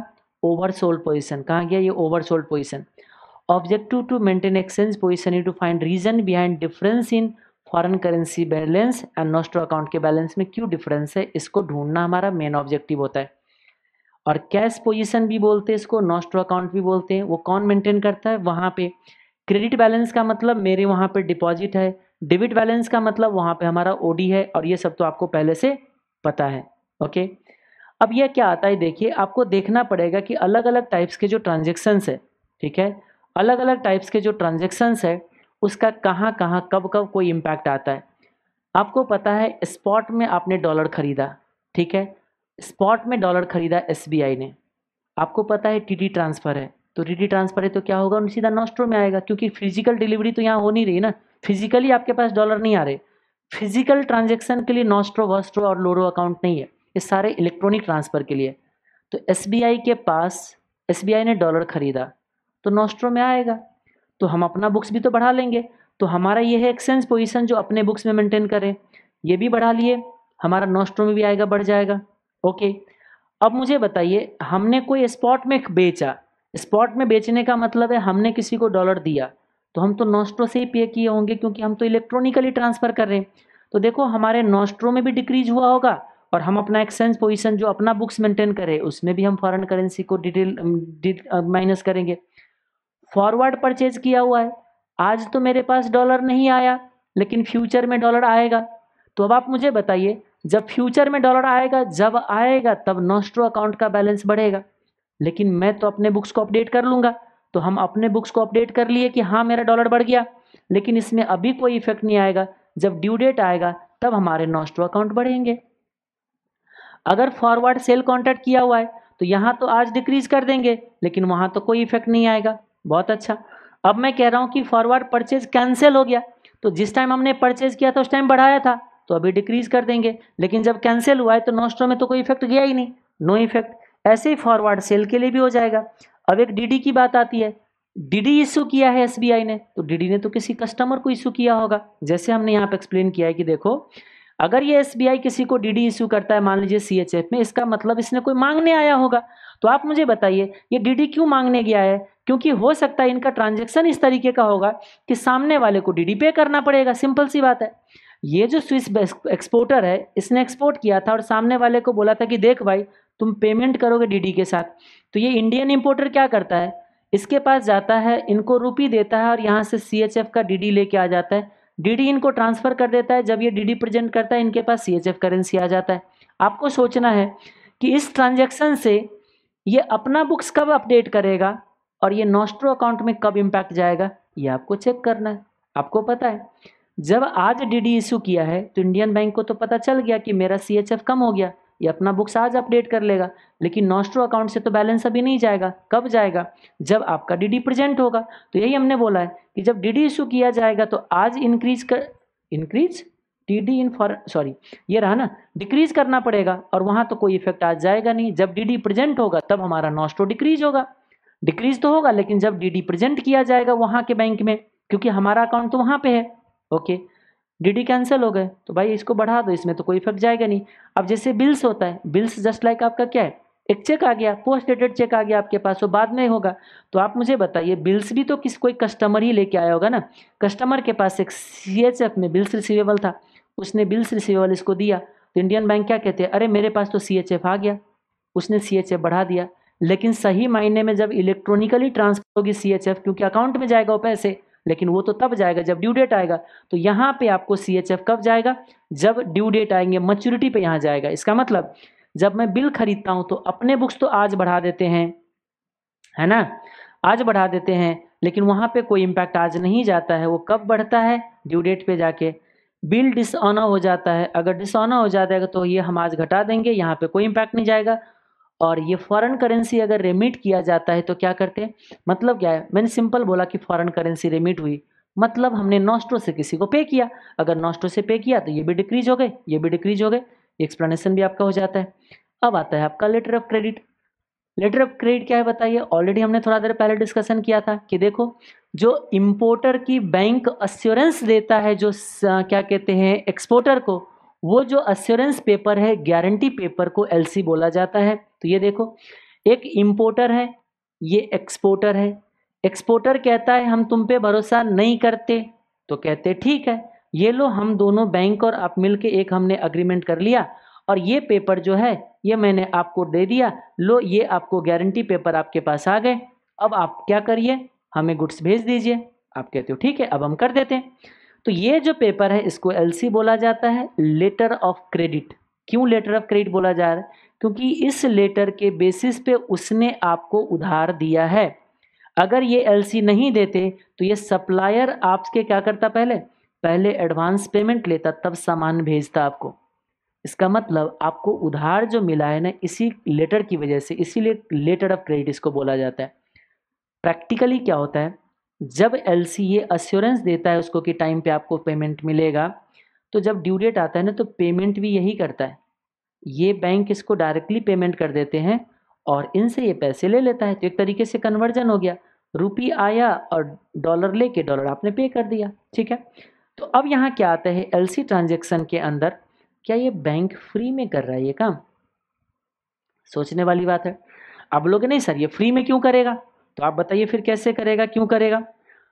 तो ये बैंक क्या कहता है कि हमें अब आप इसके लिए चार्जेस दो। हम फ्री में नहीं करते ये सारे काम। तो बैंक क्या करता है? देखो, ये ओ ट्रांजेक्शन है। इसके और इसके म्यूचुअल अंडरस्टैंडिंग है, वो क्या चार्ज करेगा? एक बार लेगा, दो बार लेगा, पाँच बार लेगा, हमें नहीं पता। लेकिन अभी तक जितने बार भी क्वेश्चन पूछा गया है, उसमें हमेशा आपको दो चार्जेस मिलता है। क्या मिलता है पता है? कि देखो, आज जब हम बैठ के यहाँ पे बातें कर रहे उस टाइम हमें क्या करो? ओपनिंग चार्जेस दे दो। तो यहाँ पे आपको दो तरह का चार्जेस पेएबल है, देखिए।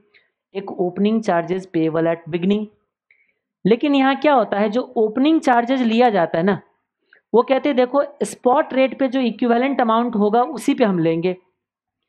तो equivalent amount calculated at spot rate यानी कि जो ओपनिंग चार्जेज आप कैलकुलेट करोगे, वो स्पॉट रेट की इक्विवेलेंट अमाउंट पे, क्योंकि आज हम दे रहे तो आज जो रेट चल रहे उसकी इक्विवेलेंट अमाउंट पे निकाल देते हैं। और commission payable on due date एक और काम क्या करते हैं, कैसे, देखो, जैसे आप लोग जाते हो लोन लेने तो आप तो दो तरह का चार्जेज लेता है आपसे, दो खर्चा लेता है आपसे। एक पता है क्या? जिस टाइम लोन ले रहे हैं ना, उस टाइम प्रोसेसिंग फ़ी भी रख लेता है। और फिर पीरियड किट में आपकी इंटरेस्ट भी लेता है। हम कहते हैं, भाई प्रोसेसिंग फ़ी ले तो चुके हो, आप फिर इंटरेस्ट क्यों ले रहे हो आप? कहते देखो, वो तो स्टार्टिंग की खर्चे लिया हमने। अब जो ये पीरियड बीतता जा रहा है, उसका आप मुझे इंटरेस्ट कॉस्ट भी दो। यहाँ पे भी कुछ ऐसा ही कॉन्सेप्ट यहाँ पे ले रखा है। यहाँ क्या कहता है, देखो बैंक कहता है, देखो, हमने जो इनिशियली कुछ आपसे अग्रीमेंट करे, इसके लिए मुझे ओपनिंग चार्जेस चाहिए, जो स्टार्टिंग में दे दो। और मेरे वजह से आपको उधार मिला है तो एक तरीके से फंडिंग करा दिया ना मैंने आपको। ये बैंक कह रहा है किसको? इंडियन एक्सपोर्टर को। कैसे फंडिंग करा दिया? अगर मैं ये उधार ये अगर डॉक्यूमेंट नहीं देता इनको, ठीक है तो आपको उधार थोड़ा नहीं देता। नहीं देता तो आज आपको फंड का इंतज़ाम करना पड़ता। तो देखो, मैंने फंड का इंतज़ाम कर दिया तो कुछ तो दो। तो उसको बोलते हैं periodic commission commission payable on due date लेकिन ठीक है, अब कहते हैं ये कमीशन तो आपको छह महीने बाद देना है, यानी कि ड्यू डेट पे देना है, लेकिन वो जो निकालोगे आप फॉरवर्ड रेट पे, ठीक है? दो तरह का तो ये दो तरह का चार्जेज होता है। अब जब आप इसके क्वेश्चन सॉल्व करने जाओगे तो वहाँ क्या होगा देखिए, एक पेमेंट जा रहा है सिक्स मंथ पे सॉरी ये ये एक पेमेंट जा रहा है सिक्स मंथ पे, एक जा रहा है आज के रेट पे दोनों अमाउंट कंपेरेबल नहीं होगा। तो जो हम ओपनिंग चार्जेस पे करेंगे ना लोन लेके पे करेंगे। तो ठीक है, वो तो जब हम क्वेश्चन सॉल्व करेंगे तो वहाँ पे हम आपको बता देंगे। दो तरह का एलसी होता है रिवोकेबल इरिवोकेबल अगर टर्म्स एंड कंडीशन चेंज ना हो पाए है तो इरिवोकेबल और टर्म्स एंड कंडीशन अगर चेंज हो सकता है तो रिवोकेबल आज के डेट पर रिवोकेबल एलसी इशू नहीं होता है। ओके चलिए, आगे बढ़ते हम लोग। Cancellation of forward contract cancellation क्या है, देखिए। कहने के लिए कैंसिलेशन है कैंसिलेशन नहीं किया जा सकता है। क्योंकि कैंसिलेशन क्यों नहीं किया जा सकता? इसके पीछे जो होता है ये कॉन्सेप्ट थोड़ा सा ध्यान से पढ़िएगा क्योंकि इसके थोड़ा लंबा आपको आ, ए, क्या कहते हैं इम्पैक्ट दिखेगा क्योंकि ये आपको क्वेश्चन भी जो आते हैं आज के डेट पे थोड़ा सा ज़्यादा ही टेढ़ा यानी कि ज़्यादा ही गहराई में डाल के क्वेश्चन पूछा जाता है। इसको थोड़ा ध्यान से लॉजिकली आप समझ लीजिएगा। थोड़ा तसल्ली से मैं टाइम भी अगर होगा तो थोड़ा एक्स्ट्रा टाइम ही लगा दूँगा इसमें। कैंसिलेशन क्यों नहीं होता है देखिए क्योंकि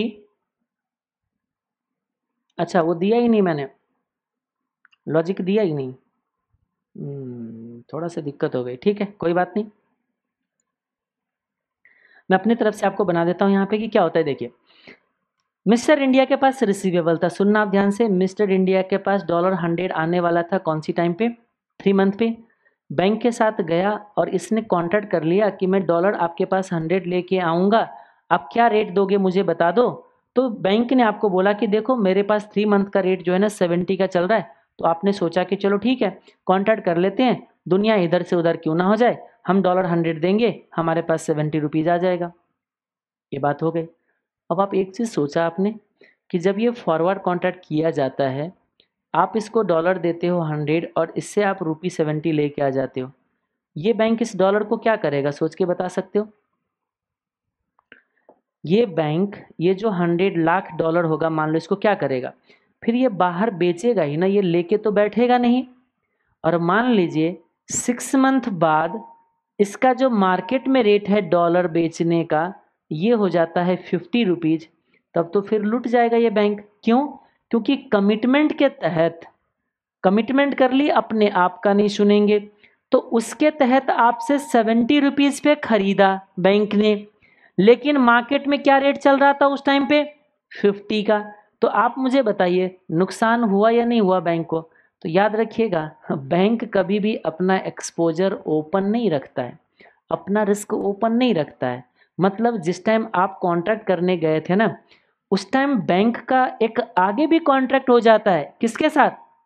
इंटर बैंक के साथ। वो एक इंटर बैंक में जाता है और वहाँ पे जाके क्या करता है पता है? ये बेचने का कि मैं आऊँगा डॉलर हंड्रेड बेचने।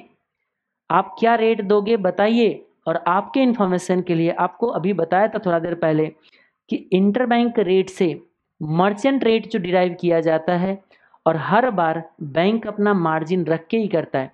तो ये देखो, ये बिड रेट है बैंक का और ये जो अप्लाई किया है, ये भी बिड रेट ही है क्योंकि खरीदने का ही रेट है, ये बिड रेट है ये। तो अब मुझे बताइए, आपको पता है बिड रेट जो होता है मर्चेंट बिड रेट कम होता है क्योंकि इंटर बैंक में से जब मार्जिन माइनस किया था तो आपको क्या बना था? मर्चेंट का बिड रेट बना था। मतलब ये रेट जो है ना, छोटा है। ये रेट छोटा है तो आपको पता है ये रेट बड़ा ही होगा।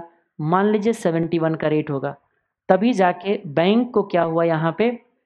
बैंक जो होता है ना, अब सेफ़ है। क्योंकि बैंक को पता है, हम इंटर बैंक को डॉलर हंड्रेड देंगे, हमारे पास सेवेंटी वन आएगा। हम इनसे डॉलर लेके इनको सेवेंटी दे देंगे, काम बन जाएगा। ये जो भी कुछ मैंने अभी बताया है, ये सारा क्या है पता है?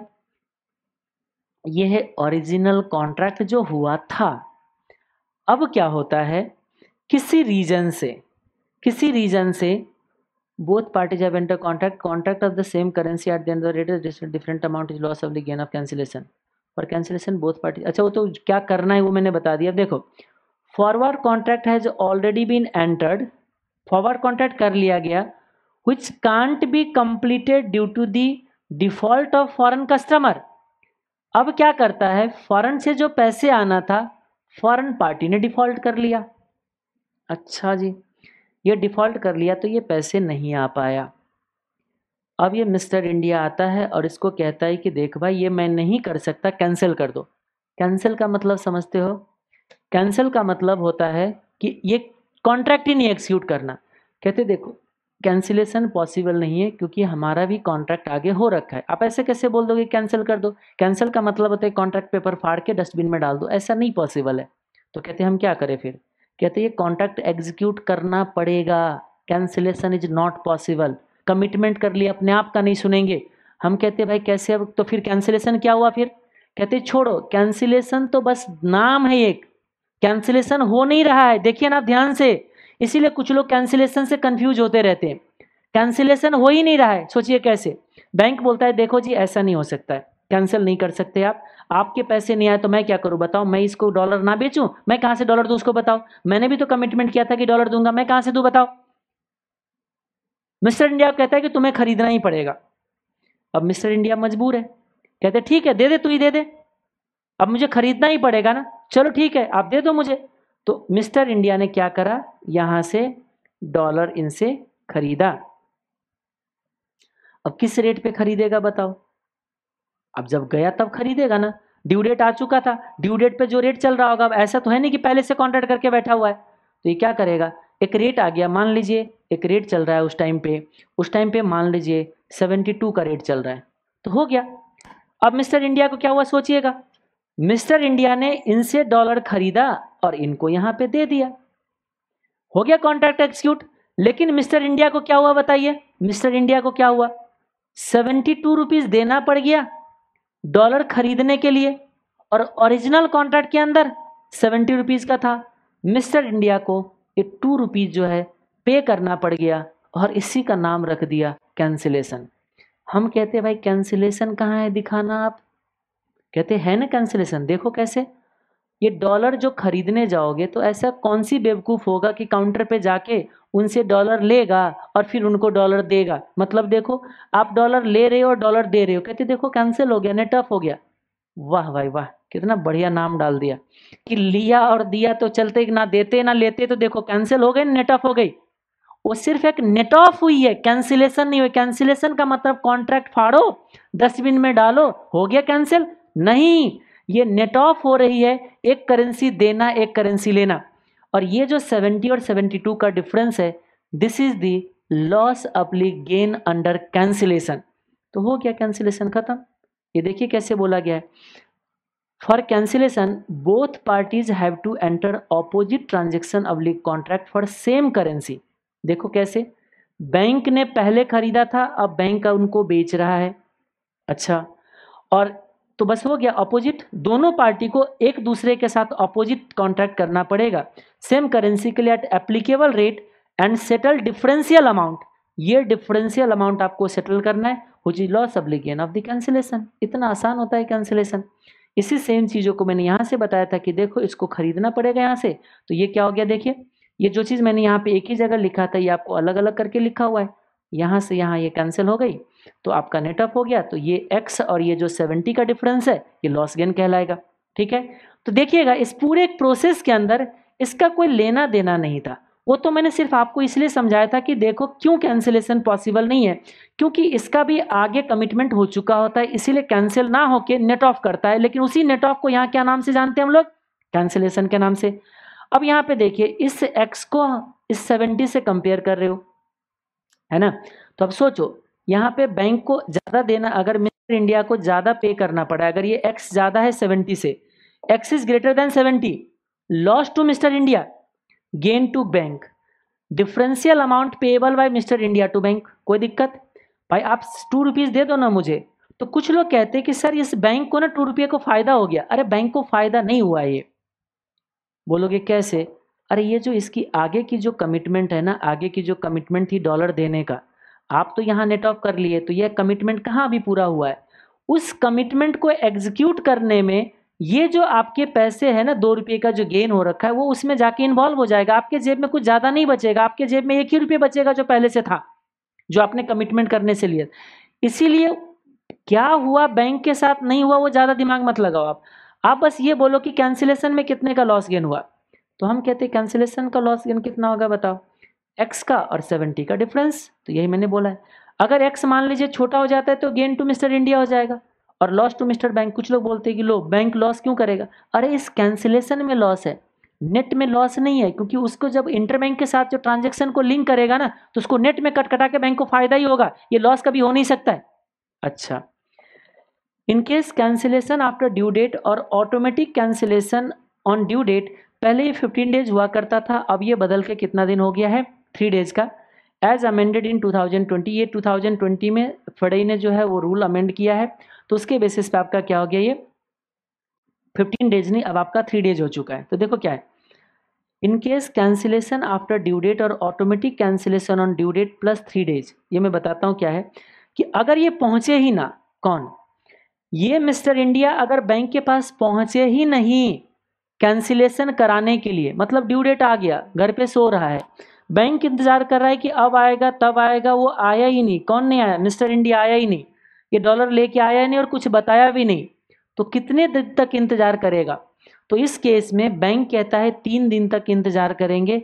आफ्टर थ्री डेज़, अगर ये मिस्टर इंडिया नहीं आता है थ्री डेज़ तक तो क्या करेगा? अपने तरफ़ से एक अपोजिट कॉन्ट्रैक्ट करके उस दिन पे जो स्पॉट रेट चल रहा होगा उस पर वो लॉस गेन निकालेंगे और आपको डिमांड भेज दिया जाएगा। तो यही बोल रहे कि, देखो लॉस होता है कस्टमर को तो पेबल बाई कस्टमर पे करना पड़ेगा वो थ्री डेज़ के बाद वाले पे। मान लीजिए थ्री डेज़ बाद आपको लॉस हो जाता है कैंसिलेशन के अंदर। तो याद रखिएगा थ्री डेज़ तक अगर नहीं पहुँचता है कस्टमर कस्टमर अगर नहीं पहुँचा है तो बैंक तो खुद से वो कैलकुलेशन कर रहा है ना। तो इसीलिए इसको ऑटोमेटिक कैंसिलेशन बोलता है कि सामने वाले पार्टी आया भी नहीं, तब भी बैंक कैंसिल कर रहा है। उनके अनुपस्थिति में। तो इसलिए इसको ऑटोमेटिक कैंसिलेशन बोला जाता है। तो ऑटोमेटिक कैंसिलेशन कितने दिन पे होंगे? Due days plus three days पे। अच्छा तो अगर मान लीजिए जब कैंसिलेशन कर रहे थे तो वही डिफरेंशियल अमाउंट एक्स और सेवेंटी का। वो डिफरेंशियल अमाउंट अगर मान लीजिए कस्टमर को गेन हो जाता है तो पे करें या ना करें bank is not bound to pay मर्ज़ी होगा बैंक को तो पे कर देगा। नहीं तो कोई बात नहीं नहीं पे करेगा। नोट बैंक का पोजीशन क्या होगा? कैंसिलेशन के बाद। मतलब क्या पता है? Banks existing position does not change due to the cancellation आपको पता है? जब ये इंटर बैंक में ट्रांजेक्शन किया था, जब ये इंटर बैंक में ट्रांजेक्शन किया था, याद करिए यहाँ से, है ना? ये जब पार्टी यहाँ से जब ट्रांजेक्शन किया था तो आपको पता है सेवेंटी वन का रेट अप्लाई किया था। यानी कि बैंक तो पहले से वन रुपी का मार्जिन लेके बैठा हुआ है। आपको याद है ना इंटर बैंक रेट से मर्चेंट रेट में बिड रेट छोटा होता है तो सेवेंटी वन लाता है, सेवेंटी देता है। ये जो वन रुपी का जो प्रॉफिट पहले से बुक किया है ना, ये चेंज नहीं होगा। Banks existing position does not change due to the cancellation. In other word, gain recorded by bank at the time of original forward contract with the help of interbank transaction interbank transaction के help से जो आपने gain book किया था और starting में remains unchanged even customer cancels existing forward contract. ये cancel भी कर देंगे ना तो उनके एक रुपये का ही गेन होगा, उससे ज़्यादा नहीं होगा। चाहे इस कैंसिलेशन में दस रुपये गवा दे या दस रुपये कमा ले, वो जो होगा, इधर के ट्रांजेक्शन में कंपनसेट होके आपके जेब में वन रुपी ही बचेगा। यानी कि ये सेवेंटी वन और सेवेंटी का डिफरेंस ही बचेगा। ये ध्यान रख लीजिएगा, अगर किसी को इस पर ज़्यादा एनालिसिस करना है तो आप दो तीन एग्ज़ाम्पल लीजिए और इंटर बैंक के साथ ट्रांजेक्शन कीजिए, फिर इधर से कैंसिलेशन करिए और देखिए क्या कैंसिलेशन का डिफरेंस आपके जेब में बचा, देखना नहीं बचेगा। ठीक है? कब कब कैंसिलेशन किया जा सकता है? Before due date on due date after due date after due date में कब होगा बताइए? आफ्टर ड्यू डेट में या तो आप ड्यू डेट के एक दिन बाद आ जाओ, या आप ड्यू डेट के टू डेज़ बाद आ जाओ ड्यू डेट के थ्री डेज़ बाद आ जाओ। और थ्री डेज़ बाद आओगे तो कोई फ़र्क पड़ता ही नहीं है, क्योंकि हम after three days automatic cancellation कर देंगे आपके अनुपस्थिति में। कैंसिल कैसे होगा? पहले ही बोल दिया अपोजिट ट्रांजेक्शन करो, हो गया खत्म। जब बिफोर ड्यू डेट का कैंसिलेशन होता है तो किस रेट पे कैंसिल करोगे? मान लीजिए, ये कैंसिलेशन के लिए इसने अप्रोच कर दिया दो ही महीने बाद, यानी कि थ्री मंथ बाद पेमेंट आना था। लेकिन जहाँ से पेमेंट आना था ना, उसने मुझे दो महीने बाद ही इन्फॉर्म कर दिया कि पेमेंट नहीं आएगा जी। तो अब मेरे पास वन मंथ बचा हुआ है। वन मंथ बचा हुआ है और मुझे पता है कि ये मैं नहीं दे पाऊँगा। तो मैं क्या करता हूँ? वन मंथ पहले ही जाके कैंसिल कर देता हूँ। वो जो कैंसिलेशन होते हैं तो उस पर हम डॉलर खरीदेंगे। है ना? तो बिफोर ड्यू डेट का कैंसिलेशन हुआ। लेकिन आपको पता है ये तो देना है आपको, जहाँ आए हो अप्रोच किए हो कैंसिलेशन के लिए, उसके एक महीने बाद आपको ये पेमेंट करना है। लेकिन जब आप कैंसिलेशन करने आए हो तो एक महीने पहले ही आ चुके हो।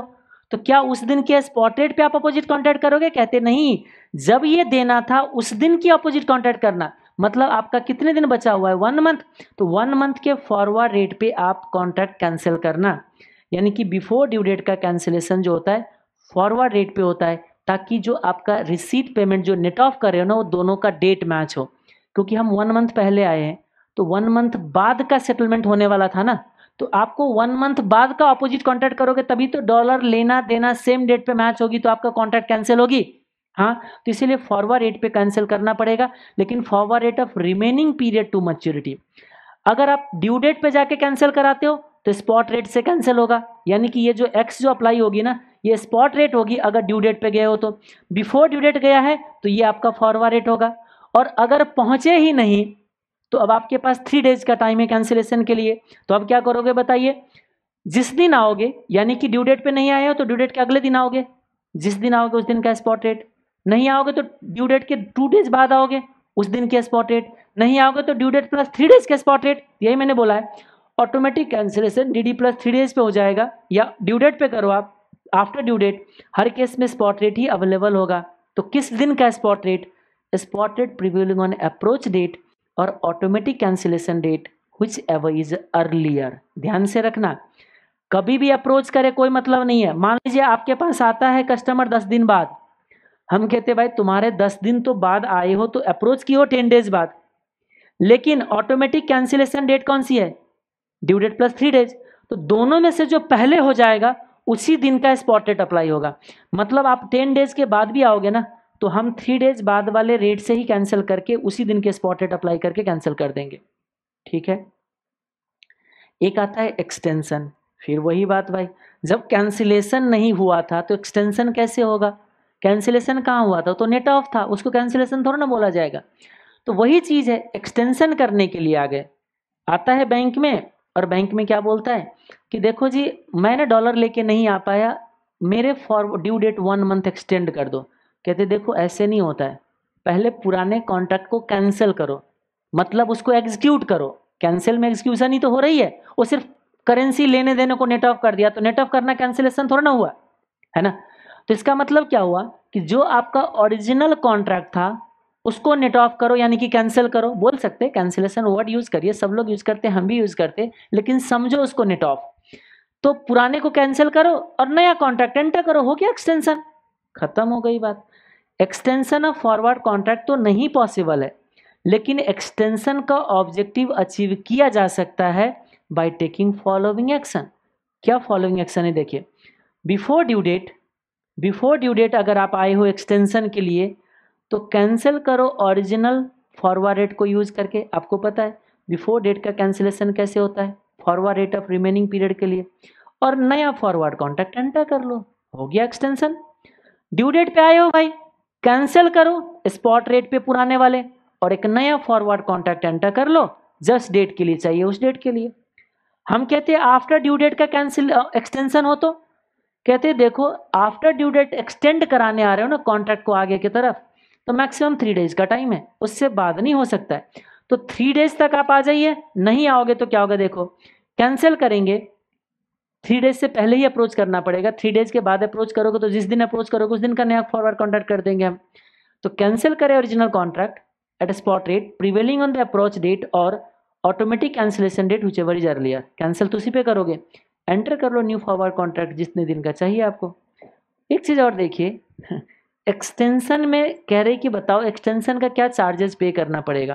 तो जो कैंसिलेशन की लॉस गेन है ना, जो कैंसिल करने का लॉस गेन है, उसी को बोला गया है एक्सटेंशन का चार्जेज इसी के साथ एक्सटेंशन भी खत्म हो जाता है। तो अब देखिए, एक हॉट से टॉपिक आ गए। इस हॉट टॉपिक को अगर आप यहाँ थोड़ा ध्यान से देखोगे तो देखिए क्या हुआ। ये समरी है, पूरे के पूरे जितना भी अभी कैंसिलेशन पड़ा है, पूरा का समरी है execution cancellation extension of forward contract on different dates क्या क्या है देखो? या तो बिफोर ड्यू डेट या ऑन ड्यू डेट या आफ्टर ड्यू डेट जो कि due date plus three days maximum जा सकता है। देखो, तीन काम हो सकता है फॉरवर्ड कॉन्ट्रैक्ट के साथ। एग्जीक्यूट हो सकता है कैंसिल हो सकता है एक्सटेंड हो सकता है। ऑन ड्यू डेट पे भी ये तीन चीज़ हो सकता है एग्जीक्यूट कैंसिल या एक्सटेंड आफ्टर ड्यू डेट भी तीन चीज़ हो सकता है एक्सटेंशन आपको पता है due day before due date का कैंसिलेशन अभी अभी बढ़ा दिया एक्सटेंशन भी बढ़ा दिया। ड्यू डेट का आपने तीनों चीज़ पढ़ लिया। लेकिन आफ्टर ड्यू डेट में क्या होगा अभी आपने नहीं पढ़ा है। और सर आफ्टर ड्यू डेट का बता तो दिया, सिर्फ़ रेट बताया कि किस रेट पे कैंसिल होगा। उससे ज़्यादा और कुछ कहाँ बताया इस सिचुएशन के लिए फेडई ने एक बहुत बड़ा कॉम्प्लिकेटेड रूल बना रखा है इस सिचुएशन के लिए और इस सिचुएशन के लिए। मतलब अगर कोई ड्यू डेट से पहले आ जाए फॉरवर्ड कॉन्ट्रैक्ट को एग्जीक्यूट कराने। एग्जीक्यूट कराने का मतलब क्या है? मैं बैंक में गया था थ्री मंथ का फॉरवर्ड कॉन्ट्रैक्ट किया। और दो महीने पे भी चला गया डॉलर खरीदने, बेचने डिलीवरी लेने के लिए। तो ये हो गया क्या? बिफोर ड्यू डेट का एग्जीक्यूशन हो गया। तो बोलोगे, सर, ये पॉसिबल कैसे? ड्यू डेट से पहले जाके डॉलर डिलीवरी कैसे हो जाएगी? फेडई ने बोला कि हाँ होगी। एग्जीक्यूट करो। अग्रीड फॉरवर्ड रेट पे। मतलब क्या हुआ? ये तो बहुत बड़ी मुसीबत क्रिएट कर दिया। देखो, फड़े ने क्या मुसीबत क्रिएट कर दिया? यहाँ पे शर्त लगाया गया था कि वो आएगा थ्री मंथ पे डॉलर हंड्रेड बाई करके जाएगा या सेल करके जाएगा। और होता क्या है? कस्टमर दो ही महीने पे आ गया और यहीं पे डिलीवरी मांग रहा है। तो ये तो होना ही नहीं चाहिए था, क्योंकि आपको पता है बैंक ने यहाँ के लिए कमिटमेंट अगर कर रखा है तो बैंक की कमिटमेंट फॉर आगे के लिए भी बढ़ा हुआ है इंटर बैंक के साथ। क्योंकि आपसे अगर बाई सेल का कॉन्ट्रैक्ट किया था तो बैंक भी तो अपने कॉन्ट्रैक्ट एक्सटेंड किया है इंटर बैंक में। और आप आ चुके हो यहाँ पे डिलीवरी लेने के लिए। और फेडाई कहता है, दो डिलीवरी इनको। गजब हो गई। ड्यू डेट ये था और तुम कह रहे हो ड्यू डेट से पहले ही उसको डिलीवरी दो। डिलीवरी देना एग्जीक्यूट करना होता है। ठीक है? और वो भी किस रेट पे? जिस रेट पे अग्री किए हो ना पहले ओरिजिनली जिस रेट पे अग्री किए थे डॉलर खरीदने या बेचने का, उसी रेट पे आपको यहाँ डॉलर का डिलीवरी देना पड़ेगा। गजब है भाई। Interest on outlay of fund swap difference ये तीन चीज़ों का एडजस्टमेंट करवाया है किसने? फेडई ने। ये जानना है, ये जानना है, इसके बाद बस आपका। फॉरेक्स का कॉन्सेप्ट ऑलमोस्ट ख़त्म ही हो जाता है, उसके बाद कुछ बचता नहीं है। तो चलिए एग्जीक्यूशन देखते हैं, कैसे होता है एग्जीक्यूशन ये डायग्राम बना रखा है, इसको थोड़ा ध्यान से आप लोग पढ़िएगा, ठीक है? क्या होता है इसमें देखिए, एक ओरिजिनली एक एक करके पॉइंट पे आप ध्यान दीजिएगा जहाँ जहाँ मैं मार्क कर रहा हूँ, वहाँ पे। फिफ्टींथ जून को एक्सपोर्ट हुआ। ठीक है जी? फिफ्टींथ जून को क्या किया गया? एक्सपोर्ट थ्री मंथ का उधार दिया गया है तो ये पेमेंट कब आने वाला है बता सकते हो? फिफ्टींथ जून से थ्री मंथ जुलाई, अगस्त, सितंबर। आप देखिए फिफ्टीन सितंबर में पेमेंट आने वाला है रिसीवेबल है। ओके? फिफ्टीन सितंबर को आने वाला था, लेकिन हम पढ़ क्या रहे अर्ली डिलीवरी सामने वाले पार्टी ने ना, मुझे पहले ही पे कर दिया और मेरे पास एक मंथ पहले ही पैसे आ गए। ध्यान से देखिए, जब फिफ्टीन सितंबर में आने वाला होगा तो मैं एक्सपोर्टर बैंक में जाके कॉन्ट्रैक्ट कर चुका होगा। कब? फिफ्टीन सितंबर को एक कॉन्ट्रैक्ट एंटर करके आ चुका होगा। गलत। फिफ्टींथ जून को ही ये कॉन्ट्रैक्ट किया होगा डिलीवरी डेट रखा होगा फिफ्टींथ ऑफ़ सितंबर। क्योंकि आपका एक्सपोर्ट कब हुआ है? फिफ्टींथ जून को। तो जब फिफ्टींथ जून को मैंने एक्सपोर्ट किया है तो मुझे तो पता है ना कि थ्री मंथ बाद मेरे पास डॉलर आने वाला है। तो मैं बैंक में गया और बैंक को क्या बोला कि देखो जी, मैं आपको थ्री मंथ बाद यानी कि पंद्रह सेप्टेम्बर को डॉलर दूँगा, बताओ क्या रेट देते हो? बैंक ने मुझे रेट दे दिया, मान लीजिए सिक्सटी फाइव तो ये कॉन्ट्रैक्ट किस दिन पे किया गया? फिफ्टींथ जून को किया गया, जिस दिन मैंने एक्सपोर्ट किया था, उसी दिन कर लिया। आपको पता है बैंक भी अपना कॉन्ट्रैक्ट आगे एक्सटेंड कर लेगा। ये रहा थर्ड नंबर कॉन पॉइंट इसने भी क्या करा? कि अच्छा यहाँ से डॉलर आएगा, ये सोच रहा है। चलो ठीक है, हम भी डॉलर क्या करेंगे, यहाँ से रिसीव करेंगे? मतलब ये बैंक क्या कहता है, हम डॉलर बेच देंगे। इसने भी जाके अपने कॉन्ट्रैक्ट आगे एक्सटेंड कर लिया थर्ड पार्ट में। ये भी कौन सी दिन पे हुआ बताओ? ये कॉन्ट्रैक्ट फिफ्टींथ जून को एंटर किया गया थ्री मंथ के लिए। और आपको पता है, जितने यहाँ से लाएँगे, उससे कम देंगे बैंक क्योंकि बैंक को पता है कि एक्सचेंज मार्जिन कमाता है बैंक तो इसने कॉन्ट्रैक्ट किया 65.5 पे। और इसने 65 देने की बात किया। मतलब बैंक का ओरिजिनल जो आपका पॉइंट बनता है, ये कितना ओरिजिनल प्रॉफिट बुक करके बैठ गया बता सकते हैं कोई? पॉइंट फाइव का। ध्यान से सुनिएगा। पॉइंट फाइव का ओरिजिनल प्रॉफिट बुक करके बैठा हुआ है। कौन? बैंक। ये सारा काम खत्म हो गया फिफ्टीन जून का। ये भी अपने डे टू डे एक्टिविटी में लग गए। बैंक भी अपने डे टू डे एक्टिविटी में लग गए। इंटर बैंक में भी होने लग गया। यानी कि फिफ्टींथ जून को क्या क्या काम हुआ बताइए? पहला, दूसरा और तीसरा ट्रांजेक्शन हुआ है। First, second and third transaction fifteenth June को होके सब अपने अपने डे टू डे एक्टिविटी में लग गए। अब आ गए फिफ्टींथ ऑफ़ अगस्त। इस कस्टमर ने क्या किया? उस कस्टमर ने हमें पहले ही पैसे दे दिया। अब आपको क्या बताइए? अब आपके पास अगर डॉलर हंड्रेड आ चुका है तो आप कहते हो कि ठीक है। हम डॉलर होल्ड कर लेते हैं, क्योंकि ड्यू डेट तो आया है नहीं। क्योंकि हमें तो कब देने की बात हुई थी? फिफ्टींथ ऑफ़ सेप्टेम्बर को। तो दे देंगे फिफ्टींथ ऑफ़ सेप्टेम्बर को। क्या गवर्नमेंट आपको होल्ड करने को अलाउ करेगा क्या? नहीं अलाउ करेगा। इसका मतलब आपको ये डॉलर आज ही बेचना पड़ेगा। तो कायदे से क्या होना चाहिए था? ये सब चलता रहता है। इसको कैंसिल करा दो भाई अब, क्योंकि तुम ये काम नहीं कर पाओगे। तो तुम कैंसिल कराओ और स्पॉट रेट पे तुम डॉलर बेच दो। ये होना चाहिए था। लेकिन फेडई ने क्या बोला? अरे भाई साहब, नहीं नहीं, तुम्हें लेना पड़ेगा डॉलर लेना पड़ेगा डॉलर इस पे रेस्ट्रिक्शन डाल दिया कि तुम्हें ये एक्सेप्ट करना पड़ेगा किस डेट पे? फिफ्टींथ ऑफ़ अगस्त को। तो as per the contract delivery on fifteen सितंबर था। फिफ्टीन सितंबर पे ये आना चाहिए था। लेकिन एक्चुअल हो गया फिफ्टीन ऑफ़ अगस्त को अर्ली डिलीवरी हो गई। अब बैंक तो मजबूर है ना। अगर फेडई ने बोल दिया तो इनको तो खरीदना पड़ेगा। लेकिन खरीद के ये होल्ड तो नहीं करेगा, ये भी तो कहीं ना कहीं बेचेगा। तो वही मैं बोल रहा हूँ कि देखो फिफ्टीन ऑफ़ अगस्त को ये क्या करेगा देखो, ये डॉलर बेच दिया इंटर बैंक में ले जाके। तो ये जो बेचा है, किस डेट पे बेचा है? फिफ्टीन अगस्त को जब डिलीवरी आया तो ये हमारे को फिफ्टीन अगस्त का स्पॉट रेट चाहिए होगा। और ये फिफ्टीन अगस्त का ये स्पॉट रेट चल रहा था। अब ये देखो इंटर बैंक डॉलर खरीद रहा है और ये रेट जो होता है वो इंटर बैंक रेट का होता है। तो अब इस केस में इंटर बैंक बाई कर रहा है तो किस रेट पे बाई करेगा? 64 पे 64 का रेट अप्लाई हो गया। अब देखिए क्या होता है।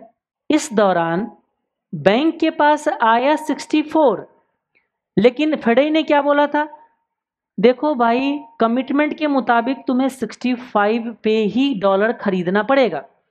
तो बैंक को देना पड़ रहा है 65 और बैंक के पास आ रहा है 64 बैंक कहता है, देखो भाई, ये मैं वन रुपी कहाँ से लाऊं? सोचो, बैंक ऐसे ही बैठा हुआ था, बैंक कहते, देखो, मेरा तो कॉन्ट्रैक्ट फिफ्टीन ऑफ़ सेप्टेम्बर का था, तुम फिफ्टीन सेप्टेम्बर को मैं पैसे का इंतज़ाम करता, तुम फिफ्टीन सेप्टेम्बर मुझे देते, मैं तुम्हें फिफ्टीन सेप्टेम्बर को देता, आज मेरे पास एक रुपये नहीं है। सीधा बोलता है, बैंक, देखो, मेरे पास एक रुपये नहीं है।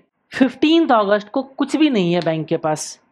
तो बैंक कहता है, देखो, मेरे पास जो डॉलर तुमने दिया था, उसको बेच के तो मैं सिक्सटी फोर लाया।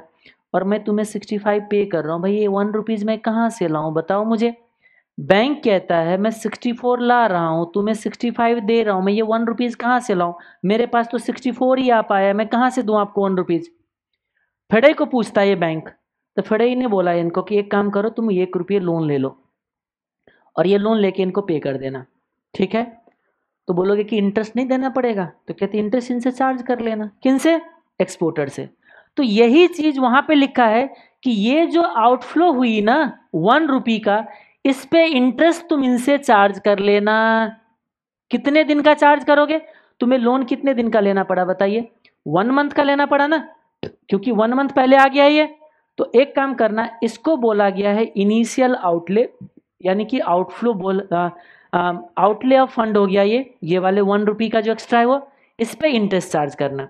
तो आपने देखा था, यही मैंने लिखा था interest on outlay of fund जो होगा ना, वो आपको रिसीव करना है सामने वाले से एग्जीक्यूट करना फॉरवर्ड कॉन्ट्रैक्ट कमिटेड रेट पे। दो चीज़ आपको समझ आ गए, अब तीसरा आते हैं स्वैप डिफरेंस का। अब कहते हैं, देखिए देखिए, ये जो वन रुपी मुझे ज़्यादा देना पड़ा है, एक तो फंड का भी इंतज़ाम करना था, और एक रुपये ज़्यादा दिया है तो ऐसा थोड़ा नहीं कि वो वन रुपये मुझे वापस कर देगा फिफ्टीन सितंबर को। मैंने जो लोन लिया है, वो रिपेमेंट भी तो मुझे ही करना पड़ेगा। एक तो इंटरेस्ट देना पड़ा तो कहते, ठीक है, इस वन रुपीज़ पे एक इंटरेस्ट ले लो। और बाकी ये जो वन रुपी जो मैंने एक्स्ट्रा पे किया है, वो भी तो मेरे ही पॉकेट से गए हैं ना? तो मैं उसको क्या करूँ? कहते, वो भी उनसे रिसीव कर लेना। तो मैं कहता हूँ कि इतना से काफ़ी हो जाएगा? कहते, नहीं, सिर्फ़ वन रुपी रिसीव करना काफ़ी नहीं है। तो मैं कहता हूँ, क्या रिसीव और करना है? तो हम कहते, देखो, इस बैंक को अभी ये कॉन्ट्रैक्ट भी तो अब एग्जीक्यूट नहीं होगी ना? क्योंकि जब ये फिफ्टीन सितंबर को ड्यू डेट पे ये आएगा ही नहीं, क्योंकि तो पहले ही आ गया। तो ये जो ओरिजिनल कॉन्ट्रैक्ट था, अब ये भी तो एग्जीक्यूट नहीं होगा। हम कहते हैं हाँ नहीं होगा। तो जब ये नहीं होगा तो इसको भी तो कैंसिल करने पड़ेंगे। हाँ करना पड़ेगा। एक चीज़ याद रखिएगा, और ये चीज़ बैंक को उसी दिन पता चल चुका है। बैंक को किस दिन पता चल चुका है? फिफ्टीन ऑफ़ अगस्त को ही पता चल गया कि ये कॉन्ट्रैक्ट अब एग्जीक्यूट नहीं होने वाला है। जो हमने एंटर किया था। तो बैंक क्या करता है? इसको कैंसिल करने के लिए फिफ्टीन अगस्त को ही वन मंथ का ऑपोजिट कॉन्ट्रैक्ट कर लेता है। कौन सी डेट पे? फिफ्टीन अगस्त को ही वन मंथ का ऑपोजिट कॉन्ट्रैक्ट कर लेता है। ये डॉट डॉट लाइन वाले सिक्स नंबर कौन सी डेट पे किया सिक्स नंबर फिफ्टीन अगस्त को। तो देखो, छठा ट्रांजेक्शन भी फिफ्टीन अगस्त को हुआ है फिफ्थ ट्रांजेक्शन भी फिफ्थ और सिक्स ट्रांजेक्शन दोनों फिफ्टीन अगस्त को हुआ है। और ये जो पेमेंट का जो रिसीव हुआ है ना, वो भी फिफ्टीन अगस्त को रखा है। अच्छा तो अब क्या हुआ देखो, यहाँ भी इनको लॉस हो गया। नहीं लग रहा है? कैसे देखो, यहाँ पे बैंक को देना पड़ रहा है सिक्सटी सेवन और लेने की कॉन्ट्रैक्ट हुआ था सिक्सटी फाइव पॉइंट फाइव में। तो क्या हुआ बताइएगा? यहाँ पे आपको sixty seven minus sixty five point five one point five rupees का यहाँ का लॉस वन रुपी का यहाँ का लॉस एक्स्ट्रा देना पड़ा। और पॉइंट फाइव जो मैंने पहले से सोच के बैठा था कि प्रॉफिट होगा, वो भी मिस हो गया मेरा इस पूरे दौरान में। अरे बहुत ही गलत हुआ है इसके साथ तो। बैंक के साथ तो बहुत गलत हुआ। 1.5 ये गया 0.5 ये मिस हो गया वन रुपीज़ यहाँ एक्स्ट्रा गया।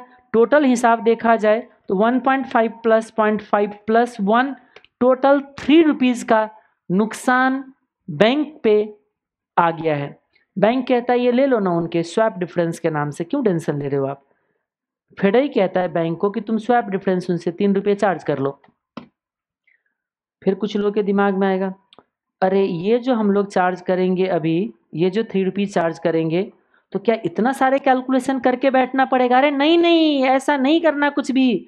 ना आपको ये सोचना है, ना आपको ये सोचना है, कुछ भी नहीं सोचना है। इवन आपको ये ना भी देना तो भी चलेगा। ये कुछ भी ना दे तो भी चलेगा।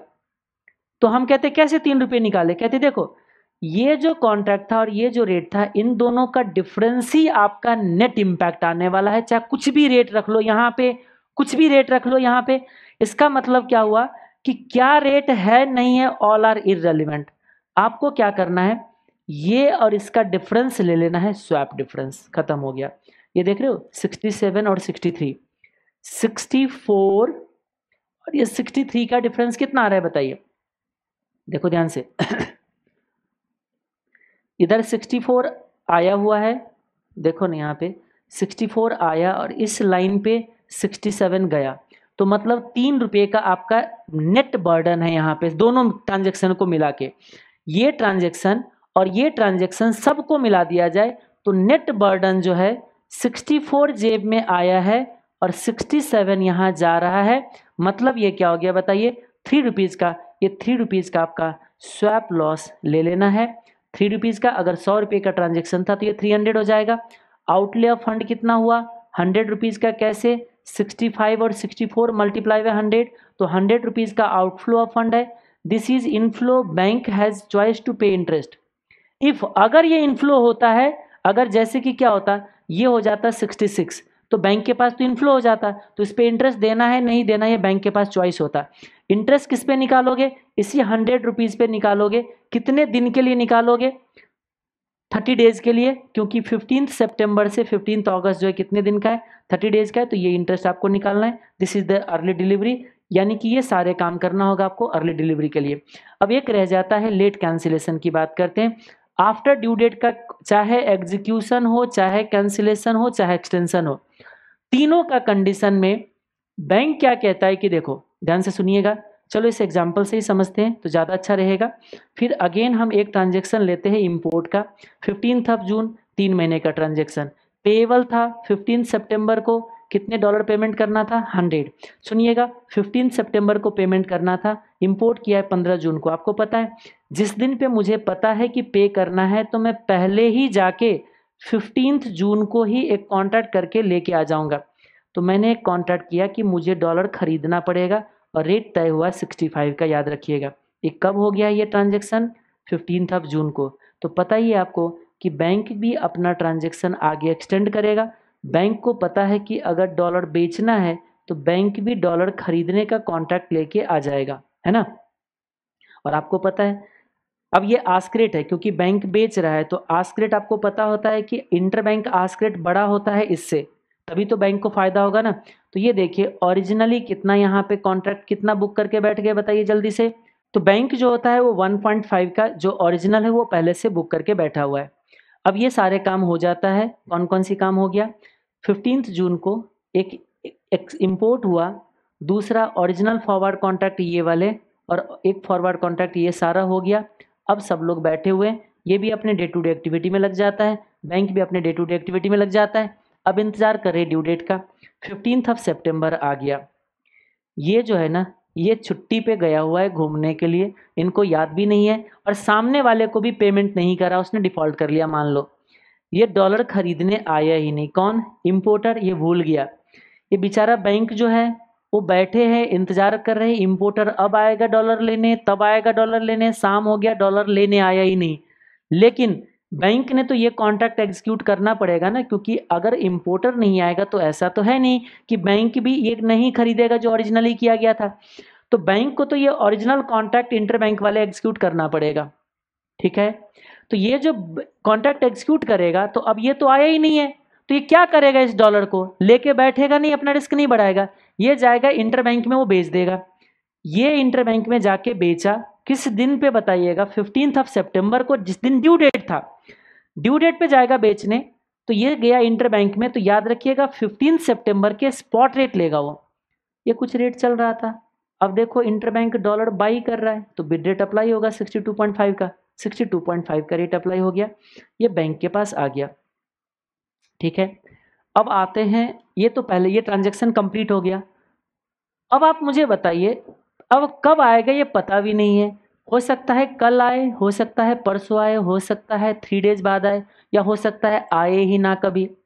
लेकिन नहीं भी आएगा तो due date plus three days पे तो कॉन्ट्रैक्ट कैंसिल हो जाएगा। वो खुद कर देगा अपोजिट कॉन्ट्रैक्ट ये वाले कॉन्ट्रैक्ट जो हुआ था ना, ये कैंसिल तो होना ही है। लेकिन इस कैंसिल तो होगा, लेकिन कब होगा?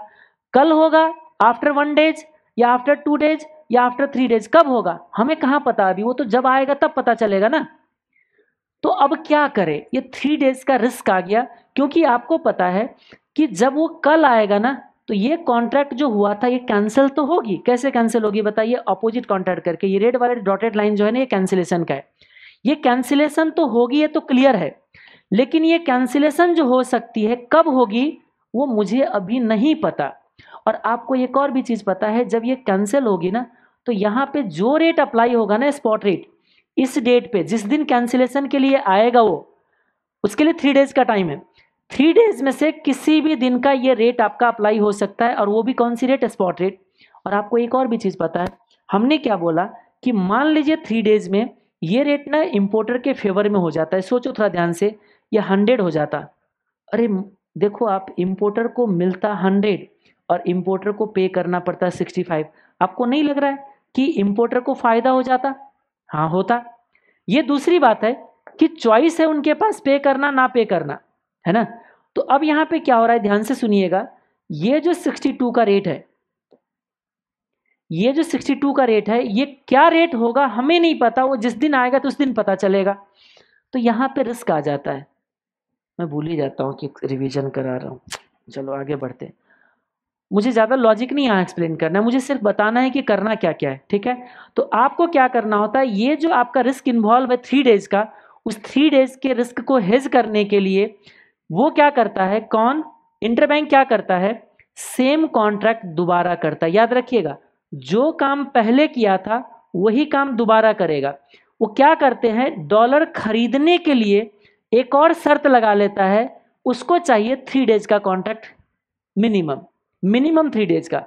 वन मंथ हो जाए, फिफ्टीन डेज़ हो जाए, कोई फ़र्क नहीं पड़ता है। क्यों फ़र्क नहीं पड़ता है? सुनिएगा, इसलिए फ़र्क नहीं पड़ता है कि तुम जब आओगे तो उसको भी वो कैंसिल करेंगे हम। अब कैंसिल तो करना है, अब किस रेट पे करना है वो तो जब होगा तब देखेंगे। लेकिन एक चीज़ क्या होगा, देखिएगा ध्यान से, अब इस पूरे प्रोसेस में क्या क्या सिचुएशन आ गई। एक तो क्या हुआ देखो, हमारा ये जो कॉन्ट्रैक्ट था 63 पे हमने डॉलर खरीदा और हमने सिर्फ़ 62.5 पे बेच पाए।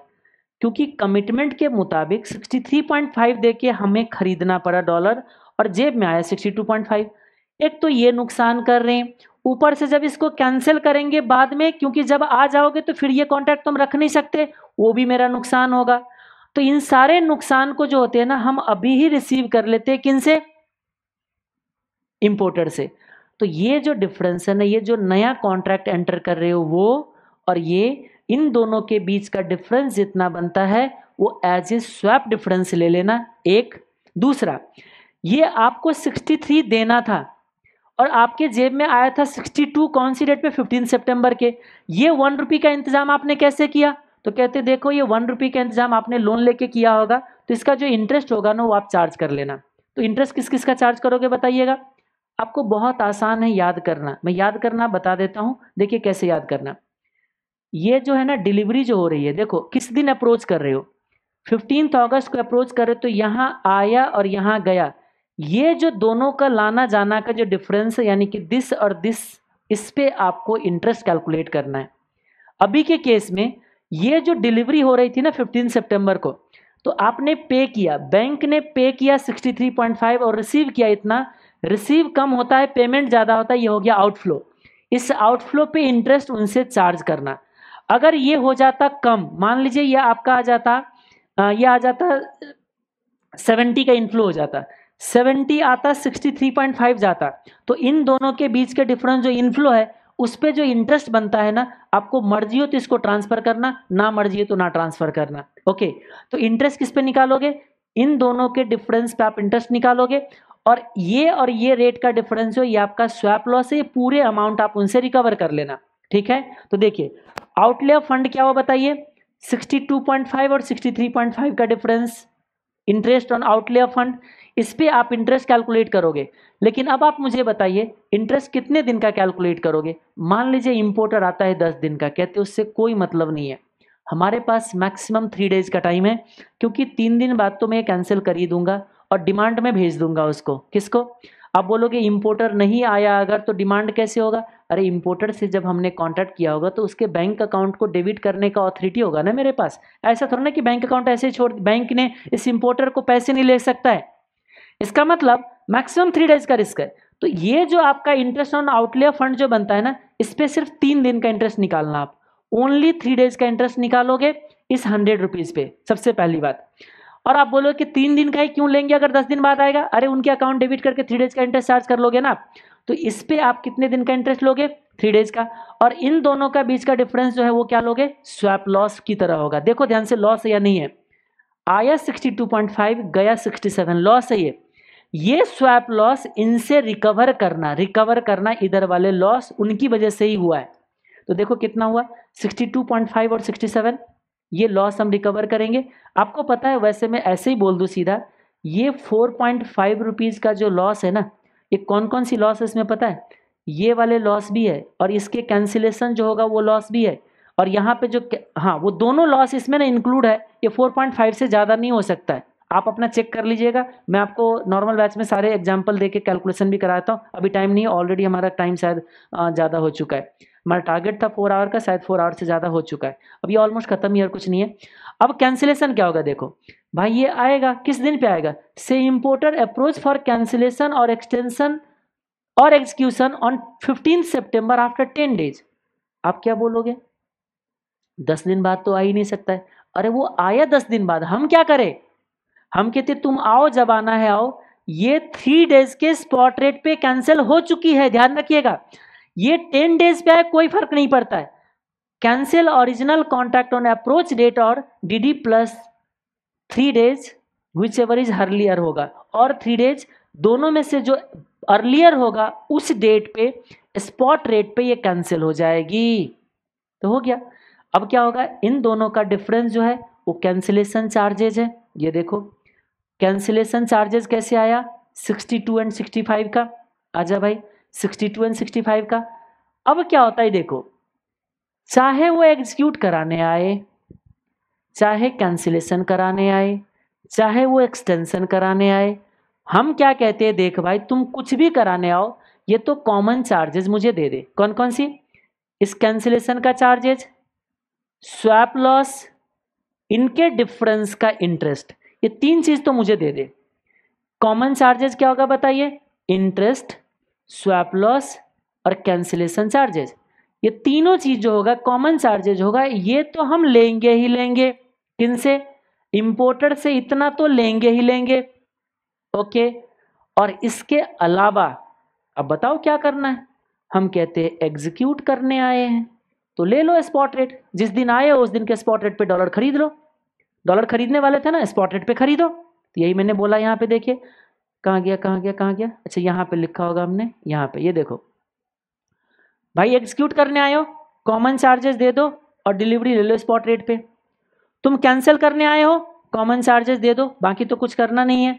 तुम एक्सटेंड कराने आए हो कॉमन चार्जेस दे दो और नया कॉन्ट्रैक्ट कर लो। हो गया खत्म। यानी कि आपको ये तीनों काम करना पड़ेगा। एग्जीक्यूट करना है तो कॉमन चार्जेस दे दो। कैंसिल करना अच्छा और डिलीवरी ले लो।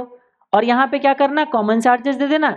और यहाँ पे आपको फॉरवर्ड कॉन्टैक्ट भी करना पड़ेगा। अब ये कॉमन चार्जेस कैसे? डायग्राम टू देखो। कॉमन चार्जेस क्या क्या आएगा बताइए। स्वैप डिफरेंस इंटरेस्ट और कैंसिलेशन का लॉस गेन यही था आपका मेजर कॉन्सेप्ट इसके बाद अब आपका कुछ नहीं है. लीडिंग लैगिंग बहुत आसान है. अगर ड्यू डेट से पहले पेमेंट मिल जाए लीडिंग बिफोर ड्यू डेट अगर कोई पेमेंट मिल जाए लीडिंग और अगर डिले कर दे, अगर ड्यू डेट के बाद पेमेंट का तो वो लैगिंग लीडिंग कोई इंसान क्यों करेगा? आप मान लीजिए, मैं किसी का क्रेडिट पीरियड क्यों यूज़ करता हूँ? क्रेडिट पीरियड में यूज़ करता हूँ इसलिए ताकि टाइम वैल्यू में अर्न करता हूँ, है ना? तो टाइम वैल्यू में अर्न करता हूँ तो टाइम वैल्यू अर्न करने के लिए आप क्या कर रहे हो? क्रेडिट पीरियड को आप यूज़ करते हो। अब आपने टाइम वैल्यू कितना अर्न किया? मान लीजिए हज़ार रुपये का बेनिफिट होगा, अगर ये उधार पीरियड को यूज़ करोगे, क्योंकि आपको ये इंटरेस्ट का बेनिफिट होगा। और इस दौरान आपको दो हज़ार का एक्सचेंज लॉस होता है। तो ऐसा काम करोगे क्या? अब बोलोगे, नहीं नहीं नहीं नहीं नहीं, ऐसा काम नहीं करना चाहिए, क्योंकि एक्सचेंज लॉस ही ज़्यादा है। जितना हम बेनिफिट नहीं कमा रहे, उससे ज़्यादा लॉस है। तो यही कह रहे हैं कि देखो लीड पेमेंट बेनिफिशियल होता है जब जितना आप बेनिफिट अर्न कर रहे हो ना अपॉर्चुनिटी से, वो जो टाइम वैल्यू के लिए जो अर्न कर रहे हो क्रेडिट पीरियड में, उससे ज़्यादा हमारा तो एक्सचेंज लॉस है। यानी कि बेनिफिट कम है एक्सचेंज लॉस से। तो ऐसा काम नहीं करना चाहिए। एक और भी बात, जब लैग करते हैं ना ड्यू डेट आ गया, मान लीजिए थ्री मंथ बाद, और थ्री मंथ बाद अगर किसी को पेमेंट आप अगर नहीं करते हो तो वो सप्लायर आपसे क्या करेगा? इंटरेस्ट चार्ज करेगा। ठीक है? सप्लायर क्या करेगा बताइए? इंटरेस्ट चार्ज करेगा। तो हम कहते हैं, करने दो चार्ज मान लीजिए वो हज़ार रुपये का इंटरेस्ट चार्ज करेगा और मेरे को जितना दिन डिले करूँगा ना पेमेंट तो मैं तो कुछ इंटरेस्ट भी कमाऊँगा डिलेड पीरियड में और ऊपर से एक्सचेंज का बेनिफिट भी हो जाता है। और वो अगर हमारा ज़्यादा हो जाए तो ठीक है इंटरेस्ट हम पे कर देंगे। तो यही बोलते हैं कि देखो लैग पेमेंट बेनिफिशियल होगा। कब? जितना इंटरेस्ट चार्ज किया है ना सप्लायर वो छोटा है। किससे? हमारे बेनिफिट से। हम एक्सचेंज का गेन भी कर रहे होंगे और अपॉर्चुनिटी बेनिफिट कर रहे होंगे। तो ये क्या जाता है आपका? लीडिंग और लैगिंग एक है बहुत आसान सा कॉन्सेप्ट जिसका नाम क्या है बताइए? एक है छोटा सा कॉन्सेप्ट आपका पैरेलल लोन का। ये बहुत आसान है। एक इंडियन पार्टी इंडियन कंपनी जो है ना, अपने यूएस सब्सिडरी को लोन देना चाह रहा था। कितना? डॉलर करेंसी में। और वैसे ही एक यूएस की कंपनी है, जो अपने इंडियन सब्सिडरी को लोन देना चाह रहा था। अब क्या होता है, देखिए यूएस वाले अगर इसको रुपी में लोन देगा रुपी में अगर लोन देगा तो उनको पता है कि जो रिपेमेंट आएगी रुपी में आएगी कन्वर्जन कराना पड़ेगा रिस्क आ जाएगा।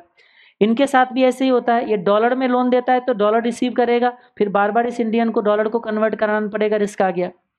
तो ये दोनों क्या एक एक तरकीब सोचा क्या, कि चल एक काम कर, इनको डॉलर रुपी चाहिए ना, चल मैंने इनको रुपी लोन दे दिया, इन्होंने दे दिया इनको लोन और तुम्हारे वाले को चाहिए, चलो मैंने दे दिया इसको डॉलर लोन तो इस तरीके के मेरे पार्टी को वो ही लोन दे देता है, उनके पार्टी को मैं लोन दे देता हूँ तो इस तरीके का जो अरेंजमेंट है, उसको पैरल लोन या बैक टू बैक लोन भी बोला जाता है।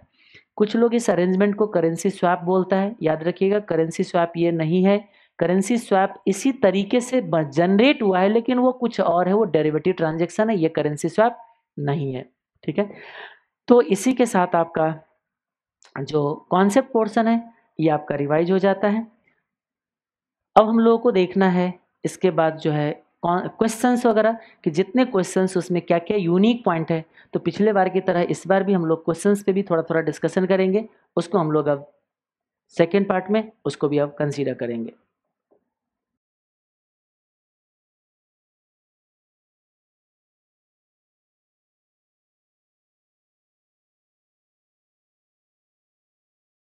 हम लोग क्वेश्चंस का भी रिवीजन करते हैं। क्वेश्चंस में सिर्फ़ यूनिक पॉइंट जिस क्वेश्चन में आपको जो चीज़ देखना है, बस सिर्फ़ उस उस पॉइंट पे हम डिस्कशन करेंगे। क्वेश्चंस के सॉल्यूशन नहीं देखेंगे क्वेश्चन रीड नहीं करेंगे, नहीं तो आपको पता है फॉरेन एक्सचेंज कितने ज़्यादा लेंदी है, फिर वो हो नहीं पाएगा। तो क्या है कि कौन सी क्वेश्चन में किस बात का ध्यान रखना है? एग्जामिनेशन से पहले उस उस बात पे हम लोग अभी डिस्कशन करने जा रहे हैं। तो आइएगा, ये जो क्वेश्चन बुक है, ये आपको पीडीएफ फॉर्मेट में आपको डिस्क्रिप्शन बॉक्स में मिल जाएँगे, आप वहाँ से डाउनलोड कर लेंगे। और एक और भी बात है, कुछ लोगों को थोड़ा कन्फ्यूज़न रहता है इस रेफरेंस को लेके, याद रखिएगा क्वेश्चन के साथ जो सामने का रेफरेंस है, वो सीए एग्जामिनेशन का है। क्वेश्चन के नीचे का जो रेफरेंस है, वो सी एग्जामिनेशन का है। तो कुछ लोग को डाउट रहते यहाँ सी में लिखा, यहाँ सी नहीं लिखा तो थोड़ा फीलिंग नहीं आते। अरे ओरिजिनली जब हमने फ़र्स्ट टाइम जब कोई बुक बनाया था तो सी ए के पॉइंट ऑफ़ व्यू से ही बढ़ा था तो लिखने की ज़रूरत नहीं, क्योंकि बाई डिफ़ॉल्ट सी ए का है। बाद में हमने सी एम ए का रेफरेंस डाला तो हमने थोड़ा सा डिफ्रेंशिएट करने के लिए इस तरीके से लिख दिया है। तो याद रखिएगा क्वेश्चन के सामने जो है सी ए का रेफरेंस है, नीचे वाले सी एम ए का रेफरेंस है। इस क्वेश्चन में बहुत आसान क्वेश्चन है, कुछ भी आपको ध्यान रख मतलब कुछ भी मुझे इसमें बताने लायक नहीं है। टू ए कोट अप्लाई करना है। इसमें बेस करेंसी आपका डॉलर है स्ट्रेंथ वाइज सही है। बाकी आपको इसमें कहीं कुछ भी मुझे बताने लायक नहीं है। अगेन, इस सेकंड करेंसी क्वेश्चन में भी मुझे कुछ भी यूनिक पॉइंट नहीं है। हाँ थर्ड क्वेश्चन में थोड़ा सा यूनिक पॉइंट ये है कि ये ध्यान रखना होता है कि ये पता ही नहीं चलता है स्टूडेंट के कि कौन सी रेट है, कब का है, कैसे है। इसमें आपको क्या ध्यान रखना है, देखिए per unit of each currency लिखा गया है। Per unit of each currency का मतलब है, आपको जो बेस करेंसी है ना वन जो लिखा गया है वन यूनिट में ये है। अगेंस्ट यूएस डॉलर यानी कि जो एक्सचेंज रेट है डॉलर ये है और ये आपका पाउंड के साथ वन है। इसमें देखोगे तो कैनेडियन डॉलर में सी ए डी यानी कि कैनेडियन डॉलर वन है और इसके साथ डॉलर है, क्योंकि सारे के सारे एक्सचेंज रेट जो है अगेंस्ट यूएस डॉलर है। तो ये रहा, ये अगेंस्ट डॉलर यूएस डॉलर है।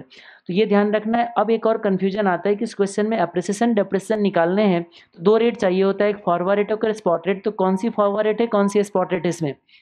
पहले जो लिखा गया रेट है स्पॉट रेट है, बाद में लिखा गया रेट जो है वो फॉरवर्ड रेट है।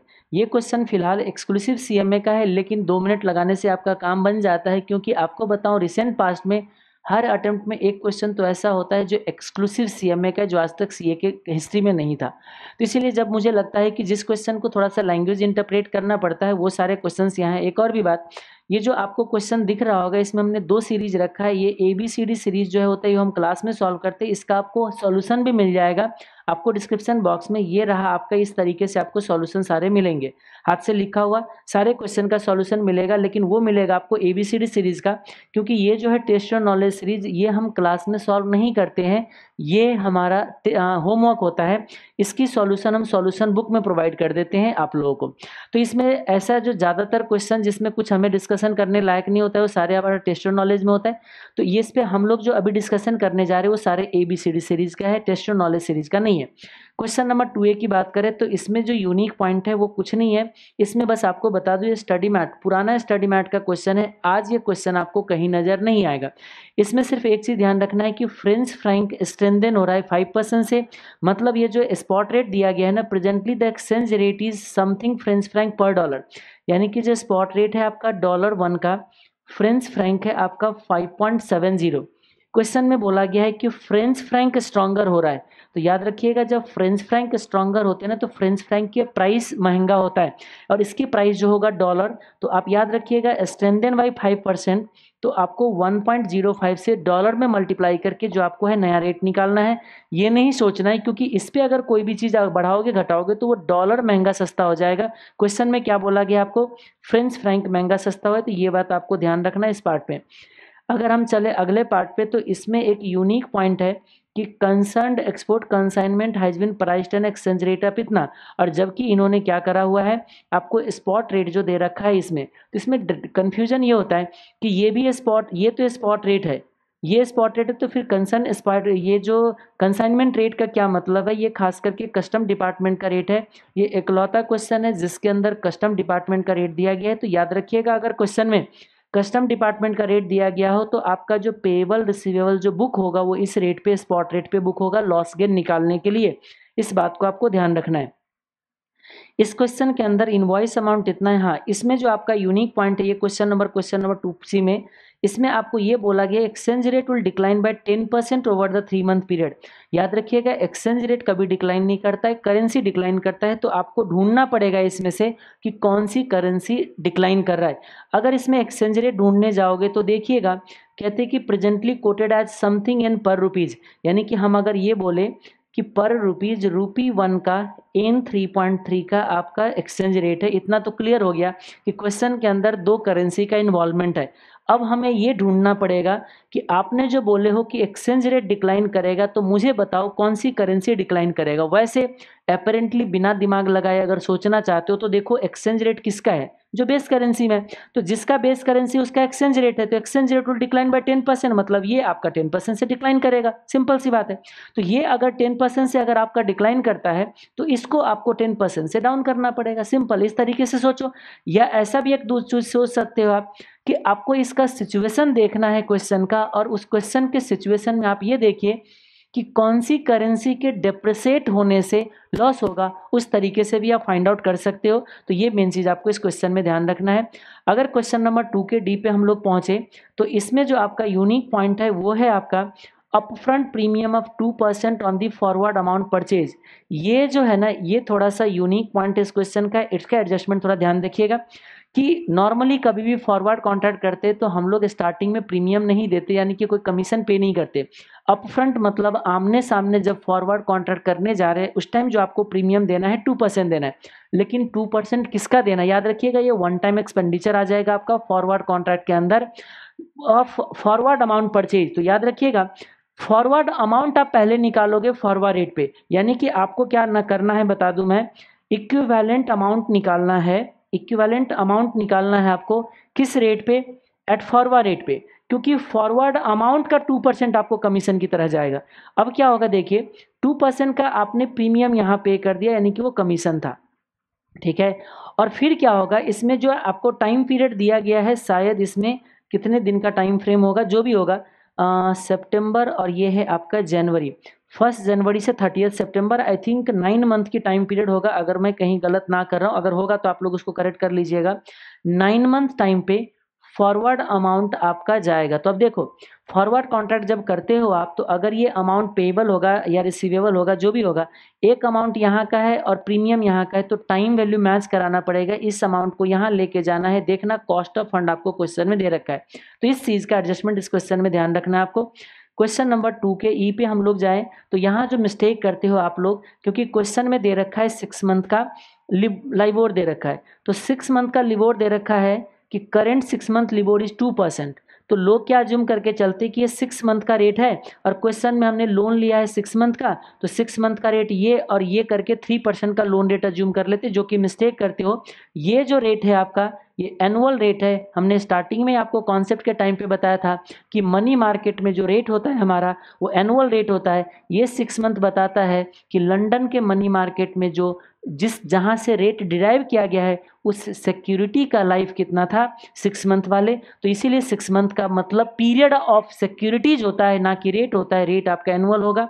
ये चीज़ ध्यान रखिएगा, नहीं तो आपका इसमें मिस्टेक हो जाएगा। अगर हम चले इसमें तो इस क्वेश्चन के अंदर what will be the opinion दैतना advise the company on the forward मुझे अगेन इस क्वेश्चन में कोई भी यूनिक पॉइंट नज़र नहीं आ रहा है, लेकिन हाँ यहाँ ध्यान से देखिएगा। यहाँ आईएसओ कोड में एक्सचेंज रेट दिया गया है। ये रिसेंट पास्ट में आया हुआ क्वेश्चन है। आपको क्या दिखता है? LIBOR six month I N R इतना calculate the rupee requirement of forward cover is taken advise the company the forward cover हाँ ये जो क्वेश्चन है ना, ये जो क्वेश्चन है और ये क्वेश्चन है ऑलमोस्ट सेम है। आपको ध्यान रखिएगा एडवाइस देने की बात करता है कि हमें फॉरवर्ड कॉन्ट्रैक्ट करना चाहिए या नहीं करना चाहिए। हम जब फॉरवर्ड कॉन्ट्रैक्ट करना चाहिए या नहीं करना चाहिए, जब इसकी बात आती है तो हम लोग कैसे डिसीज़न देते हैं? देखिए, हम इस तरीके से सोचते हैं एडवाइस देते हैं। टाइम की देखो, ये फॉरवर्ड रेट है, हम क्या कहते हैं कि देखिए, अब अब आपको पूछा जाता है कि फॉरवर्ड कॉन्ट्रैक्ट करना चाहिए, नहीं करना चाहिए तो आप डिसीज़न कैसे देते हो? हम ये सोचते हैं कि हम क्या एक्सपेक्ट करते हैं। एक्सपेक्टेड रेट से फॉरवर्ड रेट को कंपेयर करते हैं और देन डिसीज़न देते हैं। इस क्वेश्चन के अंदर कहीं पे भी आपको फॉरवर्ड रेट एक्सपेक्ट करने का कोई इन्फॉर्मेशन नहीं दिया गया है। लेकिन जब इस क्वेश्चन में जा रहे हो तो आपको ये जो दो कंट्री का जो इंटरेस्ट रेट दे दिया है ना, और फिर कहता है कि एडवाइस दीजिए फॉरवर्ड कॉन्ट्रैक्ट करोगे या नहीं करोगे तो उस केस में जब हमारे पास जब दो कंट्री का इंटरेस्ट रेट दिया गया हो तो आपको मैंने बताया था कि आप फॉरवर्ड रेट को एक्सपेक्ट कर सकते हो। तो आपको क्या करना है? इस रेट को यूज़ करना है interest rate parity theory use करना है, एक फॉरवर्ड रेट आप निकालोगे उचित। और उस उचित फॉरवर्ड रेट से ये जो दिया गया फॉरवर्ड रेट है, इसको कंपेयर करोगे और देन एडवाइस दोगे, ये है क्वेश्चन नंबर टू का ये। हाँ मैं ये कह रहा था कि देखिए, मैंने बताया था कि आईएसओ कोड हो तो आपको first currency base currency normally दिया जाता है। तो ये देखो, इसमें होगा rupee one equal to dollar sixty eight फिर मैंने बोला था कि अगर ये डॉलर और रुपी का रेट हो तो हमेशा स्ट्रेंथ को बेस बनाइएगा तो क्या ये एक्सचेंज रेट चलेगा? नहीं तो यहाँ पे क्या मतलब है? Dollar one equal to rupee sixty eight तो आप बोलोगे कि स्ट्रेंथ वाइज ध्यान रखना है? हाँ। और ये बता दूँ, ये एक्सेप्शनल एक्सचेंज रेट है, जो कि अभी जनवरी इक्कीस में पूछा है। अगर पास्ट में जाओगे तो इस तरीके से एक्सचेंज रेट कहीं नहीं दिखेगा। अब जाओगे तो वहाँ दिखेगा आपको आई एन आर और फिर देखेगा आपको सिक्सटी एट पॉइंट समथिंग तो मिलेगा आगे, मिलेगा तो हम लोग बहस करेंगे। चलिए क्वेश्चन नंबर टू के एफ़ में चलते हैं। इस क्वेश्चन के अंदर भी कुछ नहीं है, कुछ भी नहीं है। क्योंकि इन्होंने क्या करा है, तीन जगहों पे अलग अलग कंट्री में एक्सपोर्ट किया है और आपको बोला है कि average contribution to sale ratio को यूज़ करके आपको डिसीज़न लेना है कि हम हेज करें या ना करें। अगर हेज करेंगे फॉरवर्ड रेट अप्लाई होगा हेज नहीं करेंगे, उस दिन के स्पॉट रेट अप्लाई होगा। इस क्वेश्चन में ये जो इन्फॉर्मेशन है, ये क्या है? आपका इरेलीवेंट है। अब उसके बाद यहाँ देखिए, ये जो एक्सचेंज रेट दिया गया है, इसमें देखो, एक रेट तो मिल गया ना इससे आप इंटरप्रेट कर लोगे कि मैं बेस करेंसी रूपी को बनाऊँ या डॉलर को? अगर मैं base currency other than ISO code हो तो आप सेकंड करेंसी को बेस बनाओ। रूपी वन को टू डॉलर समथिंग हाँ ठीक है एक्सचेंज रेट सही है। इसका मतलब बेस करेंसी आपका सेकंड बनता है। और अब जब क्या क्वेश्चन को सॉल्व करोगे average contribution to sale ratio निकालना है तो आपको करना क्या है, देखिए। तीनों का आप कॉन्ट्रीब्यूशन निकालना, तीनों का सेल निकालना कंबाइंड में और कंबाइंड कंट्रीब्यूशन और सेल लेके रेशियो निकालना। हेज करोगे, ये रेट अप्लाई होगा, हेज नहीं करोगे, ये रेट अप्लाई होगा, जहाँ पे ज़्यादा होगा उसको आप ऑप्ट करोगे। इस क्वेश्चन के अंदर अगेन कुछ भी नहीं है। ये आपको एवरेज करके एक्सपेक्टेड वैल्यू निकालना है, आपको डिसीज़न देना है। अब अगर नेक्स्ट क्वेश्चन पे आए क्वेश्चन नंबर टू के एच पे तो इसके जो क्वेश्चन का यूनिक पॉइंट है, इसमें क्या किया गया है? एक्सटर्नल कमर्शियल बोरोइंग लिया गया है टेन मिलियन का, ठीक है? और इसमें जो ये लाइन है ना, ये थोड़ा सा आपको परेशान करता है। कुछ लोगों को समझ नहीं आता है कि देखिए average life life will be three point four year with an annual tenure of five years मतलब क्या हुआ देखिए कि आप ये कहना चाह रहे हो कि हमारा लाइफ है पाँच साल का मतलब मैंने तीन, चार, पाँच। फाइव ईयर के लिए जो मैंने लोन ले रखा है, वो लोन मैंने कितना लिया हुआ है? टेन मिलियन का लोन लिया हुआ है और ये मेरा फाइव ईयर का लाइफ है। आपको पता है, अगर इंस्टॉलमेंट निकालना हुआ कभी तो आप इंस्टॉलमेंट कैसे निकाल सकते हो? आप बोलते कि अगर इंटरेस्ट नहीं होगा तो ten million divided by five हर साल आप टू मिलियन टू मिलियन का आप लोन रिपेमेंट कर देते। लेकिन याद रखिएगा, अगर ये जो टू मिलियन का लोन रिपेमेंट करता मैं तो क्या मैं इसमें इंटरेस्ट पे कर पा रहा हूँ? नहीं पे कर पा रहा हूँ। तो आप मुझे बताइए, कितना इंस्टॉलमेंट पेमेंट होती? तो आपको पता है ten million divided by P V I F A होता है। ठीक है? P V I F A मान लीजिए अगर आपका इंटरेस्ट रेट है सपोज़ कीजिए 14.5 परसेंट का। बोले, कहाँ से लाया? मैंने ऐसे ज्यूम कर लिया कि मैंने लोन लिया है 14.5 परसेंट पे। तो पता है आपको इंस्टॉलमेंट कैसे निकालोगे? आप बोलोगे कि 14.5 परसेंट पे आप पी वी आई एफ़ निकाले। One divided by one point one four five one two three four five G T लिया मैंने। ये दिख रहा है आपको three point three nine two मैं मोटा मोटा थ्री पॉइंट फोर बोल देता हूँ। ठीक है, ये मेरा थ्री पॉइंट फोर हो जाता है। अगर ऐसा है तो आपको पता है कि लोन का इंस्टॉलमेंट कितना आएगा। Ten divided by three point four अगर देखा जाए तो ये बन रहा होगा आपका two point nine four something है। इसका मतलब क्या हो बताइए आपको इंस्टॉलमेंट पे करना है two point nine four five year तक। अगर आप फाइव ईयर तक पे करते हो तो कितना इंस्टॉलमेंट पे करोगे? Two point nine four multiply by five, ये आपका फोर्टीन पॉइंट सेवन का पेमेंट हो जाता। अब ध्यान से देखिए, अगर फाइव ईयर का लाइफ है, फाइव ईयर का लाइफ है तो आप क्या कह रहे हो? कि ये हमारा 14.7 का पेमेंट होगा। आपको पता है, अगर टाइम वैल्यू इग्नोर करके 3.4 ईयर लाइफ लेते ना, जैसे अभी हमने क्या किया था टाइम वैल्यू इग्नोर करते तो हर साल टू मिलियन पेमेंट करना आपका लोन का रिपेमेंट हो जाता। आप बोलते हाँ अब मैं कहता हूँ, चलो टाइम वैल्यू ज़ीरो कर देता हूँ। टाइम वैल्यू ज़ीरो कर देता हूँ, लेकिन अमाउंट यही लाना है। कब पॉसिबल होगा बताइएगा? क्या अमाउंट यही आना चाहिए? मैं यही पेमेंट कर रहा हूँ, ध्यान से रखिए। मैंने लोन यही लिया है टेन मिलियन का। लोन का रिपेमेंट यहीं भी कर रहा हूँ मैं। 2.94 2.94 2.94 इसी तरीके से रिपेमेंट कर रहा हूँ मैं। मुझे बताइए, कितने साल में 10 बिलियन का रिपेमेंट हो जाएगी?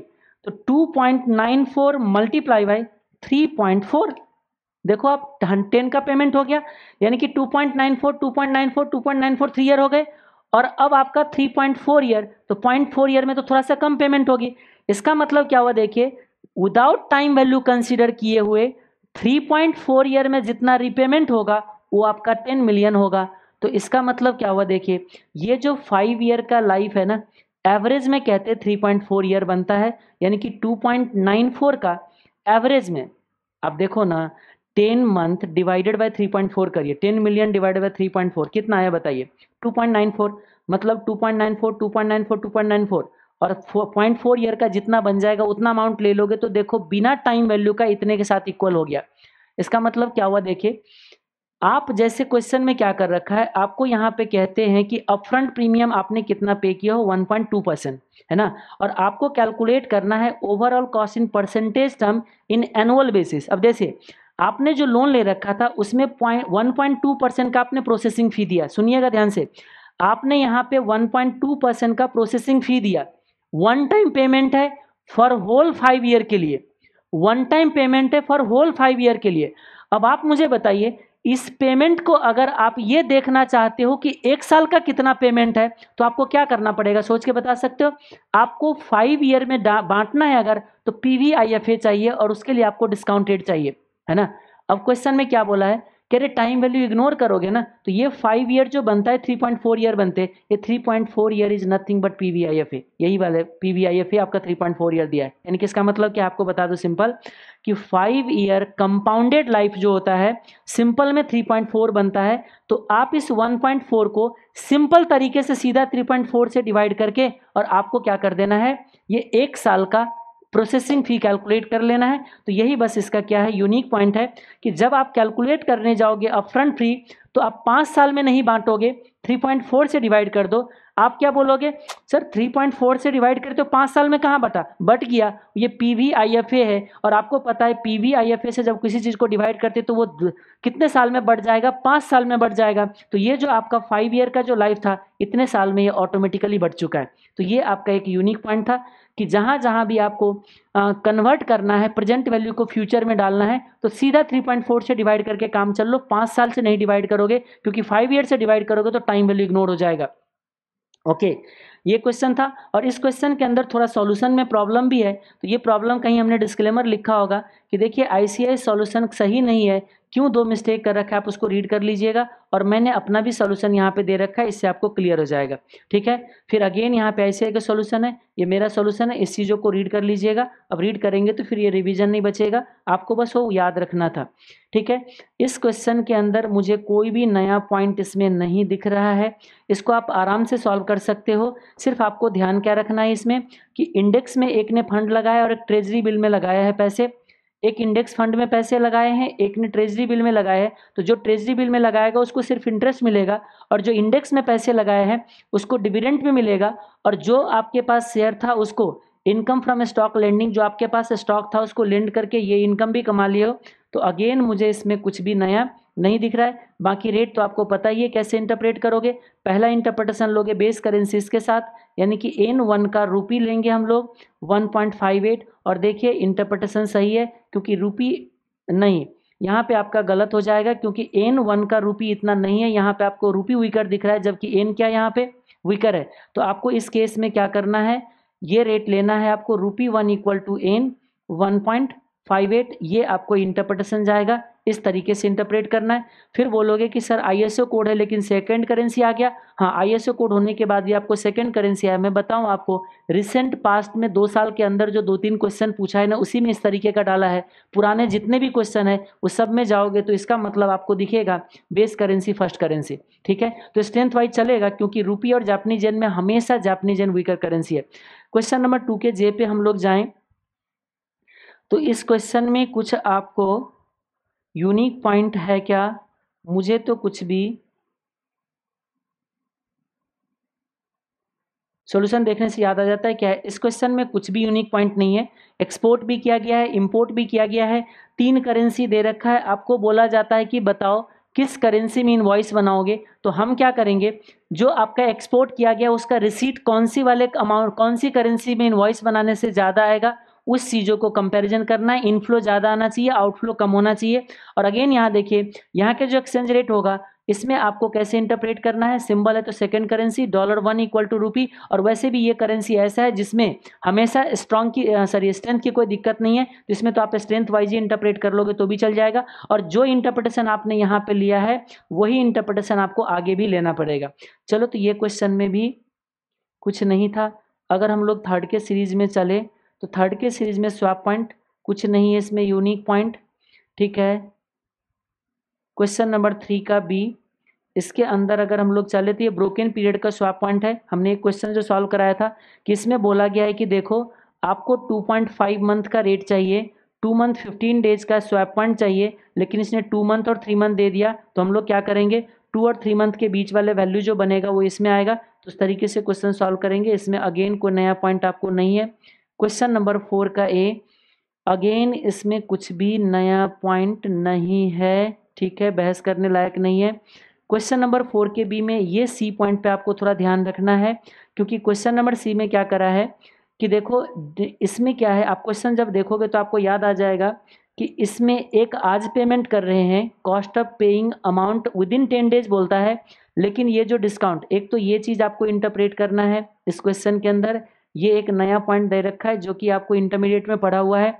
इसका मतलब होता है दो परसेंट का डिस्काउंट लो टेन डेज़ में पे करके अदरवाइज़ नाइन्टी डेज़ में आप पेमेंट करो।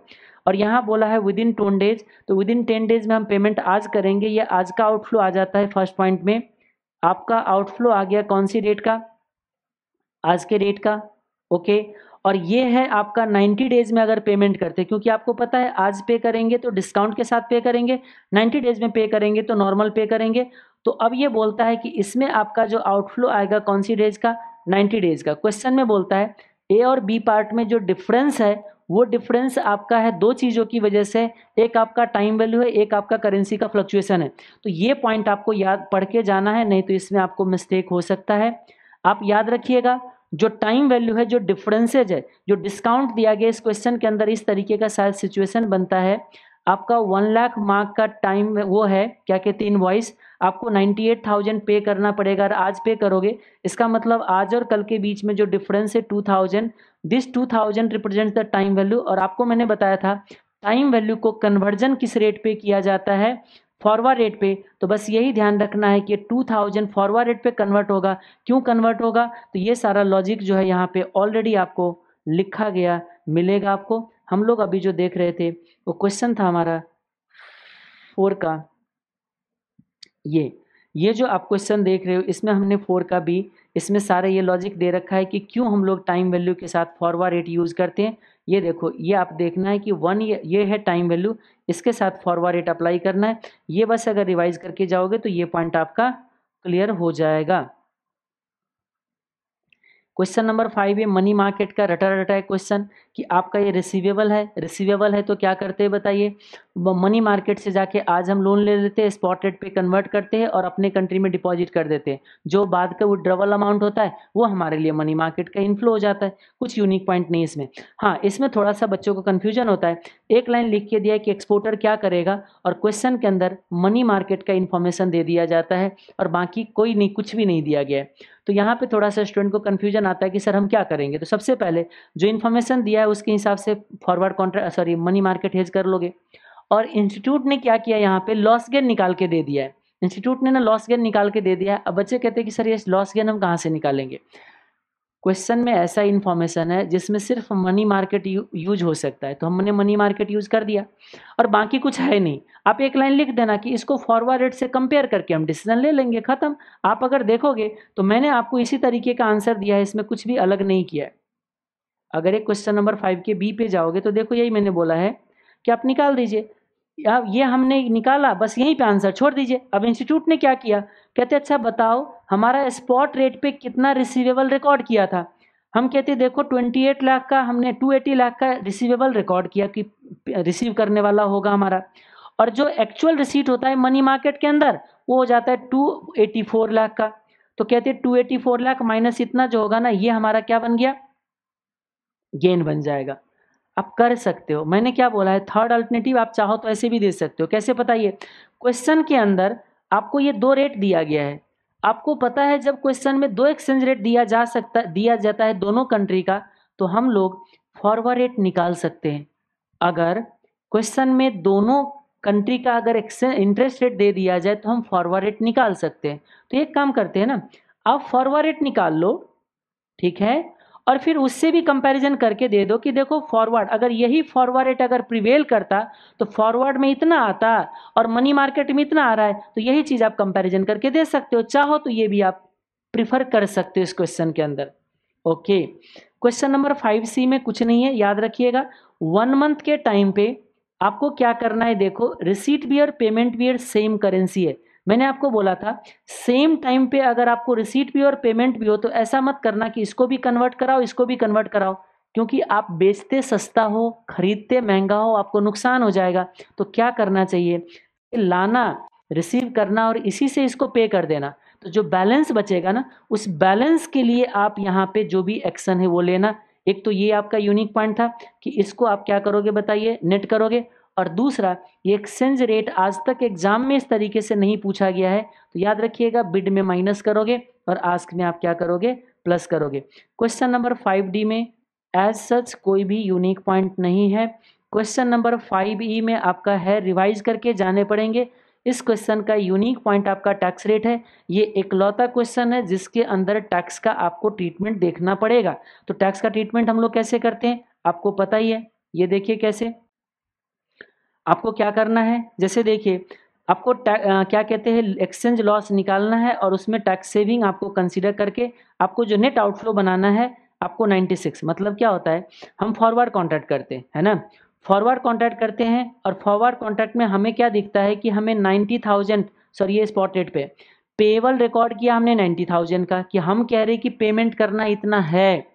और जब हम जाते एक्चुअल पेमेंट करने तो एक्चुअल पेमेंट हो रखा है यहाँ पे वन लाख का। पेमेंट करना था नाइन्टी थाउज़ेंड पेमेंट किया, वन लाख मतलब आपका टेन थाउज़ेंड का एक्सचेंज लॉस हुआ। तो उस लॉस को पी एंड एल में डेबिट करेंगे तो फोर थाउज़ेंड बचाएँगे। तो आपने फॉरवर्ड कॉन्ट्रैक्ट के अंदर कितना पे किया तो? वन लाख पे किया और आपने फोर थाउज़ेंड बचाया। तो नेट आउटफ्लो फॉरवर्ड कॉन्ट्रैक्ट के अंदर कितना हुआ? Ninety six thousand. इसी तरीके से आप मनी मार्केट हेज यूज़ करते हो। उस पर भी टैक्स रेट का इम्प्लीकेशन डालना है। तो मनी मार्केट हेज में टैक्स का इम्प्लीकेशन कैसे डालना है? वो जो आप बाहर से लोन लेते हो या बाहर जो डिपॉजिट नहीं करते हो फॉरन में, उसमें वो जो इंटरेस्ट रेट होता है, वो इंटरेस्ट को नेट ऑफ़ टैक्स करके और तब आपको कैलकुलेशन करना है। ये चीज़ आपको रीड करके जाना है, ये पूरा क्वेश्चन ही आपका यूनिक है ओके क्वेश्चन नंबर फाइव के ई पे हम लोग अगर पहुँचे क्वेश्चन नंबर फाइव के ई पे अगर हम लोग देखें तो इसमें अगेन एज सच हमें कुछ भी नज़र नहीं आता है नया, इसमें भी कुछ नहीं है। अगर हम लोग चले सिक्स के, इसमें तो कुछ है ही नहीं। सिक्स डबल ए में हाँ इसमें एक थोड़ा सा आपको यूनिक पॉइंट होगा। हंड्रेड एन वाले, वो कौन सी वाले क्वेश्चन है? हंड्रेड एन का लेना है आपको रेट जो दे रखा है, ये भी नहीं है, ये भी नहीं है, ठीक है, इसमें कुछ नहीं है। ये क्वेश्चन है जिसमें, ये एक्सक्लूसिव सीएमए का क्वेश्चन है, लेकिन एक क्वेश्चन है जिसमें क्रॉस रेट का क्वेश्चन है क्रॉस रेट का क्वेश्चन है, लेकिन ये जो एक्सचेंज रेट दिया गया है ना आपको, ये दिया गया है एन हंड्रेड का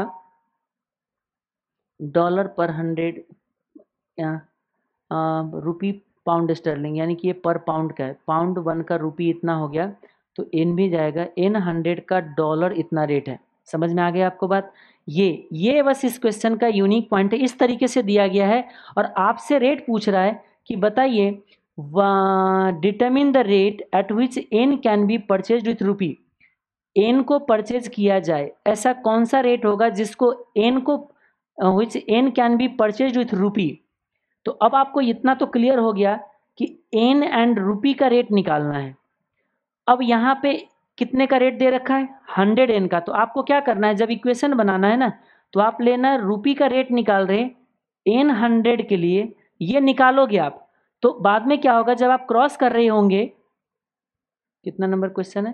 Question number six B A अगर question number six B A पे हम लोग पहुँचे सिक्स बी ए ये देखिए यहाँ पे अगर पहुँचते तो इस तरीके से आपको क्या करना है इक्वेशन बनाना है कि ये आपको हंड्रेड एन का निकालना है तो यहाँ भी देखो हंड्रेड एन का है, और ये रेट आपको दिया गया है। तो आपको कुछ भी नहीं करना है हंड्रेड एन का रेट दिया है, क्योंकि होता क्या है देखो, ये और ये एलिमिनेट हो गया, ये और ये एलिमिनेट हो गया।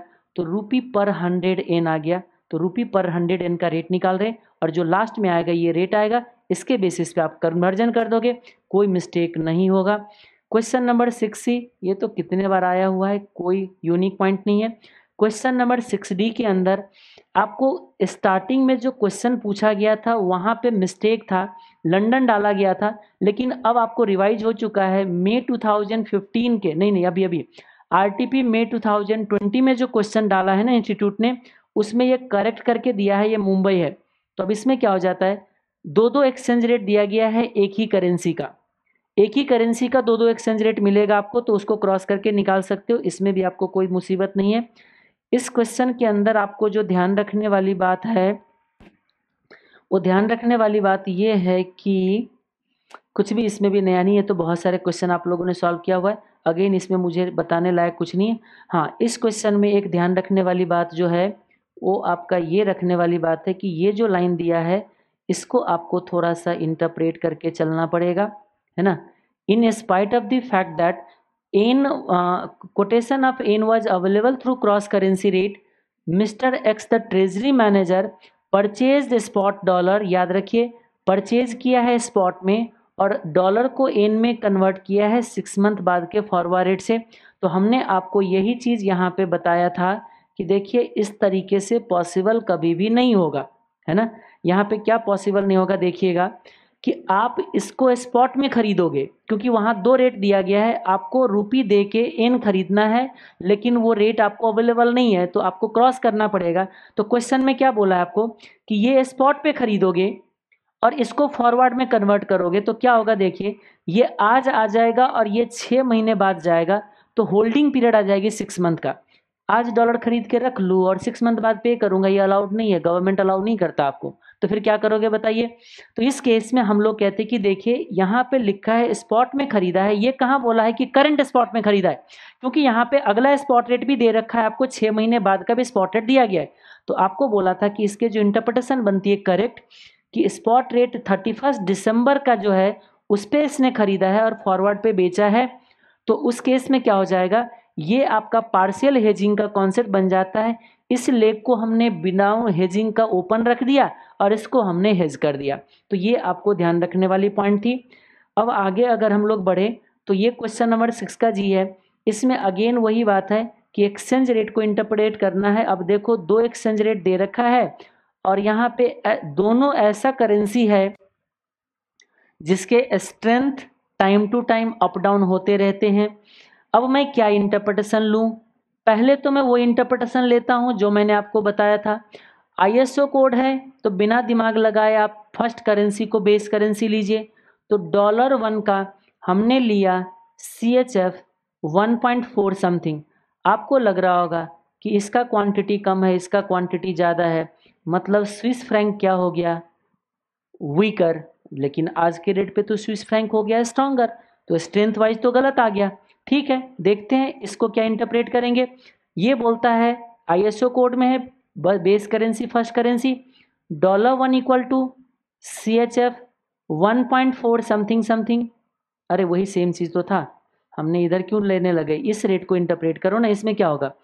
पाउंड वन का dollar one point seven something something अब यहाँ पे मैं चेक करूँ तो यहाँ स्ट्रेंथ वाइज वैसे करंट स्ट्रेंथ के हिसाब से तो नहीं, लेकिन फिर भी ये दिख रहा है स्ट्रॉन्गर ये वीकर तो चलो ये तो अभी भी लॉजिकल दिख रहा है।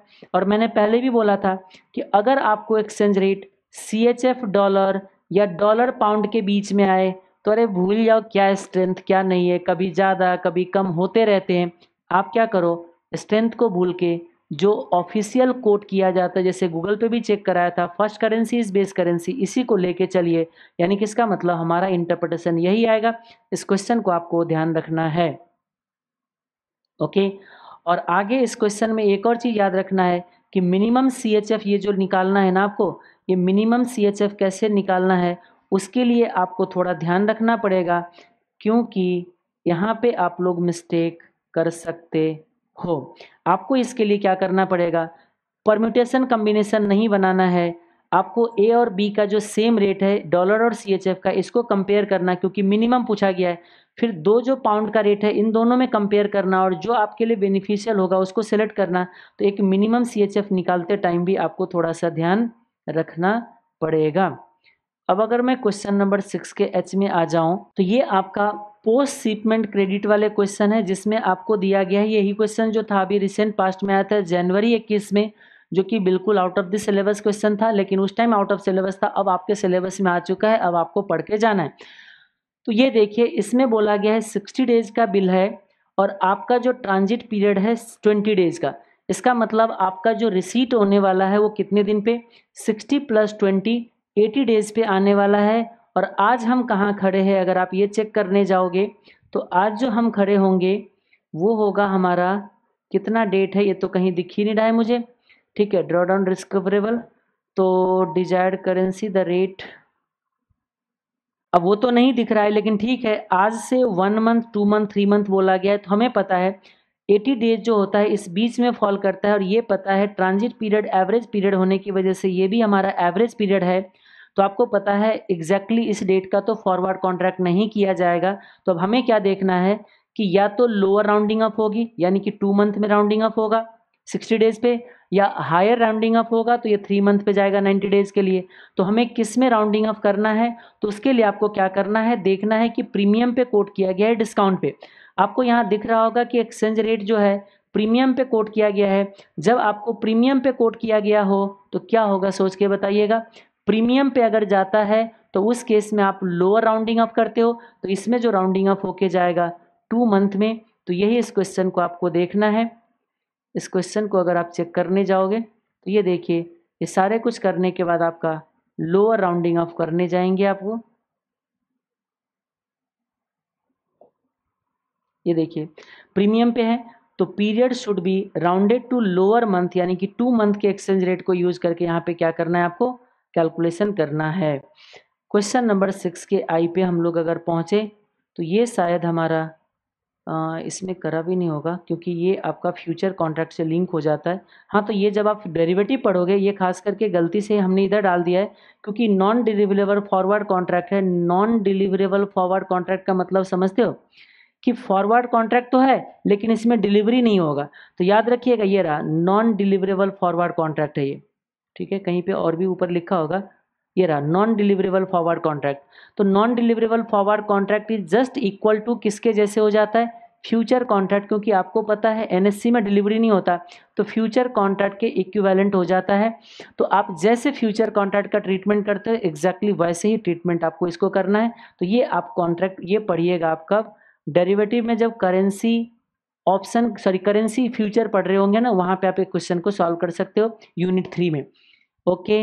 इसके बाद अगर हम लोग बढ़ें तो ये है क्वेश्चन नंबर सेवन का ए आईआरपीटी से रिलेटेड कुछ भी क्वेश्चन में नहीं है, ठीक है? बहुत ही आसान। क्वेश्चन नंबर सिक्स के बी सेवन के बी में भी वैसे कुछ नहीं है, लेकिन इसमें ध्यान रखने वाली बात जो है एनुअल कंपाउंडेड वाले हैं। तो इस एनुअल कंपाउंडेड की ट्रीटमेंट क्या करते हैं हम लोग? जब यहाँ पे प्रीमियम डिस्काउंट निकालते हैं तो पीरियोडिक रेट ना यूज़ करके सीधा एनुअल रेट को यूज़ कर लेना, ये सावधानी रखने वाली बात है। यह है क्वेश्चन नंबर आपका सेवन का बी। ये देखिए, जब आप कैलकुलेशन करने जा रहे होगे ना प्रीमियम डिस्काउंट तो आप कोशिश करिएगा प्रीमियम डिस्काउंट निकालते टाइम सीधा एनुअल रेट ले, ना कि पीरियोडिक रेट ना ले हम। ठीक है? आपको बताया था one plus one plus dollar rate divided by one plus franc का रेट जो होता है, ये आपको प्रीमियम डिस्काउंट बताता है फ्रैंक करेंसी का। देख रहे हो फ्रैंक करेंसी का जो बेस में होता है, उसका प्रीमियम डिस्काउंट माइनस वन कर दीजिए तो इस तरीके से कैलकुलेशन हो जाएगा। तो इसमें जो आपको रखने वाली बात थी, ये ध्यान रखना। Question number seven C again nothing unique in this question question number eight है ये तो बहुत आसान है, कुछ है ही नहीं। क्वेश्चन नंबर एट भी स्टार्ट होने से पहले ही खत्म हो जाता है। क्वेश्चन नंबर नाइन है इसमें बस एक चीज़ ध्यान रखना है सीधा बोला है calculate the rate of return और बाकी कुछ भी नहीं बोला गया है। और इस क्वेश्चन के अंदर आपको डॉलर के रिटर्न निकालने का इन्फॉर्मेशन दे रखा है और एक प्रीमियम दे रखा है। अगर पॉसिबल हो तो use all information given in question तो यहाँ पे आपको, यहाँ मिस्टेक हो सकता है, क्योंकि हो सकता है आप डॉलर का रिटर्न निकाल के और सीधा आ जाओगे। डॉलर का सिर्फ़ रिटर्न निकाल के नहीं देना है, क्योंकि अगर प्रीमियम डिस्काउंट दे रखा है तो उस डॉलर के रिटर्न को दूसरे करेंसी में कन्वर्ट करके आना है। ये इस क्वेश्चन का आपको ध्यान रखने वाली बात है। अगर मैं क्वेश्चन नंबर नाइन के बी पे जाऊँ तो अगेन ये क्वेश्चन थोड़ा सा तो है यूनिक, क्योंकि आपको क्या करता है फॉरेन के इंडेक्स में पैसे लगाता है, जो कि S and P five hundred होगी कहीं पे। S and P five hundred में आपको इन्वेस्ट कराता है, कहाँ पे? यूएस में इस क्वेश्चन को ही आप रिवाइज कर लीजिएगा वैसे यूनिक पॉइंट कुछ ध्यान रखने वाली बात नहीं है, पूरे सॉल्यूशन ही ध्यान रखने वाली बात है जिसको आप देख लेंगे तो हो जाएगा। क्वेश्चन नंबर नाइन का सी को भी आप रिवाइज कर सकते हो, लेकिन इसमें क्या है, इंस्टीट्यूट की जो सजेस्टेड है ना, उसमें मिस्टेक कर रखा है, ठीक है? तो अब इसमें अगेन यूनिक पॉइंट तो कुछ नहीं है, लेकिन पूरा क्वेश्चन ही रिवाइज करने लायक है। तो एक क्वेश्चन नंबर नाइन का सी और नाइन का भी आप ये दोनों को रिवाइज कर लीजिएगा। और एक और भी बात, इसको कैलकुलेशन करते टाइम इसमें आपका जो है ना विथ होल्डिंग टैक्स इसके यूनिक पॉइंट होंगे कहीं पे, ये रहा। विथ होल्डिंग टैक्स इस क्वेश्चन का यूनिक पॉइंट है, इकलौता क्वेश्चन है, जिसमें विथ होल्डिंग टैक्स को एडजस्टमेंट आपको करना पड़ेगा। तो यहाँ पे कैसे हम लोग करते देखिए, कि अगर मैं मान लीजिए बाहर से लोन लेता हूँ, बाहर से मैं अगर लोन लेता हूँ किसी रेट पे तो पता है जब हम सामने वाले को पे करते हैं ना तो कुछ टैक्स कट करके पे करेंगे। तो क्या होगा सामने वाले, मान लीजिए मुझे फोर परसेंट पे लोन देता है, या थ्री परसेंट पे लोन देता है, या फाइव परसेंट पे लोन देता है, मैं जब उस सामने वाले को अगर पेमेंट करने जाऊँगा इंटरेस्ट तो उसमें से कुछ कट करना पड़ेगा तो नेट में तो सामने वाले को कम मिलेगा। तो क्या होता है कि आपको जो इफ़ेक्टिव कॉस्ट आते हैं ना, वो विथ होल्डिंग टैक्स काटने से पहले वो आपको नेट इफ़ेक्टिव कॉस्ट आएगा आपका। तो ग्रॉसअप करके हम लोग क्या करते हैं यहाँ पे? कैलकुलेशन करते हैं। तो मैं अगर इसका क्वेश्चन का सॉल्यूशन अगर आपको दिखाऊँ क्वेश्चन नंबर नाइन का सी पे अगर हम लोग पहुँचे, ये देखिएगा। तो यहाँ पे यही चीज़ मैंने बताने की कोशिश किया है आपको कि देखिए, ये रहा। आपका कॉस्ट जो आता है ना ग्रॉसअप करते हैं, इस तरीके से हम लोग ग्रॉसअप करके ये वैल्यू निकाल के दिया हुआ है। इसमें कुछ मिस्टेक भी करा है इंस्टीट्यूट ने। अब वो क्या मिस्टेक है कि वो आपको यहाँ पे पढ़ोगे तो आपको क्लियर हो जाएगा। मैं बता दूँ क्या मिस्टेक है, जैसे आपको याद होगा, हम जब डॉलर के रिटर्न को रुपी में कन्वर्ट कर रहे थे, एक एग्ज़ाम्पल था आपके पास डॉलर के रिटर्न को जब कन्वर्ट कर रहे थे तो आपको अगर याद आ रहा होगा, याद तो खैर वैसे आ नहीं सकता। मान लीजिए यूएस में फिफ्टीन परसेंट कमाए हो तो इंडिया में आप कितना कमाओगे? ये अगर मैं आपसे पूछूँ कि इंडिया का रिटर्न कितना होगा तो आप क्या बोलोगे? सर, इस पे आपको प्रीमियम डिस्काउंट अप्लाई कर देना है, इस फिफ्टीन पे तो आ जाएगा ये। और प्रीमियम डिस्काउंट कैसे अप्लाई होता है? तो आपको याद होगा वन प्लस फॉरन करेंसी का अगर आपको रिटर्न है तो इस पर अप्लाई करना होता है one plus premium oblique discount of foreign currency और वो होता है वन प्लस होम करेंसी का रिटर्न याद आ रहा है कुछ? इसका मतलब इस तरीके से आपका कॉस्ट निकल के आता है। लेकिन इंस्टीट्यूट ने क्या करा है? आपको याद होगा, जैसे प्रीमियम अगर मान लीजिए टू परसेंट होता तो हम एडजस्टमेंट करते फिफ्ट one one hundred fifteen percent को वन हंड्रेड टू परसेंट से बढ़ाते। ठीक है, इस तरीके से, इस तरीके से बढ़ाते। लेकिन इंस्टीट्यूट ने यहाँ पे क्या किया है? सीधा बोलता है कि देखो, वहाँ कमाते थे फिफ्टीन दो परसेंट प्रीमियम पे आ गया। मतलब इंडिया का रिटर्न जो है कॉस्ट है ना, वो सेवनटीन परसेंट है। ये कैलकुलेशन इंस्टीट्यूट ने किया है इस क्वेश्चन के अंदर, जो कि अप्रोप्रिएट सॉल्यूशन नहीं है। तो आप मैंने दे रखा है, देखो आपको जब भी मैं बताता हूँ तो डिस्क्लेमर दे के चलता हूँ कि देखो ये इंस्टीट्यूट आईसीआई का ये सॉल्यूशन है और इसमें क्या गड़बड़िया है, सीधा प्रीमियम ऐड करते हो ऐसे नहीं होता है, इस तरीके से एडजस्टमेंट किया जाता है। तो आपको सही सॉल्यूशन ये होना चाहिए था एडजस्टमेंट करने का, ये मैंने अपने तरीके से बताया है कि हमारा आंसर करेक्ट होता five point three four eight लेकिन इंस्टीट्यूट ने फाइव पॉइंट थ्री वन लिया है। हमारा आता थ्री फोर एट और ये है थ्री वन तो डिफरेंस है, आसान है इंस्टीट्यूट का सॉल्यूशन याद करके चले जाइएगा। आपको कुछ अलग करने की ज़रूरत नहीं है। यहाँ पे ये आप देखिए, इसमें भी कोई यूनिक पॉइंट नहीं है बट इंटरप्रिटेशन देखिएगा। मैं तो बार बार कहता हूँ, पुराने क्वेश्चन में तो हमेशा वही इंटरप्रिटेशन मिलेगा कि आईएसओ कोड के साथ है तो बेस करेंसी फ़र्स्ट करेंसी तो यहाँ dollar one equal to rupee forty eight point three zero चलो यहाँ पे जाके आपका इंटरप्रिटेशन मैच हो गया। तो उसी तरीके से हर एक क्वेश्चन को इंटरप्रेट करोगे। क्वेश्चन में कुछ नया पॉइंट नहीं है। ये टू ए कोड है। हाँ इसमें एक नया पॉइंट आता है कि एक्सचेंज मार्जिन दे रखा है। याद रखिएगा अगर ये एक्सचेंज मार्जिन दे रखा है तो ये जो एक्सचेंज रेट होगी ना, ये सारे एक्सचेंज रेट आपका इंटरबैंक रेट होगा, ये ध्यान रखना आप। ये सारे आपका क्या होगा बताइए? इंटरबैंक और याद रखिए, हम लोग कैलकुलेशन क्या कर रहे हैं? हम लोग कैलकुलेशन कर रहे हैं आर्बिट्रेज गेन तो जब आप अगर आर्बिट्रेज निकालते हो तो आपको क्या करना होता है पता है? हम एक मार्केट में जाते हैं, एक करेंसी खरीदते हैं, दूसरा बेचते फिर वहाँ से सेकेंड मार्केट में जाते फिर थर्ड मार्केट में जाते हैं। तो आपको पता है कि अगर किसी क्वेश्चन में एक्सचेंज मार्जिन दिया है आर्बिट्रेज के पहला क्वेश्चन है जिसके अंदर उन्होंने एक्सचेंज मार्जिन दे रखा है तो अब इस पर आपको क्या ध्यान रखना है कि देखो, मैं इस मार्केट में भी जाऊँगा, इसमें भी जाऊँगा, इसमें भी जाऊँगा तो मेरे लिए ये रेट अप्लाई नहीं होगा। बोलोगे, सर, कहीं लिखा कहाँ है कि ये इंटरबैंक है? इंटरबैंक होगा तभी ये यूज़ होगा। तो आपको ये अज्यूम करना है इंटरबैंक और आपको जो प्रॉफिटेबल रूट ढूंढना है उसमें आपको क्या करना है क्रॉस रेट निकाल लेना दो के बेसिस पे और फिर प्रॉफिटेबल रूट ढूंढ के सीधा जाना। तो एक बार आपको सॉल्व करना चाहिए ये क्वेश्चन तभी जाके आपको कॉन्फिडेंस आ सकता है।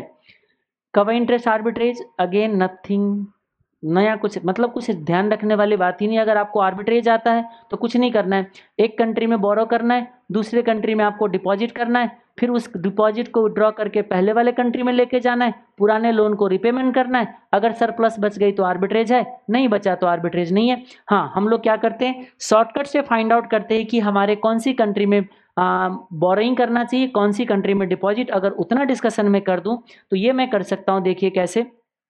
हमने क्या बोला था? देखो पर डीएम है। पर डीएम यानी कि पर यूनिट डीएम करेंसी का है। तो जो पर यूनिट है, उसको हम लोग अभी दो मिनट के लिए फॉरेन करेंसी मान लेते क्योंकि ऐसे ही मानते जब हम dollar one equal to rupee something लिखते तो हम ये मान के चलते ये फॉरेन करेंसी है। और उसी हिसाब से होम करेंसी के रिटर्न को हम लोग यूज़ करते हैं उस पैरिटी को मैनेज करने के लिए। वो जो रिटर्न को मैच करते हैं। यहाँ पे क्या हुआ, देखिए वन प्लस कैनेडियन डॉलर आएगी ना? कैनेडियन डॉलर में प्राइस है। तो वन प्लस कैनेडियन डॉलर का जो आपका रेट होगा वो is equal to one plus D M का rate one plus D M currency का रेट और अब आपको क्या करना है? Forward rate divided by spot rate ले लेना है बेस करेंसी वाले का और इसको आपको कंपैरिजन कर देना है। बस सिंपल और क्या है? क्वेश्चन नंबर ग्यारह का ये। अगर आप यहाँ पे चेक करोगे क्वेश्चन नंबर अलेवन ए यहाँ पे अगर हम लोग जाते तो देखिए, वही किया हम लोगों ने। क्या बताइए? कैनेडियन डॉलर और फिर D M F R divided by spot rate हमने जब इस कैलकुलेशन को चेक किया तो ये देखो, ये और ये मैच तो नहीं करता है, बिल्कुल नहीं करेगा। अब ये छोटा है, ये हमारा बड़ा है, नहीं हाँ वो zero two two zero two four तो बताइए, कौन सी बड़ा है? ये आपका बड़ा है तो यहाँ आपको डिपॉजिट जाना चाहिए डी एम में आपको डिपॉजिट जाना चाहिए। तो बस यही मैंने बोला होगा, देखिए यहाँ पे deposit and D M and borrow in C A D क्योंकि ये छोटा है और छोटा कहाँ था? कनाडा में। तो आपको कनाडा में बोरोइंग करना चाहिए। यही आपका क्या था? आर्बिट्रेज का क्वेश्चन था। इसमें भी कुछ यूनिक नहीं है। इसमें तो भी कुछ यूनिक नहीं है। इस क्वेश्चन में आप एक बार पढ़ के जाइएगा। दिखने में आपको लेंथ बड़ा दिखता है, लेकिन क्वेश्चन के अंदर कुछ नहीं है। इसमें होता क्या है? आप जाते हो बैंक में। मतलब यूनिक पॉइंट तो कुछ नहीं रिवाइज कर लेना चाहिए, फिर भी एक बार बहुत आसान है। एक अकाउंट मैनेजर है, वो बैंक में जाके एक कॉन्ट्रैक्ट करके आ जाता है, फिर एक जाता है सॉरी पहले एक्सपोर्ट मैनेजर बैंक में जाके कॉन्ट्रैक्ट कर लेता है, फिर बाद में अकाउंट मैनेजर आपके पास पहुँचता है, पूछते हैं कि बताओ जी, वो जो फॉरवर्ड कॉन्ट्रैक्ट किया है वो सही है या नहीं है? तो फिर वही बात, आपने जो फॉरवर्ड कॉन्ट्रैक्ट किया है बैंक के साथ वो सही है या नहीं है, कैसे बताओगे? उसके लिए हमें क्या करना होगा? कंपैरिजन करना होगा फेयर रेट से। फेयर रेट से कंपेयर करेंगे और देन हम लोग क्या करेंगे वहाँ पे? डिसीज़न देंगे। तो वही काम करना है कि देखो जी, कि एक तो सबसे पहले बोला है कि क्या जो एक्शन लिया है एक्सपोर्ट मैनेजर ने वो सही है कि नहीं है? अगर बैंक निगोशिएट करने के तैयार होता तो कौन सी फॉरवर्ड रेट निगोशिएट करते? जो आपका फेयर फॉरवर्ड रेट होता। इस क्वेश्चन के अंदर एक यूनिक पॉइंट है, वैसे एक्सक्लूसिव सीएमए का क्वेश्चन है। आर्बिट्रेज में एक पहला क्वेश्चन है, जिसमें आपको ट्रांजेक्शन कॉस्ट को एडजस्टमेंट करना है। ट्रांजेक्शन कॉस्ट कैसे एडजस्टमेंट करोगे? जब जब कन्वर्ट करोगे, उसमें से point two five percent minus कर दोगे। ये एक यूनिक पॉइंट था क्वेश्चन नंबर अलेवन के ई का। नथिंग यूनिक इसमें भी कुछ यूनिक नहीं है। इसमें भी कुछ यूनिक नहीं है। ये ऑलरेडी आप लोग कैलकुलेशन करते हो। ठीक है? आपको डिफरेंट डिफरेंट नॉस्ट्रो वस्ट्रो का जो एक्सचेंज पोजीशन और आपका जो था, ठीक है? मतलब याद करके रखने लायक कुछ नहीं है। आपने अगर नॉस्ट्रो वस्ट्रो का क्वेश्चन सॉल्व किया तो आराम से सॉल्व हो सकता है। एलसी अरेंजमेंट में अगेन वही बात है। दो तरह का चार्जेज आता है। एक आता है आपका कौन सी? आ, एक आ जाता है आपका ओपनिंग चार्जेज एक है आपका कमीशन। तो ये देखिए यहाँ पे बोला गया है कि two percent against opening of irrevocable credit. तो ये टू परसेंट ले लिया आपको किसके लिए? टू परसेंट है ओपनिंग चार्जेस। याद रखना किस पे कैलकुलेट करोगे? जो स्पॉट रेट से इक्विवेलेंट आएगा, उस पर कैलकुलेट करोगे और आपको यहाँ पे दिया गया है कि दो परसेंट का कमीशन भी ले रहा है आपसे डबल डबल ले रहा है। तो ये जाएगा, आपका ट्वेल्व मंथ पे पेबल होगा। तो ये निकालना जो फॉरवर्ड रेट आएगा, उसके बेसिस पे। और बस, इसमें कुछ और नया था नहीं। पैरल लोन ये उसको लोन देता है, वो उसको लोन देता है। एक बस सिंपल से आपको टाइम वैल्यू अगर आता होगा तो फ्यूचर वैल्यू आप निकाल सकते हो। इसमें कुछ यूनिक पॉइंट इसमें भी नहीं था। क्वेश्चन नंबर फिफ्टीन ये ये कैंसिलेशन से रिलेटेड है। कैंसिलेशन में क्या करते हैं बताइए? पहले अगर आपने डॉलर बाई किया था तो डॉलर सेल करके अपोजिट कॉन्ट्रैक्ट करके क्या करोगे? इसको कैंसिल करोगे। बहुत आसान सा सिंपल सा क्वेश्चन इसमें भी कुछ आपको ध्यान रखने वाली चीज़ नहीं था। ठीक है? इस क्वेश्चन में अगर हम बात करें तो इसमें भी वही चीज़ है। पहले आपने जो कॉन्ट्रैक्ट किया होगा कैंसिलेशन में अपोजिट करोगे। इसमें सौ रुपये का शायद आपको कैंसिलेशन चार्जेज अलग से दिया है तो ये बाद में जाके आपको क्या कर देना है? ऐड कर देना है, ठीक है? और एक और भी चीज़ है, इसमें मार्जिन है तो मार्जिन दे रखा है अगर आपको तो आपको एडजस्टमेंट करना पड़ेगा। या जूम करके कि वो जो चीज़ है, वो आपका इंटर बैंक का रेट था। क्वेश्चन नंबर फिफ्टीन सी वैसे अभी तक के एक्सक्लूसिव सीएमए की क्वेश्चन है ये, लेकिन ये क्वेश्चन बढ़िया है। इसमें आपको जो ध्यान रखने वाली बात है, वो ये लाइन ध्यान रखना है कि देखिए, कि दो दो the contract was for ninety six thousand X limited purchase only fifty thousand इस क्वेश्चन के मैं अगर बैकग्राउंड आपको बताऊँ तो क्या होता है? क्वेश्चन नंबर फिफ्टीन सी की अगर बैकग्राउंड पे हम लोग पहुँचे क्वेश्चन नंबर फिफ्टीन सी के बैकग्राउंड पे चले तो ये इसका बैकग्राउंड देखिएगा। इसने इम्पोर्ट किया था नाइन्टी सिक्स थाउज़ेंड के वैल्यू पे। बाद में सामान ख़राब मिलता है तो वो कहते हैं, हम सिर्फ़ फिफ्टी थाउज़ेंड ही पे करेंगे। यही लाइन लिखा था कि एक्स लिमिटेड ने सिर्फ़ फिफ्टी थाउज़ेंड खरीदा है even though contract ninety six का था। आपके इन्फॉर्मेशन के लिए बैंक के साथ जब आप कॉन्ट्रैक्ट कर चुके हो नाइन्टी सिक्स थाउज़ेंड का तो आपको पता है बैंक भी अपना कॉन्ट्रैक्ट एक्सटेंड कर चुका होगा नाइन्टी सिक्स थाउज़ेंड खरीदने का कहाँ से? इंटर बैंक से। तो इतना आसान तो नहीं है कि आप अपने वादे से मुकर जाओगे। तो फिर क्या करोगे बताइए? आपको पता ही था कैंसिलेशन में भी नेट ऑफ़ हो रहा था कोई कॉन्ट्रैक्ट कैंसिल नहीं हो रहा था। एग्जैक्टली exactly वैसे ही यहाँ भी होगा कि देखो भाई 96 तो तुम्हें खरीदना ही पड़ेगा यानी कि कॉन्ट्रैक्ट तो आपको एग्जीक्यूट करना ही पड़ेगा। 96 खरीदो 50,000 उधर दे दो। आपका जो बच गया फोर्टी सिक्स थाउज़ेंड वो मुझे वापस कर दो। तो आपका सिर्फ़ फोर्टी सिक्स थाउज़ेंड क्या हो जाएगा बताइए? फोर्टी सिक्स थाउज़ेंड का ही नेट ऑफ़ होगा। तो ये इस क्वेश्चन में आपको ध्यान रखना है। और एक और भी बात, इसमें एक और ध्यान रखने वाली बात है कि ये देखिए फॉरवर्ड रेट जो है ना, इसमें देखो डिक्रीजिंग ऑर्डर में दिया है और यहाँ सेंट लिखा है। डिक्रीजिंग ऑर्डर में दिया है और ये सेंट लिखा है, ये डॉलर का फ्रैक्शनल यूनिट है। डिक्रीजिंग ऑर्डर को आप रिड्यूस करोगे, यानी कि इसमें से आप डिडक्ट करोगे, क्या चीज़ बताइएगा? ये चीज़ डिडक्ट करोगे। लेकिन आपको ध्यान क्या रखना है कि ये सेंट में है और ये डॉलर में है तो आपको क्या करना है? इसको डॉलर निकालना पड़ेगा। तो हंड्रेड डॉलर जो सॉरी हंड्रेड सेंट जो होता है हंड्रेड सेंट जो होगा, वो कितने डॉलर होंगे? वन तो आपके पास पॉइंट नाइन फाइव सेंट है। तो पॉइंट नाइन फाइव सेंट अगर रखोगे तो one divided by hundred multiply by point nine five जाएगा, यानी कि point zero zero nine five. इतने का आपको माइनस करना पड़ेगा स्पॉट रेट से तो ये आपका फॉरवर्ड रेट निकल के आ जाएगा। Cancellation square off on exchange इसमें बस एक ध्यान क्या रखना है, ये क्रॉस करेंसी डील का आपको याद रखिएगा। क्रॉस करेंसी डील का मतलब आपको ये यूनिक पॉइंट इस क्वेश्चन का है, ध्यान रखना है। क्रॉस करेंसी डील क्या होता है? दोनों करेंसी हमारे लिए फॉरेन करेंसी है। दोनों करेंसी हमारे लिए फॉरेन करेंसी है। और जो डील हुआ है वो किसमें? डॉलर में, यूरो के साथ।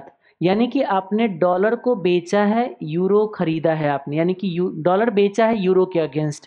ओके? और बाद में क्या बोलता है? स्क्वायर अप कर देना है। आपको ये स्क्वायर अप वर्ड हो सकता है, फ़र्स्ट टाइम सुनने को मिलेगा, बट ये नेट ऑफ़ है एक्सचेंज का। जो कैंसिलेशन कर रहे थे ना वही कैंसिलेशन जब एक्सचेंज में किया जाता है, खास करके वो कैंसिलेशन था ही नहीं। वो तो नेट ऑफ़ करना था, एक करेंसी खरीद बेच के नेट ऑफ़ करते तो आपको पता है स्टॉक मार्केट में जितने भी लोग इंट्राडे करते हैं ना, सब यही करते हैं नेट ऑफ़ करते हैं। पहले खरीदते हैं बाद में बेच देते हैं। और एक्सचेंज क्या कहता है? आपको शेयर देना भी, आपको शेयर लेना भी, अरे चलो छोड़ो, हटाओ नेट ऑफ़ कर देते, ना शेयर देते, ना लेते, कोई डिलीवरी होता ही नहीं है। एग्जैक्टली exactly वही चीज़ होता है यहाँ पे। तो क्या होगा? ध्यान से देखिएगा, इस क्वेश्चन के अंदर जो ध्यान रखना है कि ये डॉलर भी फॉरेन करेंसी है यूरो भी फॉरेन करेंसी है, इस क्वेश्चन के अंदर होम करेंसी कौन सी है? आईएनआर जब इस डील को आप स्क्वायर अप करोगे, इस डील को जब आप स्क्वायर अप करोगे तो क्या होगा देखिएगा, आप जब स्क्वायर अप करने जाओगे तो यहाँ पे आपको पहले डॉलर क्या किया था बताइए? पहले डॉलर बेचा था तो आपको डॉलर क्या करना पड़ेगा? बाई करना पड़ेगा। यही होता है नेट ऑफ़ करना। कैंसिलेशन करना। पहले बेचा था, खरीद लीजिए नेट ऑफ़ हो गया। अब क्या होगा? आपने यूरो में पहले ट्रेड किया था तो अभी भी यूरो में ही स्क्वायर अप करना पड़ेगा, ये वाले रेट पे। देख रहे हो? डॉलर को यूरो वाले रेट पे। इस पे आपको क्या करना होगा? बाई करना पड़ेगा। अब क्या होगा? इसके अंदर जो लॉस गेन आएगा ना, वो लॉस गेन आएगा आपका डॉलर करेंसी सॉरी डॉलर में नहीं लॉस गेन आएगा आपका यूरो करेंसी में। क्योंकि आपका जो ट्रेड था ना, डॉलर अगेंस्ट यूरो था तो डॉलर जो सेल किया था, डॉलर बाई करोगे तो यूरो के अगेंस्ट ही तो करोगे तो आपका लॉस गेन आएगा यूरो करेंसी में। और वो लॉस गेन यूरो करेंसी जो है आपके लिए क्या है बताइएगा? फॉरेन करेंसी है। ये आपको थोड़ा ध्यान रखना है। और ये जो फॉरेक्स डीलर होगा, उनके लिए फॉरेन करेंसी है। तो इनको मार्केट से दोबारा बाई करके और तब लॉस गेन निकालना पड़ेगा। बाई करिए और लॉस गेन जो निकालोगे इन रुपी ये आपका अल्टीमेट आंसर होगा यहाँ पे जाके। तो ये आपको ध्यान रखना था। एक्सटेंशन कुछ नहीं करना होता है। पुराना कॉन्ट्रैक्ट कैंसिल कीजिए, नए कॉन्ट्रैक्ट एंटर कीजिए सिंपल तो इसमें भी अगेन कुछ नहीं करना है मुझे। ख़त्म। मार्जिन है मार्जिन है तो ये सारा आपका क्या होगा? इंटरबैंक रेट होगा। मुझे कुछ नज़र नहीं आ रहा है। हाँ जी क्वेश्चन नंबर सेवनटीन बी में एक लौता क्वेश्चन है जिसमें इस तरीके का एक्सचेंज रेट कोट किया है। थोड़ा नज़र डालिएगा ध्यान से। पहला रेट होता है बिड दूसरा होता है आस्क लेकिन यहाँ पे क्या दिख रहा होगा आपका देखिएगा। ये है आपका बिड रेट ध्यान से देखिए। तो बिड रेट कभी छोटा हो, बड़ा होता है क्या? ये देखो, ये बड़ा है सेवन टू और सिक्स एट तो इसीलिए इंस्टीट्यूट ने बोला कि हमसे गलती हो गया, ठीक है? ये देखो आप याद रखिएगा, जब कोई मिस्टेक होगा तो लॉजिक को आपको अहमियत देना है। लॉजिक को कैसे अहमियत देगा सोच के बताइएगा। लॉजिक ये कहता है, आपका लॉजिक ये कहता है कि जो बड़ा रेट है वो हमेशा आपको आस्क रेट होगा क्योंकि बिजनेसमैन हमेशा सस्ता खरीदता है और महँगा बेचता है। तो आप मुझे बताइए, ये जो है ना, ये आस्क रेट है, ये आप ध्यान से रखिएगा। इसीलिए मैं कहता हूँ कि जब भी क्वेश्चन पढ़ना एग्ज़ाम में तो एक बार देख लेना बिड रेट और आस्क रेट को कंपेयर करके कि किस तरीके का सिचुएशन ये बनता है, ठीक है? तो यही मैंने बोला है कि first rate is ask rate ये ध्यान रखिएगा। Question number seventeen C question number seventeen C again बिल्कुल रिपीटेटिव क्वेश्चन है। कुछ भी इसमें रिवीजन करने लायक नहीं, अगर आपको एक्सटेंशन आता है तो बस कैंसिलेशन आना चाहिए। अर्ली डिलीवरी वही बिना डायग्राम का कभी क्वेश्चन सॉल्व नहीं करना है। नया तो कुछ नहीं है इसमें, लेकिन आपको रिवाइज करके जाना पड़ेगा। लेकिन एक चीज़ और मैं बताता हूँ कि अर्ली डिलीवरी वही है जिसमें आपको आउटफ्लो पे इंटरेस्ट निकालना पड़ेगा स्वैप डिफरेंस निकालना पड़ेगा और जो रेट कमिट किया गया था स्टार्टिंग में, वो फॉरवर्ड रेट पे ड्यू डेट से पहले ही आपको डिलीवरी लेना पड़ेगा। ये आपका क्वेश्चन है अर्ली डिलीवरी वाले। जब क्वेश्चन पढ़ोगे तो आपको पता चलेगा, क्योंकि आपको पता है ये क्वेश्चन अगर हम यहाँ पे भी सॉल्व करने लगेंगे तो टाइम लग जाए, क्योंकि आपको पता है ये लेंदी है। एक बार रिवाइज करके, खुद से सॉल्व करके जाना है, लेकिन हम आपको हमेशा सजेस्ट करते हैं कि जब भी क्वेश्चन सॉल्व करते हो तो डायग्राम बना के सॉल्व करना है आपको। तो ये क्वेश्चन अगर अगर एटीन ए पे अगर जाते हो क्वेश्चन नंबर अगर एटीन ए पे अगर जाते हो तो ये होगा क्वेश्चन ये देखिए, इस तरीके से डायग्राम बना के ही क्वेश्चन पढ़ना है, ठीक है? तो डायग्राम बनाइएगा। और आपको लगता है कि सर अच्छा डायग्राम नहीं बन पाता है। देखो, हमारे को डायग्राम अच्छा और बुरा से मतलब नहीं है। मेन जो है ना रेट पकड़ में आना चाहिए, क्योंकि किस किस के बीच का इंटरेस्ट लेते हैं किस किस के रेट के बीच के स्वैप डिफरेंस लेते हैं, वो आपको डायग्राम पे याद हो जाता है। और अभी जब लेट कैंसिलेशन में जाओगे ना तो वहाँ पे इतने इतने सारे एक्सचेंज रेट मिलेगा, वहाँ पे आपको दिक्कत आ जाएँगे। तो क्या करोगे? अब चलो डायग्राम जब बना लोगे तो देखो मैंने क्या बताया था, याद करिएगा। कि इसको जब बेच रहे हो तो यहाँ पे जो अमाउंट की डिफरेंस जो आ रही है, इस पर आपको इंटरेस्ट निकालना है। पहले आपको ये चेक करना है कि ये इनफ्लो है या आउटफ्लो है। कैसे निकालोगे? देखो बैंक के पास आता है sixty five point two two bank के जेब से जाता है सिक्सटी फाइव पॉइंट फोर मतलब ये बैंक के लिए आउटफ्लो है। तो आउटफ्लो है तो इंटरेस्ट इससे चार्ज करेगा। और अगर ये इनफ्लो हो जाता तो डिपॉजिट करता। तो डिपॉजिट करता तो इंटरेस्ट उसको पास ऑन कर देता। बोल तो कि नहीं करेगा तो चॉइस है, मर्ज़ी है तो कर ले, ना मर्ज़ी है तो ना करे। ठीक है? तो इसके और इसके बीच में इंटरेस्ट निकालोगे आप। फिर हमने क्या बोला था? आपको जो डिलीवरी लेना पड़ेगा ये ना, पहले इस रेट पे। चलो दूसरा पॉइंट भी हो गया। तीसरा क्या बोला था? कि ये रेट जो कैंसिल करोगे ना जो ओरिजिनल फॉरवर्ड कॉन्ट्रैक्ट को जो कैंसिल करोगे ये वाले, इसके और इसके बीच में जो होगा ना, ये आपका स्वैप डिफरेंस आ जाएगा। खत्म। ये याद रह जाएगा तो काम हो गया। क्वेश्चन नंबर 18 का भी वैसे नवंबर 18 का है। इसमें एक इनफ्लो बन जाता है अर्ली डिलीवरी के अंदर। जैसे ये वाले केस में देखो, यहाँ पे आया है कम, जा रहा है ज़्यादा तो स्टार्टिंग में आउटफ्लो बना है तो इंटरेस्ट आपने इंटरेस्ट आपको पे करना पड़ रहा था, जो कि एक्सपोर्टर से चार्ज करोगे। वो जो क्वेश्चन आपका बनता है ना क्वेश्चन नंबर 18 का भी, अगर इसको 18 के बी पे अगर आप जाते हो यहाँ देखिए तो इस डायग्राम में चेक करिएगा, देखिए क्या हो रहा है।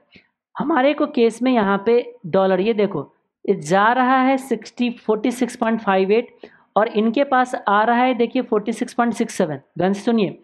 ज़्यादा आ रहा है, कम अमाउंट जा रहा है तो बैंक के लिए इनफ्लो हो जाता है। जब बैंक के लिए इनफ्लो होता है तो उस पर जो इंटरेस्ट बनता है ना, वो कहते हैं, देखो चॉइस है। आप चाहो तो कस्टमर को इंटरेस्ट दे दो, ना तो ना दो।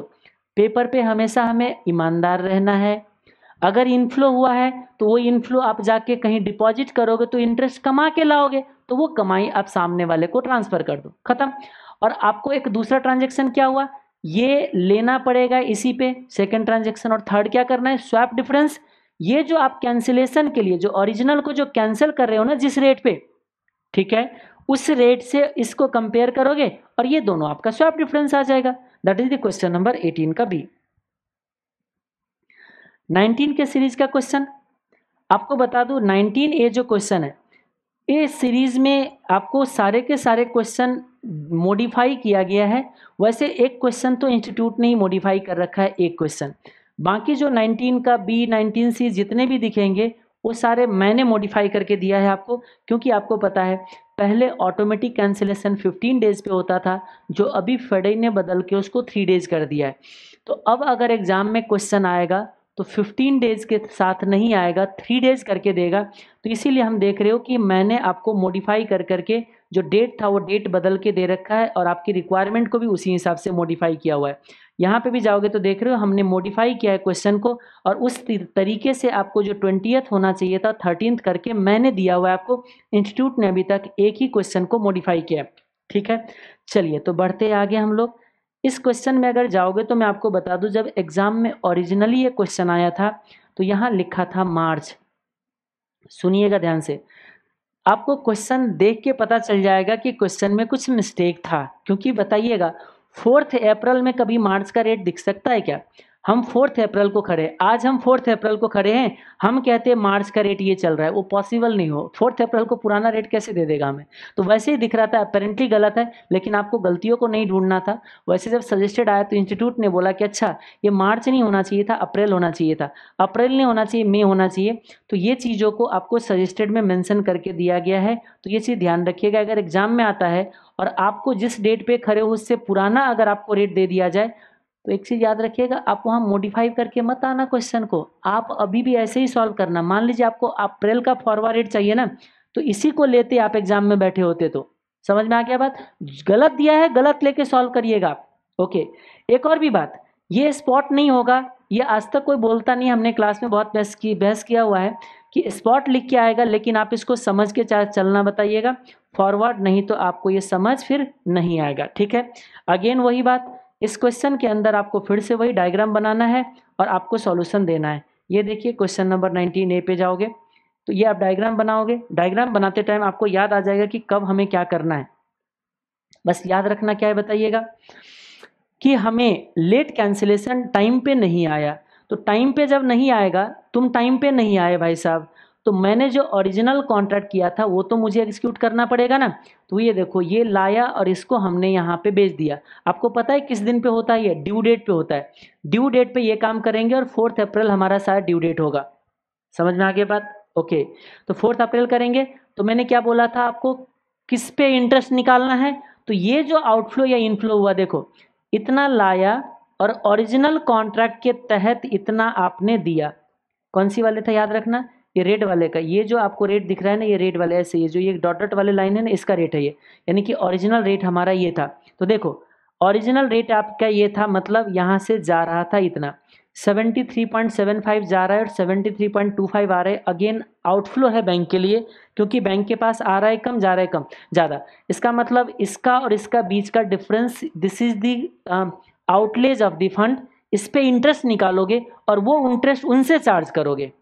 पहला पार्ट। दूसरा, आप एक नया कॉन्ट्रैक्ट कर रहे हो। देखो, ये ओरिजिनल कॉन्ट्रैक्ट तो आपने एक्सिक्यूट कर दिया इधर देखे और आपके पास जो थ्री डेज़ का जो रिस्क है ना, उसके लिए एक नया कॉन्ट्रैक्ट करोगे, ठीक है? और वो एग्जैक्टली exactly सेम होगा, जो पहले था, पहले अगर आपने बाई करने का किया था तो नया करोगे। ये जो नया कॉन्ट्रैक्ट जिस रेट पे कर रहे हो, उसका डिफरेंस इसके साथ ये जाएगा आपका स्वैप लॉस में। और फिर जिस दिन वो आएगा उस दिन की अपोजिट कॉन्ट्रैक्ट करेंगे। देखो, ये पहले डॉलर खरीदने का बात किया था तो डॉलर बेचेंगे। और जिस दिन आया है, उस दिन के स्पॉट रेट पे करेंगे। लेकिन यहाँ पे क्वेश्चन के अंदर मार्जिन भी दिया है तो यहाँ मार्जिन एडजस्ट होगा, क्योंकि जब रिटेलर के साथ जब यह बैंक डील करता है तो मार्जिन का एडजस्टमेंट होती है। इस सेवेंथ अप्रैल का कैंसिलेशन होगा। देखिएगा क्वेश्चन में जो अप्रोच करता है ना वो वो ड्यू डेट पे एक्सटेंशन के लिए अप्रोच करता है फोर्टीन जून को। ध्यान सुनिएगा फोर्टीन जून को अप्रोच करता है। और हमारा जो ड्यू डेट था ना, देखिए ड्यू डेट तो था फोर्थ ऑफ़ अप्रैल था। क्वेश्चन पढ़ोगे तो याद आ जाएगा। फोर्थ अप्रैल का ड्यू डेट था। कस्टमर अप्रोच करता है फोर्टीन जून को। जस्ट अ मिनट सॉरी ये जो है ना, ये आपको एक्सटेंशन करने को बोला है फोर्टीन जून को। रिक्वेस्ट जो किया है ना रिक्वेस्ट किया है फोर्टीन ऑफ़ अप्रैल को। सोचिएगा ध्यान से आपने फोर्थ अप्रैल का आपका क्या बन रहा था? फोर्थ अप्रैल था आपका ड्यू डेट अप्रोच कब करते हो आप? फोर्टीन ऑफ़ अप्रैल को, दस दिन के बाद. लेकिन फेडई क्या कहता है? मैक्सिमम तीन दिन वेट करना, उससे ज़्यादा वेट नहीं करना है. तो हमने क्या किया होगा? थ्री डेज़ बाद ही, यानी कि सेवेंथ ऑफ़ अप्रैल को मैंने कैंसिलेशन कर दिया होगा ऑटोमेटिकली उनके अनुपस्थिति में और जो डिमांड बना होगा, उनके जो अकाउंट का कंट्रोल होगा, उनके अकाउंट से मैंने डिडक्ट कर दिया होगा। इसका मतलब आपका जो इंटरेस्ट भी निकालना पड़ेगा ना ये अमाउंट पे। आपने बोला ना कि आउटफ्लो पे इंटरेस्ट निकालेंगे। ये इंटरेस्ट भी थ्री डेज़ के लिए ही आएगा। और ये जो आप कैंसिलेशन कराओगे ना, देखो सेवेंथ अप्रैल को कैंसिलेशन कराओगे आप, ठीक है? तो ये था आपका क्वेश्चन नंबर नाइनटीन का ये। ऐसे ही क्वेश्चन नंबर नाइनटीन का भी है। ये आपको सॉल्व करना पड़ेगा। ध्यान से रखिएगा। नाइनटीन ए नाइनटीन बी ये आपको सॉल्व करोगे, तभी जाके क्लैरिटी आएगी, ठीक है? उसके बाद हम लोग अगर आगे बढ़े तो लीडिंग एंड लैगिंग में बस एक चीज़ ध्यान रखना है इसमें, कि इसकी जो लैंग्वेज है ना, वो थोड़ा ध्यान क्लियर नहीं है। बोला है कि कवर को पेबल करेंगे। इस क्वेश्चन के अंदर कवर पेबल कितना होता है मैं आपको बता दूँ यहाँ पे, एक मिनट डायग्राम दिख के ही बता देता हूँ मैं आपको। ये देखिए, इस क्वेश्चन के अंदर सिचुएशन ये है कि थ्री मंथ पे इतना पेमेंट करना है और टू मंथ पे इतना रिसीव होने वाला है। और आपको कहता है कि देखिए, दो मंथ के लिए ना आपने ट्रांजेक्शन ऑलरेडी करके बैठे हुए हों। For receivable amount forward contract is already taken मतलब क्या हो गया? इसके लिए आप ऑलरेडी एंटर कर चुके हो फॉरवर्ड कॉन्ट्रैक्ट की देखो, जब हमारे पास ये आएगा, हम इसको दे देंगे। इस तरीके से ऑलरेडी फॉरवर्ड कॉन्ट्रैक्ट क्या है इसमें? एंटर ऑलरेडी किया हुआ है।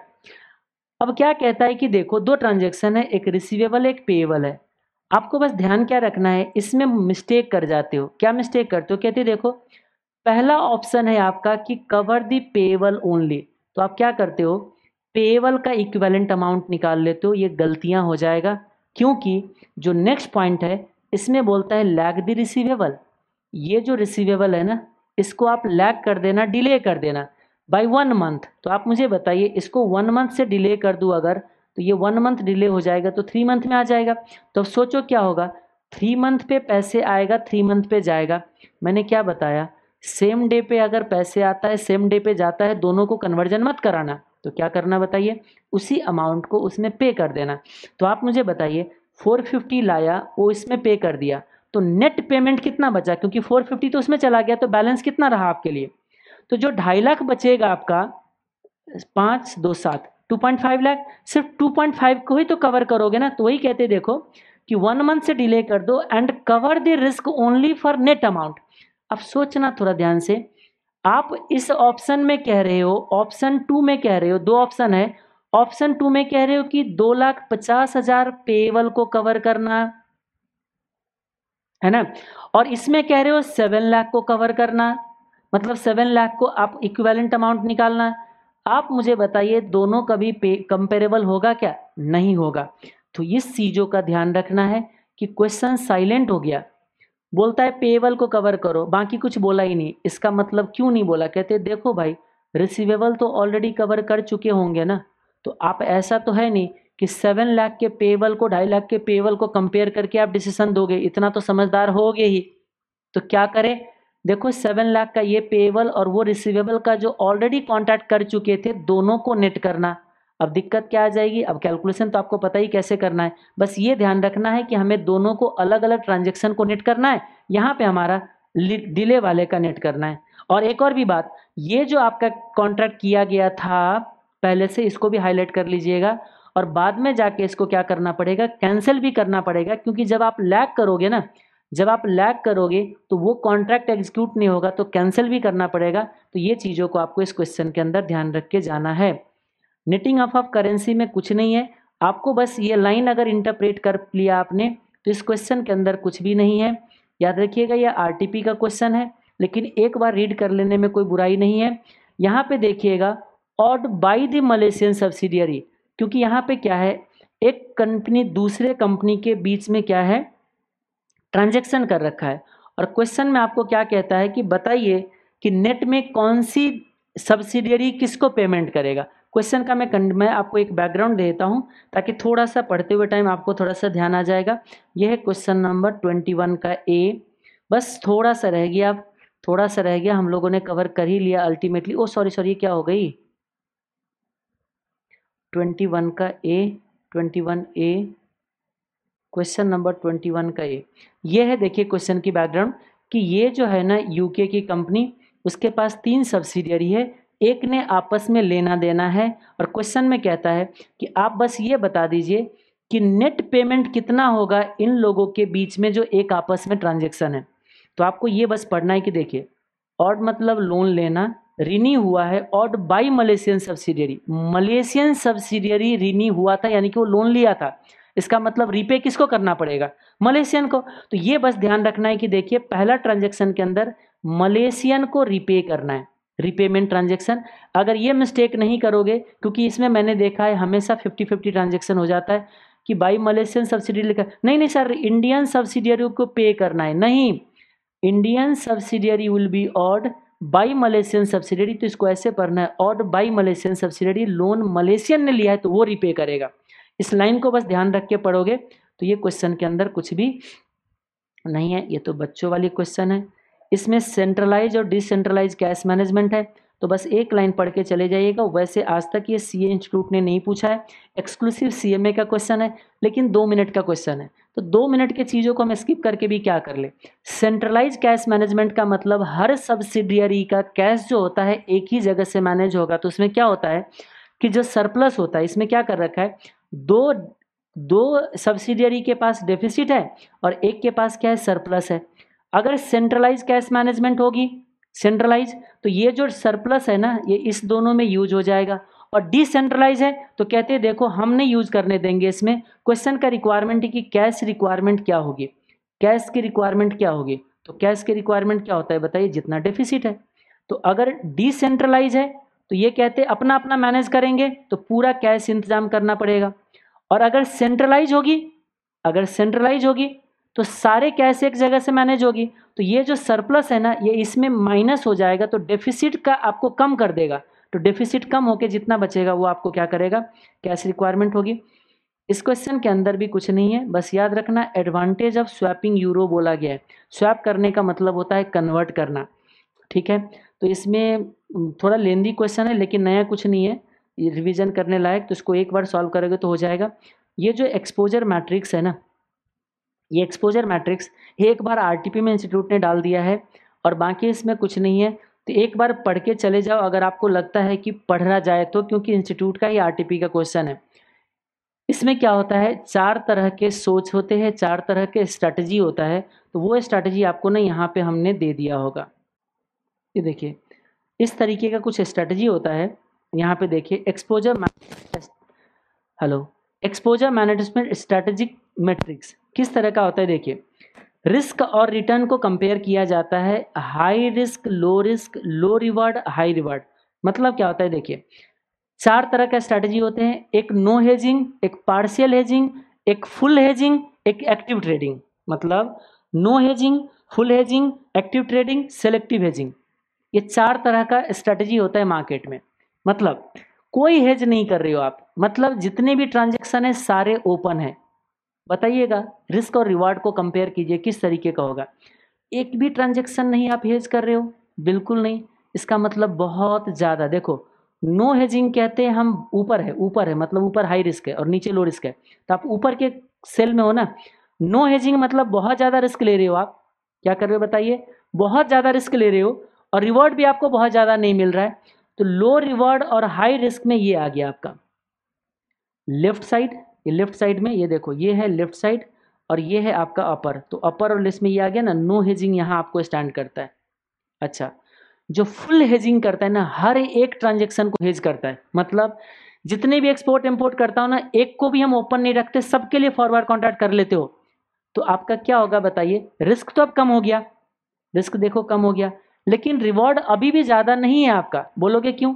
जब ज़रूरत नहीं था, मान लीजिए एक आपको लग रहा था कि अगर मैं हेज ना करूँ तो ही मेरे लिए ज़्यादा फ़ायदा है, तब भी हेज क्यों किया? आपका रिवॉर्ड कम हो गया ना। सबको अगर हेज करोगे तो जो फ़ायदा होने वाले भी था, वो भी आपका नहीं हो पाएगा। इसका मतलब हर एक ट्रांजेक्शन को हेज नहीं करना चाहिए था। आपको सेलेक्टिव हेजिंग रखना चाहिए था। सेलेक्टिव हेजिंग का मतलब क्या हो गया? कि ज़रूरत लगे तो हेज करो, ज़रूरत ना लगे तो ना हेज करो। मतलब क्या होता है हेजिंग कब करते हैं? हमें लगता है एक्सपेक्टेशन है कि ज़्यादा लॉस होने वाली है। क्या बताइएगा? हमारा एक्सपेक्टेशन है कि ज़्यादा लॉस होने वाला है। तो हेज करो। आपका एक्सपेक्टेशन है कि मैं कुछ ना करूँ तो फ़ायदा होगा, क्योंकि ऐसा नहीं है। हर बार एक्सचेंज रेट जो होते हैं, आपके अनफेवर में मूव करेगा। तो कहते देखो सेलेक्टिव हेज करो। आपको रिस्क लगता है तो हेज करो। तो देखो रिस्क तो आपने रिड्यूस कर दिया, क्योंकि नीचे के कॉलम में तो रिस्क तो रिड्यूस हो गया। लेकिन आपने रिवॉर्ड भी बढ़ा लिया। क्योंकि जिसकी ज़रूरत नहीं था उसको हेज नहीं किया तो हमारा रिवॉर्ड ज़्यादा है। और अब आता है एक्टिव ट्रेडिंग मतलब क्या है पता है? एक्टिव ट्रेडिंग का मतलब हम हर एक ट्रांजेक्शन के लिए, हम क्या करते हैं? अभी मुझे लगा कि मुझे इस ट्रांजेक्शन को हेज करना चाहिए। हेज किया, और दो मिनट बाद हमारे मार्केट में ना रेट हमारे फेवर में चला गया। हम उसको फिर हटा दिए कैंसिल कर दिए। फिर हमने कॉन्टैक्ट कर लिए, फिर कैंसिल कर दिए। यानी कि बहुत ज़्यादा हम जल्दी जल्दी एक्शन ले रहे जैसे हमारे फेवर में रेट आया या अगेंस्ट गया, उस तरीके से एक्टिवली हम क्या करते हैं उसको? एक्टिवली मूव ट्रांजेक्शन को हम लोग उस तरीके से मूव करते हैं। तो ये कह रहे कि देखो एक्टिव ट्रेडिंग हो जाता है ये। फॉरवर्ड कॉन्ट्रैक्ट करना, फिर कैंसिल कर देना, फिर करना, फिर कैंसिल करना। एक्टिवली अगर ये पार्टिसिपेट करते हो तो ये एक्टिव ट्रेडिंग हो गया। इस तरीके के केस में कहते हैं, देखो, आपका रिस्क तो हाई होता ही है, ठीक है? लेकिन आपका रिवॉर्ड भी ज़्यादा है, क्योंकि रिवॉर्ड ज़्यादा मेंटेन करने के लिए आप इस तरीके से करते हो। तो ये चार तरह का आपका क्या होता है? स्ट्रैटेजी होता है। इसी को इस क्वेश्चन में आपको लिख के दिया है कि देखो जी, कुलजीत जैन एक होलसेल लो क्वेश्चन हम क्यों पढ़ा रहे तो बस इसी तरीके का स्ट्रैटेजी है। इसमें लिख के दे रखा है कि बताइए, कौन सी strategy by different person in exposure management matrix में इसमें डालना है? आपको प्लेस करना है इस मैट्रिक्स के अंदर तो हम कैसे प्लेस करेंगे? चलो एक बार रीड कर देता हूँ। Kuljeet the wholesaler of import items imported toys from China to sell them in the domestic market खरीदता है। बींग द सोल ट्रेडर वो अकेले है सोल ट्रेडर है। He is always so much learn the promotion वो ज़्यादातर promotion में involve रहता है। ठीक है? And negotiation for the foreign supplier से बातचीत करने में भी इन्वॉल्व रहते हैं। He never pays the attention to hedge ये आपका काम का है। He never pays attention to hedge ये कभी हेज करने के लिए सोचता ही नहीं है। His payable in foreign currency and leaves his position unhedged वो अपने पोजिशन को अनहेज रखता है। एक तो रिस्क बढ़ाया रिवॉर्ड कम कर लिया। रिस्क बढ़ाया रिवॉर्ड कम कर लिया। देखिए, कुलजीत यहाँ पे होगा। कुलजीत का स्ट्रैटेजी कौन सी है बताइए? स्ट्रैटेजी वन जो कि आपका ये वाले है कुलजीत। ये देखो, यहाँ बैठा हुआ है। नो हेजिंग करने से क्या होगा? रिवॉर्ड भी कम रिस्क भी हाई दूसरे में अगर आप चेक करोगे ना स्ट्रैटेजी टू में ये क्या बोलता है, देखिए। Enters into a forward contract to sell the forward foreign exchange only if he expect some profit out of its out of it otherwise he leaves the position मतलब selective hedging करता है। अगर उनको लगता है हेज करना beneficial है तो करते हैं, नहीं तो छोड़ देते हैं। मतलब इसका मतलब वो क्या करता है? जब लगता है कि रिस्क है तो हेज करते हैं। मतलब रिस्क तो कम कर लिया रिटर्न भी बढ़ा लिया। रिस्क कम रिटर्न बढ़ाना, ये कौन सी कॉलम में जाएगा पता है? यहाँ पे जाएगा स्ट्रैटेजी टू मोनी यहाँ पे होगा। ये रहा मोनी होगा इसमें। देख रहे हो? मोनी जो है, वो यहाँ पे स्टैंड करता है। तो इस तरीके का क्वेश्चन है। आपको लगता है रीड पढ़ सकते हो तो पढ़ लीजिए, नहीं तो क्या कर सकते हो? इग्नोर कर सकते हो। इसी के साथ हमारा फॉरेक्स का रिवीजन कंप्लीट हो जाता है। होप कम टाइम ही लगाया। अब मुझे नहीं पता अभी तक कितना देर हो चुका है। I think four and five five and sir five hours thirty minutes तक ही गया होगा। अगर आपको लगता है कि ये वीडियो आपके लिए बेनिफिशियल है तो ज़रूर आपके दोस्तों तक भी पहुंचाइए ताकि वो भी इससे बेनिफिट ले पाए, क्योंकि मैक्सिमम जो मेरे कम वीडियो के नीचे जो कमेंट होता है, वो स्टूडेंट कहते हैं, सर, काश आप पहले मिल जाते तो काश आप दो चार स्टूडेंट आप अपने दोस्तों को अगर शेयर कर दोगे तो उनको भी मैं पहले मिल जाऊँगा। और वो भी जो ये रिविज़न का बेनिफिट जो है, वो ले सकते हैं। टेक केयर बाय जल्दी मिलते हैं दूसरे चैप्टर के रिविज़न के लिए।